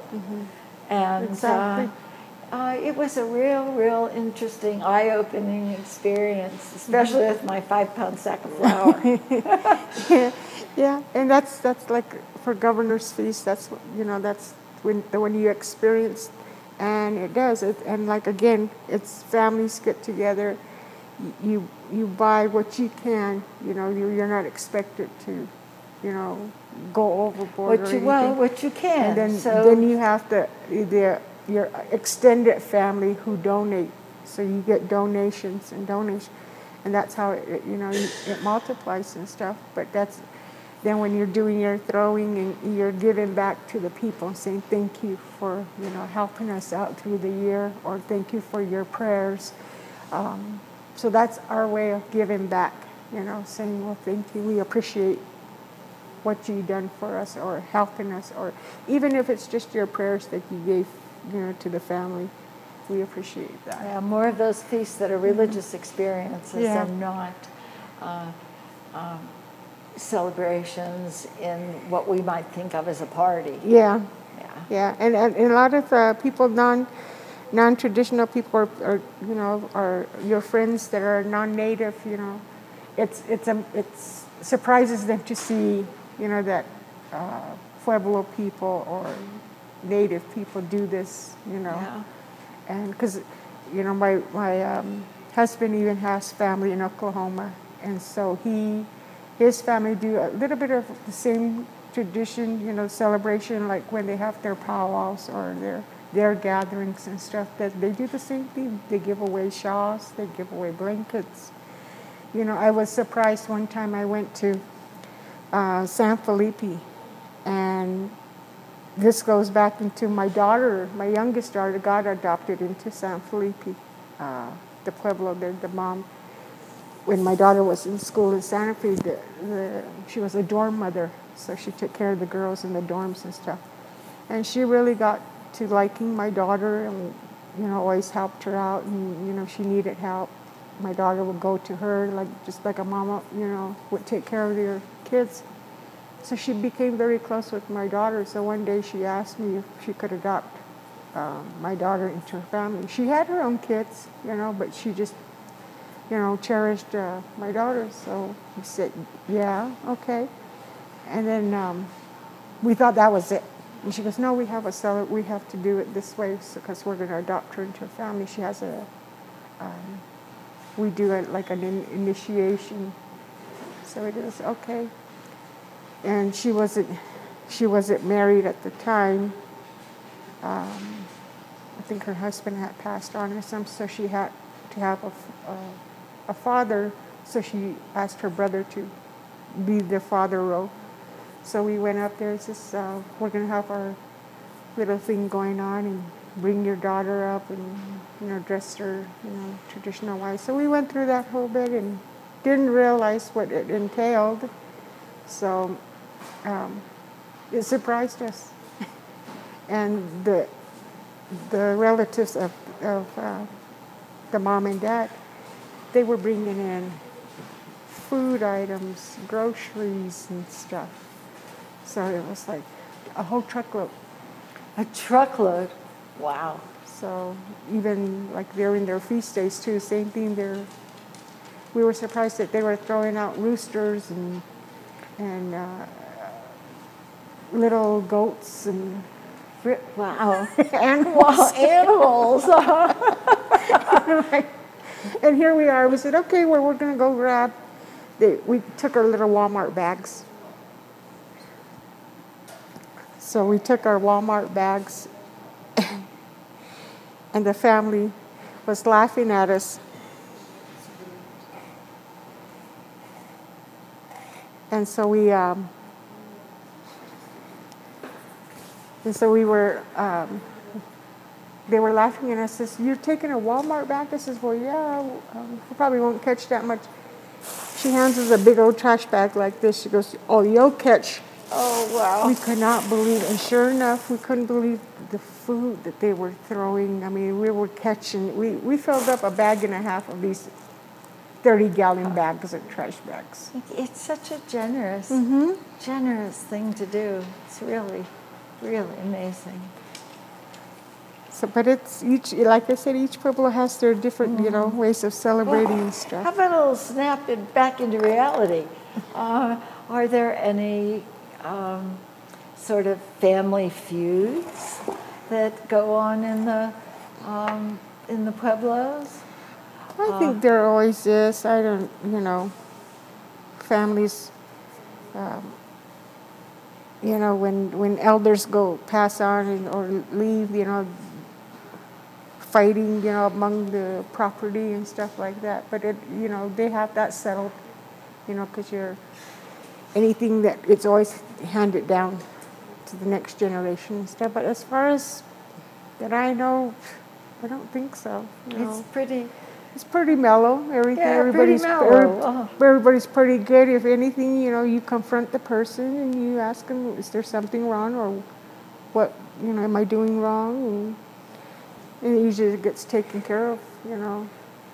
Hmm. The time it gets bad is when they have to bring the sheriffs in. You know, our tribal leader sheriffs. Yeah. Then that's when it's gone overboard. Yeah, oh, when yeah. it's gone, yeah, when it's crossed the line. Uh-huh. But, you know, that's true of all communities, but it seems like in the native communities that um, that, that doesn't occur as often. No, no, because you have you have your, your your tribal leaders, your traditional leaders that, that take control of that. Mm-hmm. If anything was to happen, you know. But other than that, I've never seen anything seriously happen or anything like that go about. Well, it seems like you're really building up that corrugated pot. Yeah, it's getting close to the top. This is where I decide um, what it, I want it to, to, to be. So this is this is where I go from here. and say, okay, what can I make out of this shape here? So your ideas start coming Yeah. up, and Well, start- I mean, the shape is really nice right now. yeah, this, the, it, It can be a seed bowl, it can be an owl, it can be a wedding vase, it can be a vase vase, you know, a tall vase, and I think I'm gonna make it into a vase or a bowl with a fluted top. And then this, this piece here, we're supposed to do the half corrugated on it, so it's coming to full, and I actually need probably one more coil to bring it up, and it's ready for the mm-hmm. For the next level. Now, do you make those decisions or do the pots make the decisions It's for the you? pots. The pots make Yeah, the the way they start forming. Yeah, that's when Uh-huh. I, I look at it and I'm saying, okay, uh, which way do you want to go? I mean, you can try to try to um, control it, but most of the time the pot talks to you, the clay talks to you, and that's where you say, okay, because if you if you say, well, I want to make it this, and it doesn't start shaping like the way you want it to, then you say, okay, well, what do you want to be? You? And I, sometimes I'll sit there and talk, and the girl said, "Who are you talking to, Mom?" I said, um, "My clay." They go, "Your clay?" I said, "Well, it doesn't want to go my direction, so I'm gonna have to go its direction. So it's telling me what I what it wants to be." And they're looking at me and go, "It really does that?" Mm-hmm. and they think I'm they think I'm joking with them. She goes, "Mom, I think you need a break." Well, I don't see that it's that unusual for some, some native person to be talking to their piece of pottery. It's when the pottery starts talking to people that Yeah. aren't native, then, then you start to worry. So this is going to actually be a bowl. It's a really pretty shape now, isn't it? With that, you know, the way it sort of dips in a little bit Uh huh. and then barely flares out at the top.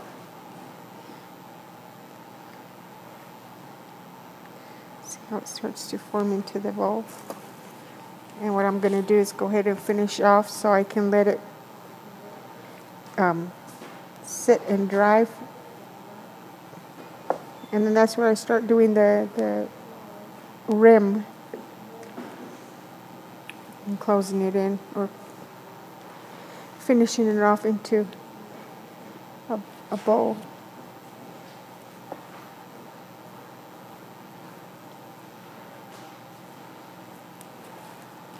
Is there any pieces that are your favorite that you like from artists that make? Or all of them? Well, you know, they wouldn't be in here if I didn't like them. so True. I have to say I like all of them. It's those other things that are floating out there that I don't like. because, you know, we're really selective and, and uh, we always strive to have as much of the traditional way of doing things as um, the individual pueblo uh, allows. Uh-huh. Uh, for example, like at Acoma, a lot of the potters kiln fire. And uh, that I understand completely. And so that's acceptable. But if it was someone from Santa Clara that was kiln firing, that would not be acceptable because the only way you uh, get the black pots is, uh, or the red pots too, is ground firing them because that's where all the, the control is. And if someone from Santa Clara made something that wasn't fired that way, it would look completely different and it Yeah. would not be part of the, um, the tradition of their particular area. True. I like the traditional designs too, although every once in a while I've seen uh, kids do some really fun things. Excuse me. Oh gosh, I coughed right into the microphone. Everybody out there, I'm really sorry. but it's really, really smoky here.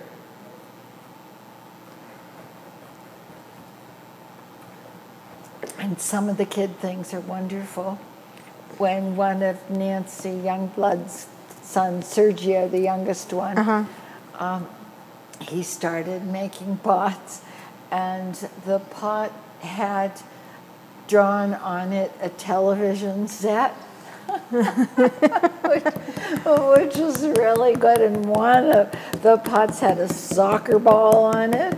But that, that part is, is perfectly acceptable as, as far as And they, they have their, they have their own imaginations. of- Yeah, and one of Barbara Gonzales's kids made for me um, a little uh, reduction fired black micaceous cell phone, and it had an antenna on it that was a pipe cleaner.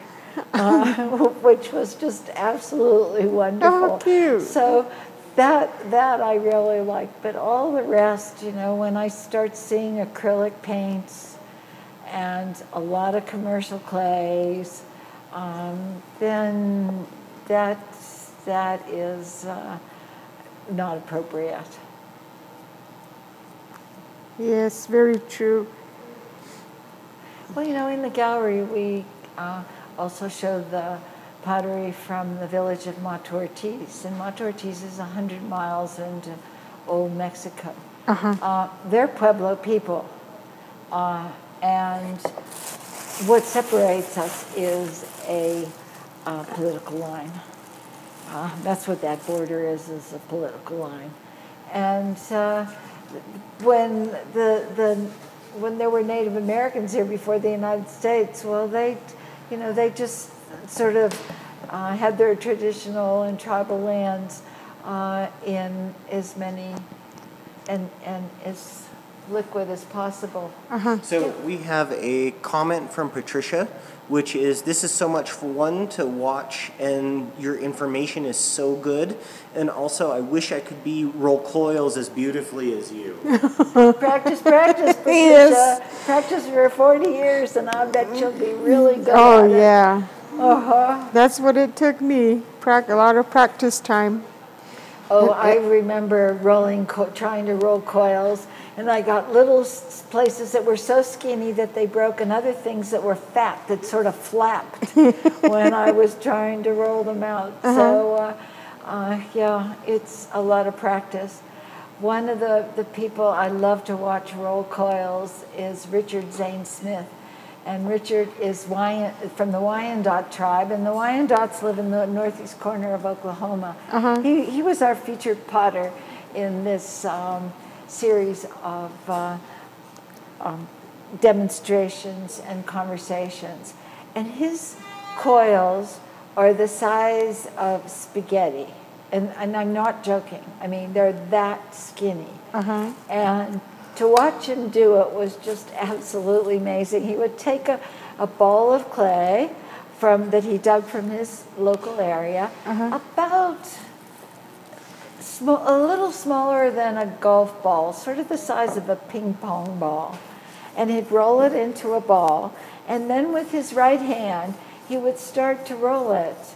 And he's looking at you, and he's talking with his hand, with his left hand, uh-huh. and the right hand is going back and forth, rolling this coil. And pretty soon, that coil is about four feet long, and it is the perfect, it's perfectly even all the way across, and it's as skinny as a piece of spaghetti, literally. Wow. And he, like you do, he leaves his coils exposed Uh-huh. and um, smooths them on the inside, not on the outside. Right. And then what he does is he stains his coils. And uh, you know, if anybody's interested, you can always go to our website, click on artist, click on S for Smith. It's Richard Zane Smith. Uh-huh. And when the photographs of his work comes up, push on that little button that's you know that's plus mm-hmm. and watch the the picture expand and you will see that those coils are so skinny it's unbelievable i always tease him. I tell him when he's here from oklahoma i'm going to buy some eggs and some flour and let's make lunch. And it'll be the best spaghetti lunch in the universe because we'll have all that spaghetti all hand rolled. Yeah, some some, you know, and I, always watch other artists too, and and see their work, and that always amazes me how they can do certain things. I mean, just like a, look at the Lewis girls, their intricate designs and stuff. I'm like, I don't know how you girls do that, but you know, I, I mean, I can paint. I mean, my designs are a lot larger in, in size and everything. It says I can do that, but I cannot see me sitting there. You know, I'd be little- going cross-sided. You know, as much as I'd have to get thicker glasses just to see the. Well, do you, you remember Dorothy Torivio? Yes. from Acoma. Uh, she did a lot of really interesting designs, including that swirl design, which she called um, the swirl mesa design. Uh-huh. Uh, and it started off teeny, teeny, teeny, teeny, like the size of the head of a pin, and then expanded. The design expanded over the pot as the pot expanded, and then the design contracted again as the pot contracted. And she told me once that she could paint for about two hours. And after that, she made herself so sick that she'd have to go in the bathroom and throw up because the designs made her dizzy. Her own designs made her dizzy. And so the painting was, you know, just relegated to a couple hours a day because she just couldn't do anymore. Otherwise, it was Yeah. the end of everything. Yeah, her. She had some beautiful work.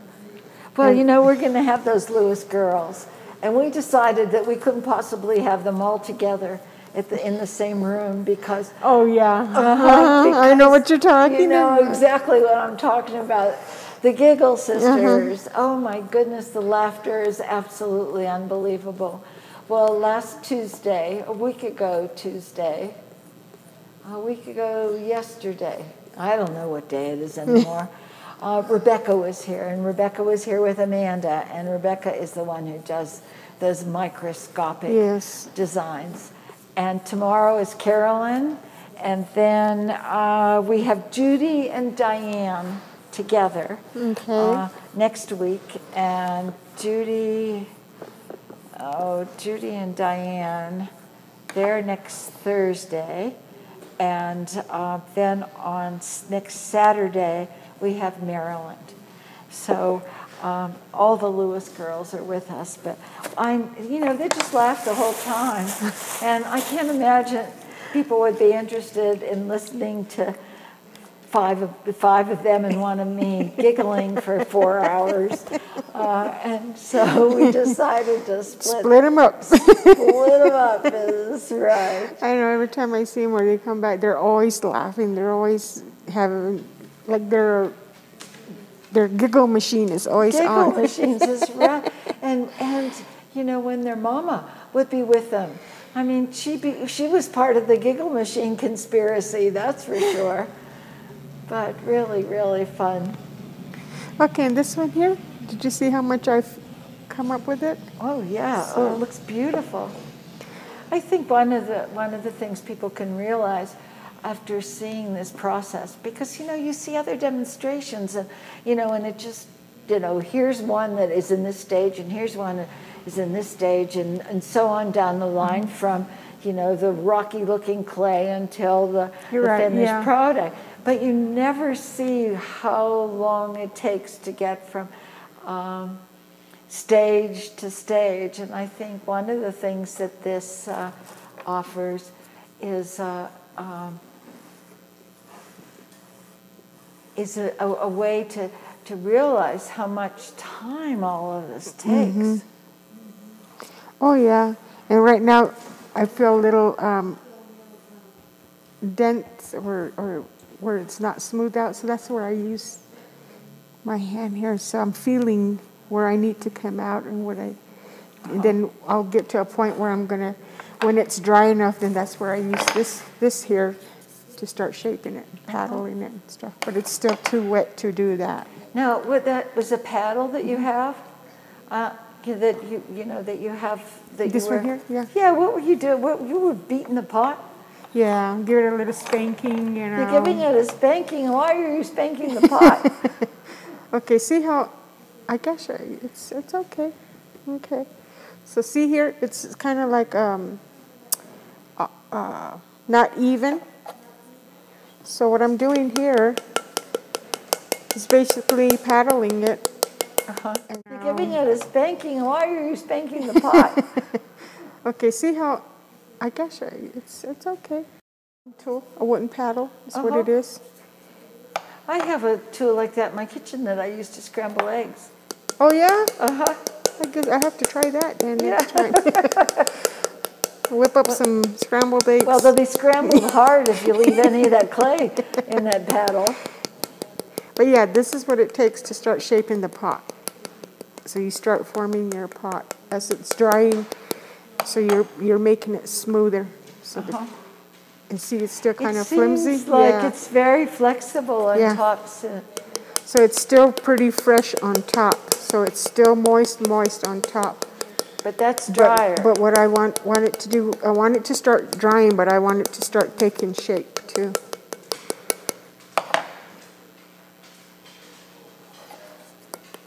So you can just I love that gray color. That is such a nice sort of bluey you know uh, um, gray. It's my- too bad. I mean, I'd love to have that corrugated pot in that same gray color. you know there was um, a piece of well i actually um, I don't know what i did or i think one of the girls they had to bumped into it and it dried like that. So it was already dry so i couldn't fix it.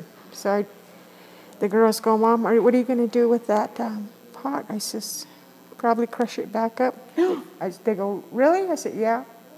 So they got it and they broke it open. They started eating it. Eating it.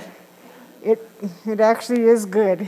Tastes Uh, good. yeah, huh? I can sit there and eat some clay, and I'll have that little craving. So I'll crack off a piece and start eating it. Well, you'd never have to worry about whether you're going to stop for lunch or not, because it's sitting there right in front of you. Yeah. Okay, so But of course, this is New Mexico. You have to pour some green chili on that clay before you eat it. Huh.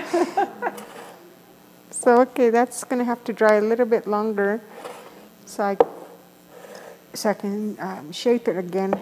And this one here, I could probably what I'm gonna do is add the top to it. It's just almost finished. It's on its last stage here. Well, I like what you do with uh, the white pieces and uh, that that clay at the end has a little eye on it. Oh, my And- little serpent. Yeah, and, and kind of a little s- smile. uh, I've never really seen a snake smile, but I've really never gotten close enough, Close enough to see one. yeah, to make a difference. I mean, it's true that you know we live in the desert and there are rattlesnakes around, but I, I've never seen a rattlesnake in uh, around here at all.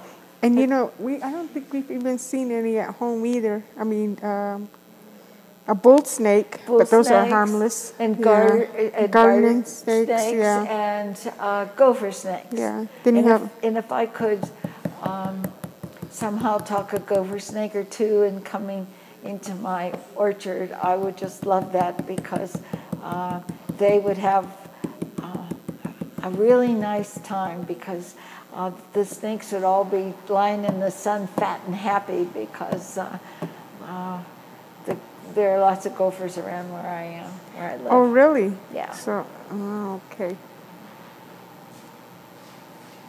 And the gophers are really ugly. I've never seen a go gopher close up. Okay, so I'm gonna add the the lip to the snake, and you can see it's kind of a little bit thick because it's gonna raise. And will that be the, the end of your pot? Well, that's absolutely perfect timing because we're getting to the point where it's time for us to uh, just about call it a day. Oh wow! Yeah, where's the time gone? No kidding. Well, while you're finishing up that coil, I'm going to talk a little bit about what's coming up and and what uh, everyone can do uh, if they wish to uh, view this or missed a part of it. Uh, if you go to YouTube.com, we have a channel. It has the first 12 uh, demonstrations and conversations there, and um, this one will be available to view probably in a couple hours after once they um, YouTube uh, puts everything up the way it's supposed to be. But then, you know, if you miss part of it or would like to see any of the other ones, um, they're there, you know, probably forever uh, to to take a take a look at. Uh, we'll continue on with these demonstrations uh, tomorrow with Carolyn Concho from Acoma from 11 to 4, and then um, Sammy Naranjo on Saturday from 1 to 4.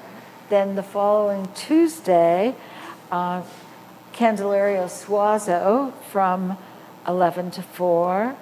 Then Angie Yazzie from 1 until 3 on um, Wednesday. Anyway, that's about as far ahead as uh, I want to tell you about. And if you want to look at the complete schedule, just go to our website at andreafisherpottery.com slash 2020 and all that information will be there. It, like you said, the reason that we're doing this is because Indian Market has been canceled and as a result, many of our potters have no source of income, uh, no unemployment insurance, or no all those other kinds of government checks that, that might be possible because they're all self-employed. And um, this is a, a, way to help them out and to obtain a beautiful, um, genuine piece that you've seen made right before your eyes. Uh, enjoy a genuine piece of, of their work.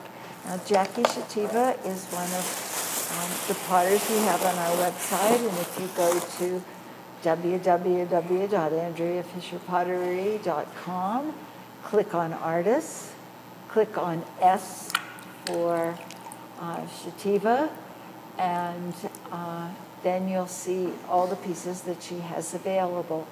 Uh, the pieces are there the first one is the most expensive one. They go in descending order down to the least expensive one. And you can either email us or you can call us on the phone. Um, operators are standing by. And today we have Becca and Jennifer. And tomorrow we'll have Amy and Erica and Denise. Uh, they'll be more than happy to answer any questions you might have about anything that's on our website, including Jackie's work. Uh, and also, you know, if you enjoyed some of this, tell your friends. Tell them to go onto YouTube and, and tell them to go to our, uh, um, our channel and uh, please, you know, sign up with us on YouTube. That would, that would really help everyone a, a great deal. And uh, it's, uh, it's been a lot of fun, honey. yes, it has. How long have we known each other? Oh, do geez, even when mom, with mom still? Geez. Yeah. I think since I was a baby, probably. Well, no, 30 years, probably yeah, 30, 30 years. years. We've yeah. known each other for 30 years. Mm-hmm. You were a teenager then, weren't you? Yes. Yeah. yes. I, I remember that. I remember you your mom, you and your mom coming into the mm-hmm. Case Trading Post in, at the Wheelwright right. Museum mm-hmm. because that's uh, where I was at the yeah. museum before. Uh, how are we doing? We're, I think, ready to call it if you guys are done. Well, just about. Let me just say, Jackie, thank you. Thank you. Thank you for all that you do and who you are, and, and our thank you for our long friendship and uh, thank you for making beautiful pieces and thanking you for bringing them ahead of time for us. That was really good. And thank you for being here today. It was a joy and it was a pleasure to uh, reacquaint and, and to uh, spend a lot of time. It's a privilege to spend a lot of time chatting with you. Well, thank you. Thank you, Andrea. Thank you, Derek. I enjoyed being here. It was fun. I always love uh, educating people. I know people that come to like different shows and stuff, they don't have uh, the time to sit down and talk about, you know, your work. They do simple questions, but at least today you got to see uh, from start to begin, uh, from beginning to end on how uh, I do my corrugated pieces and, and even with the traditional piece. And I was um, fortunate enough that Andrea got, got a hold of me and, and I decided to, yes, do this. So thank you. I appreciate everything. Our and I hope you all enjoyed, um, enjoyed this filming, the footage, and everything. And when you're when that pot is finished Mm-hmm. and it's fired, will you bring it back to us Sure. so that we can have it here in the gallery? Sure. Wonderful, wonderful. Well, great. Well, thanks again, and uh, and best of luck to you, and stay well and stay safe for you, your family, and for the for the whole tribe, so Yes. to speak. Thank Uh, you. And uh, we will see you really soon.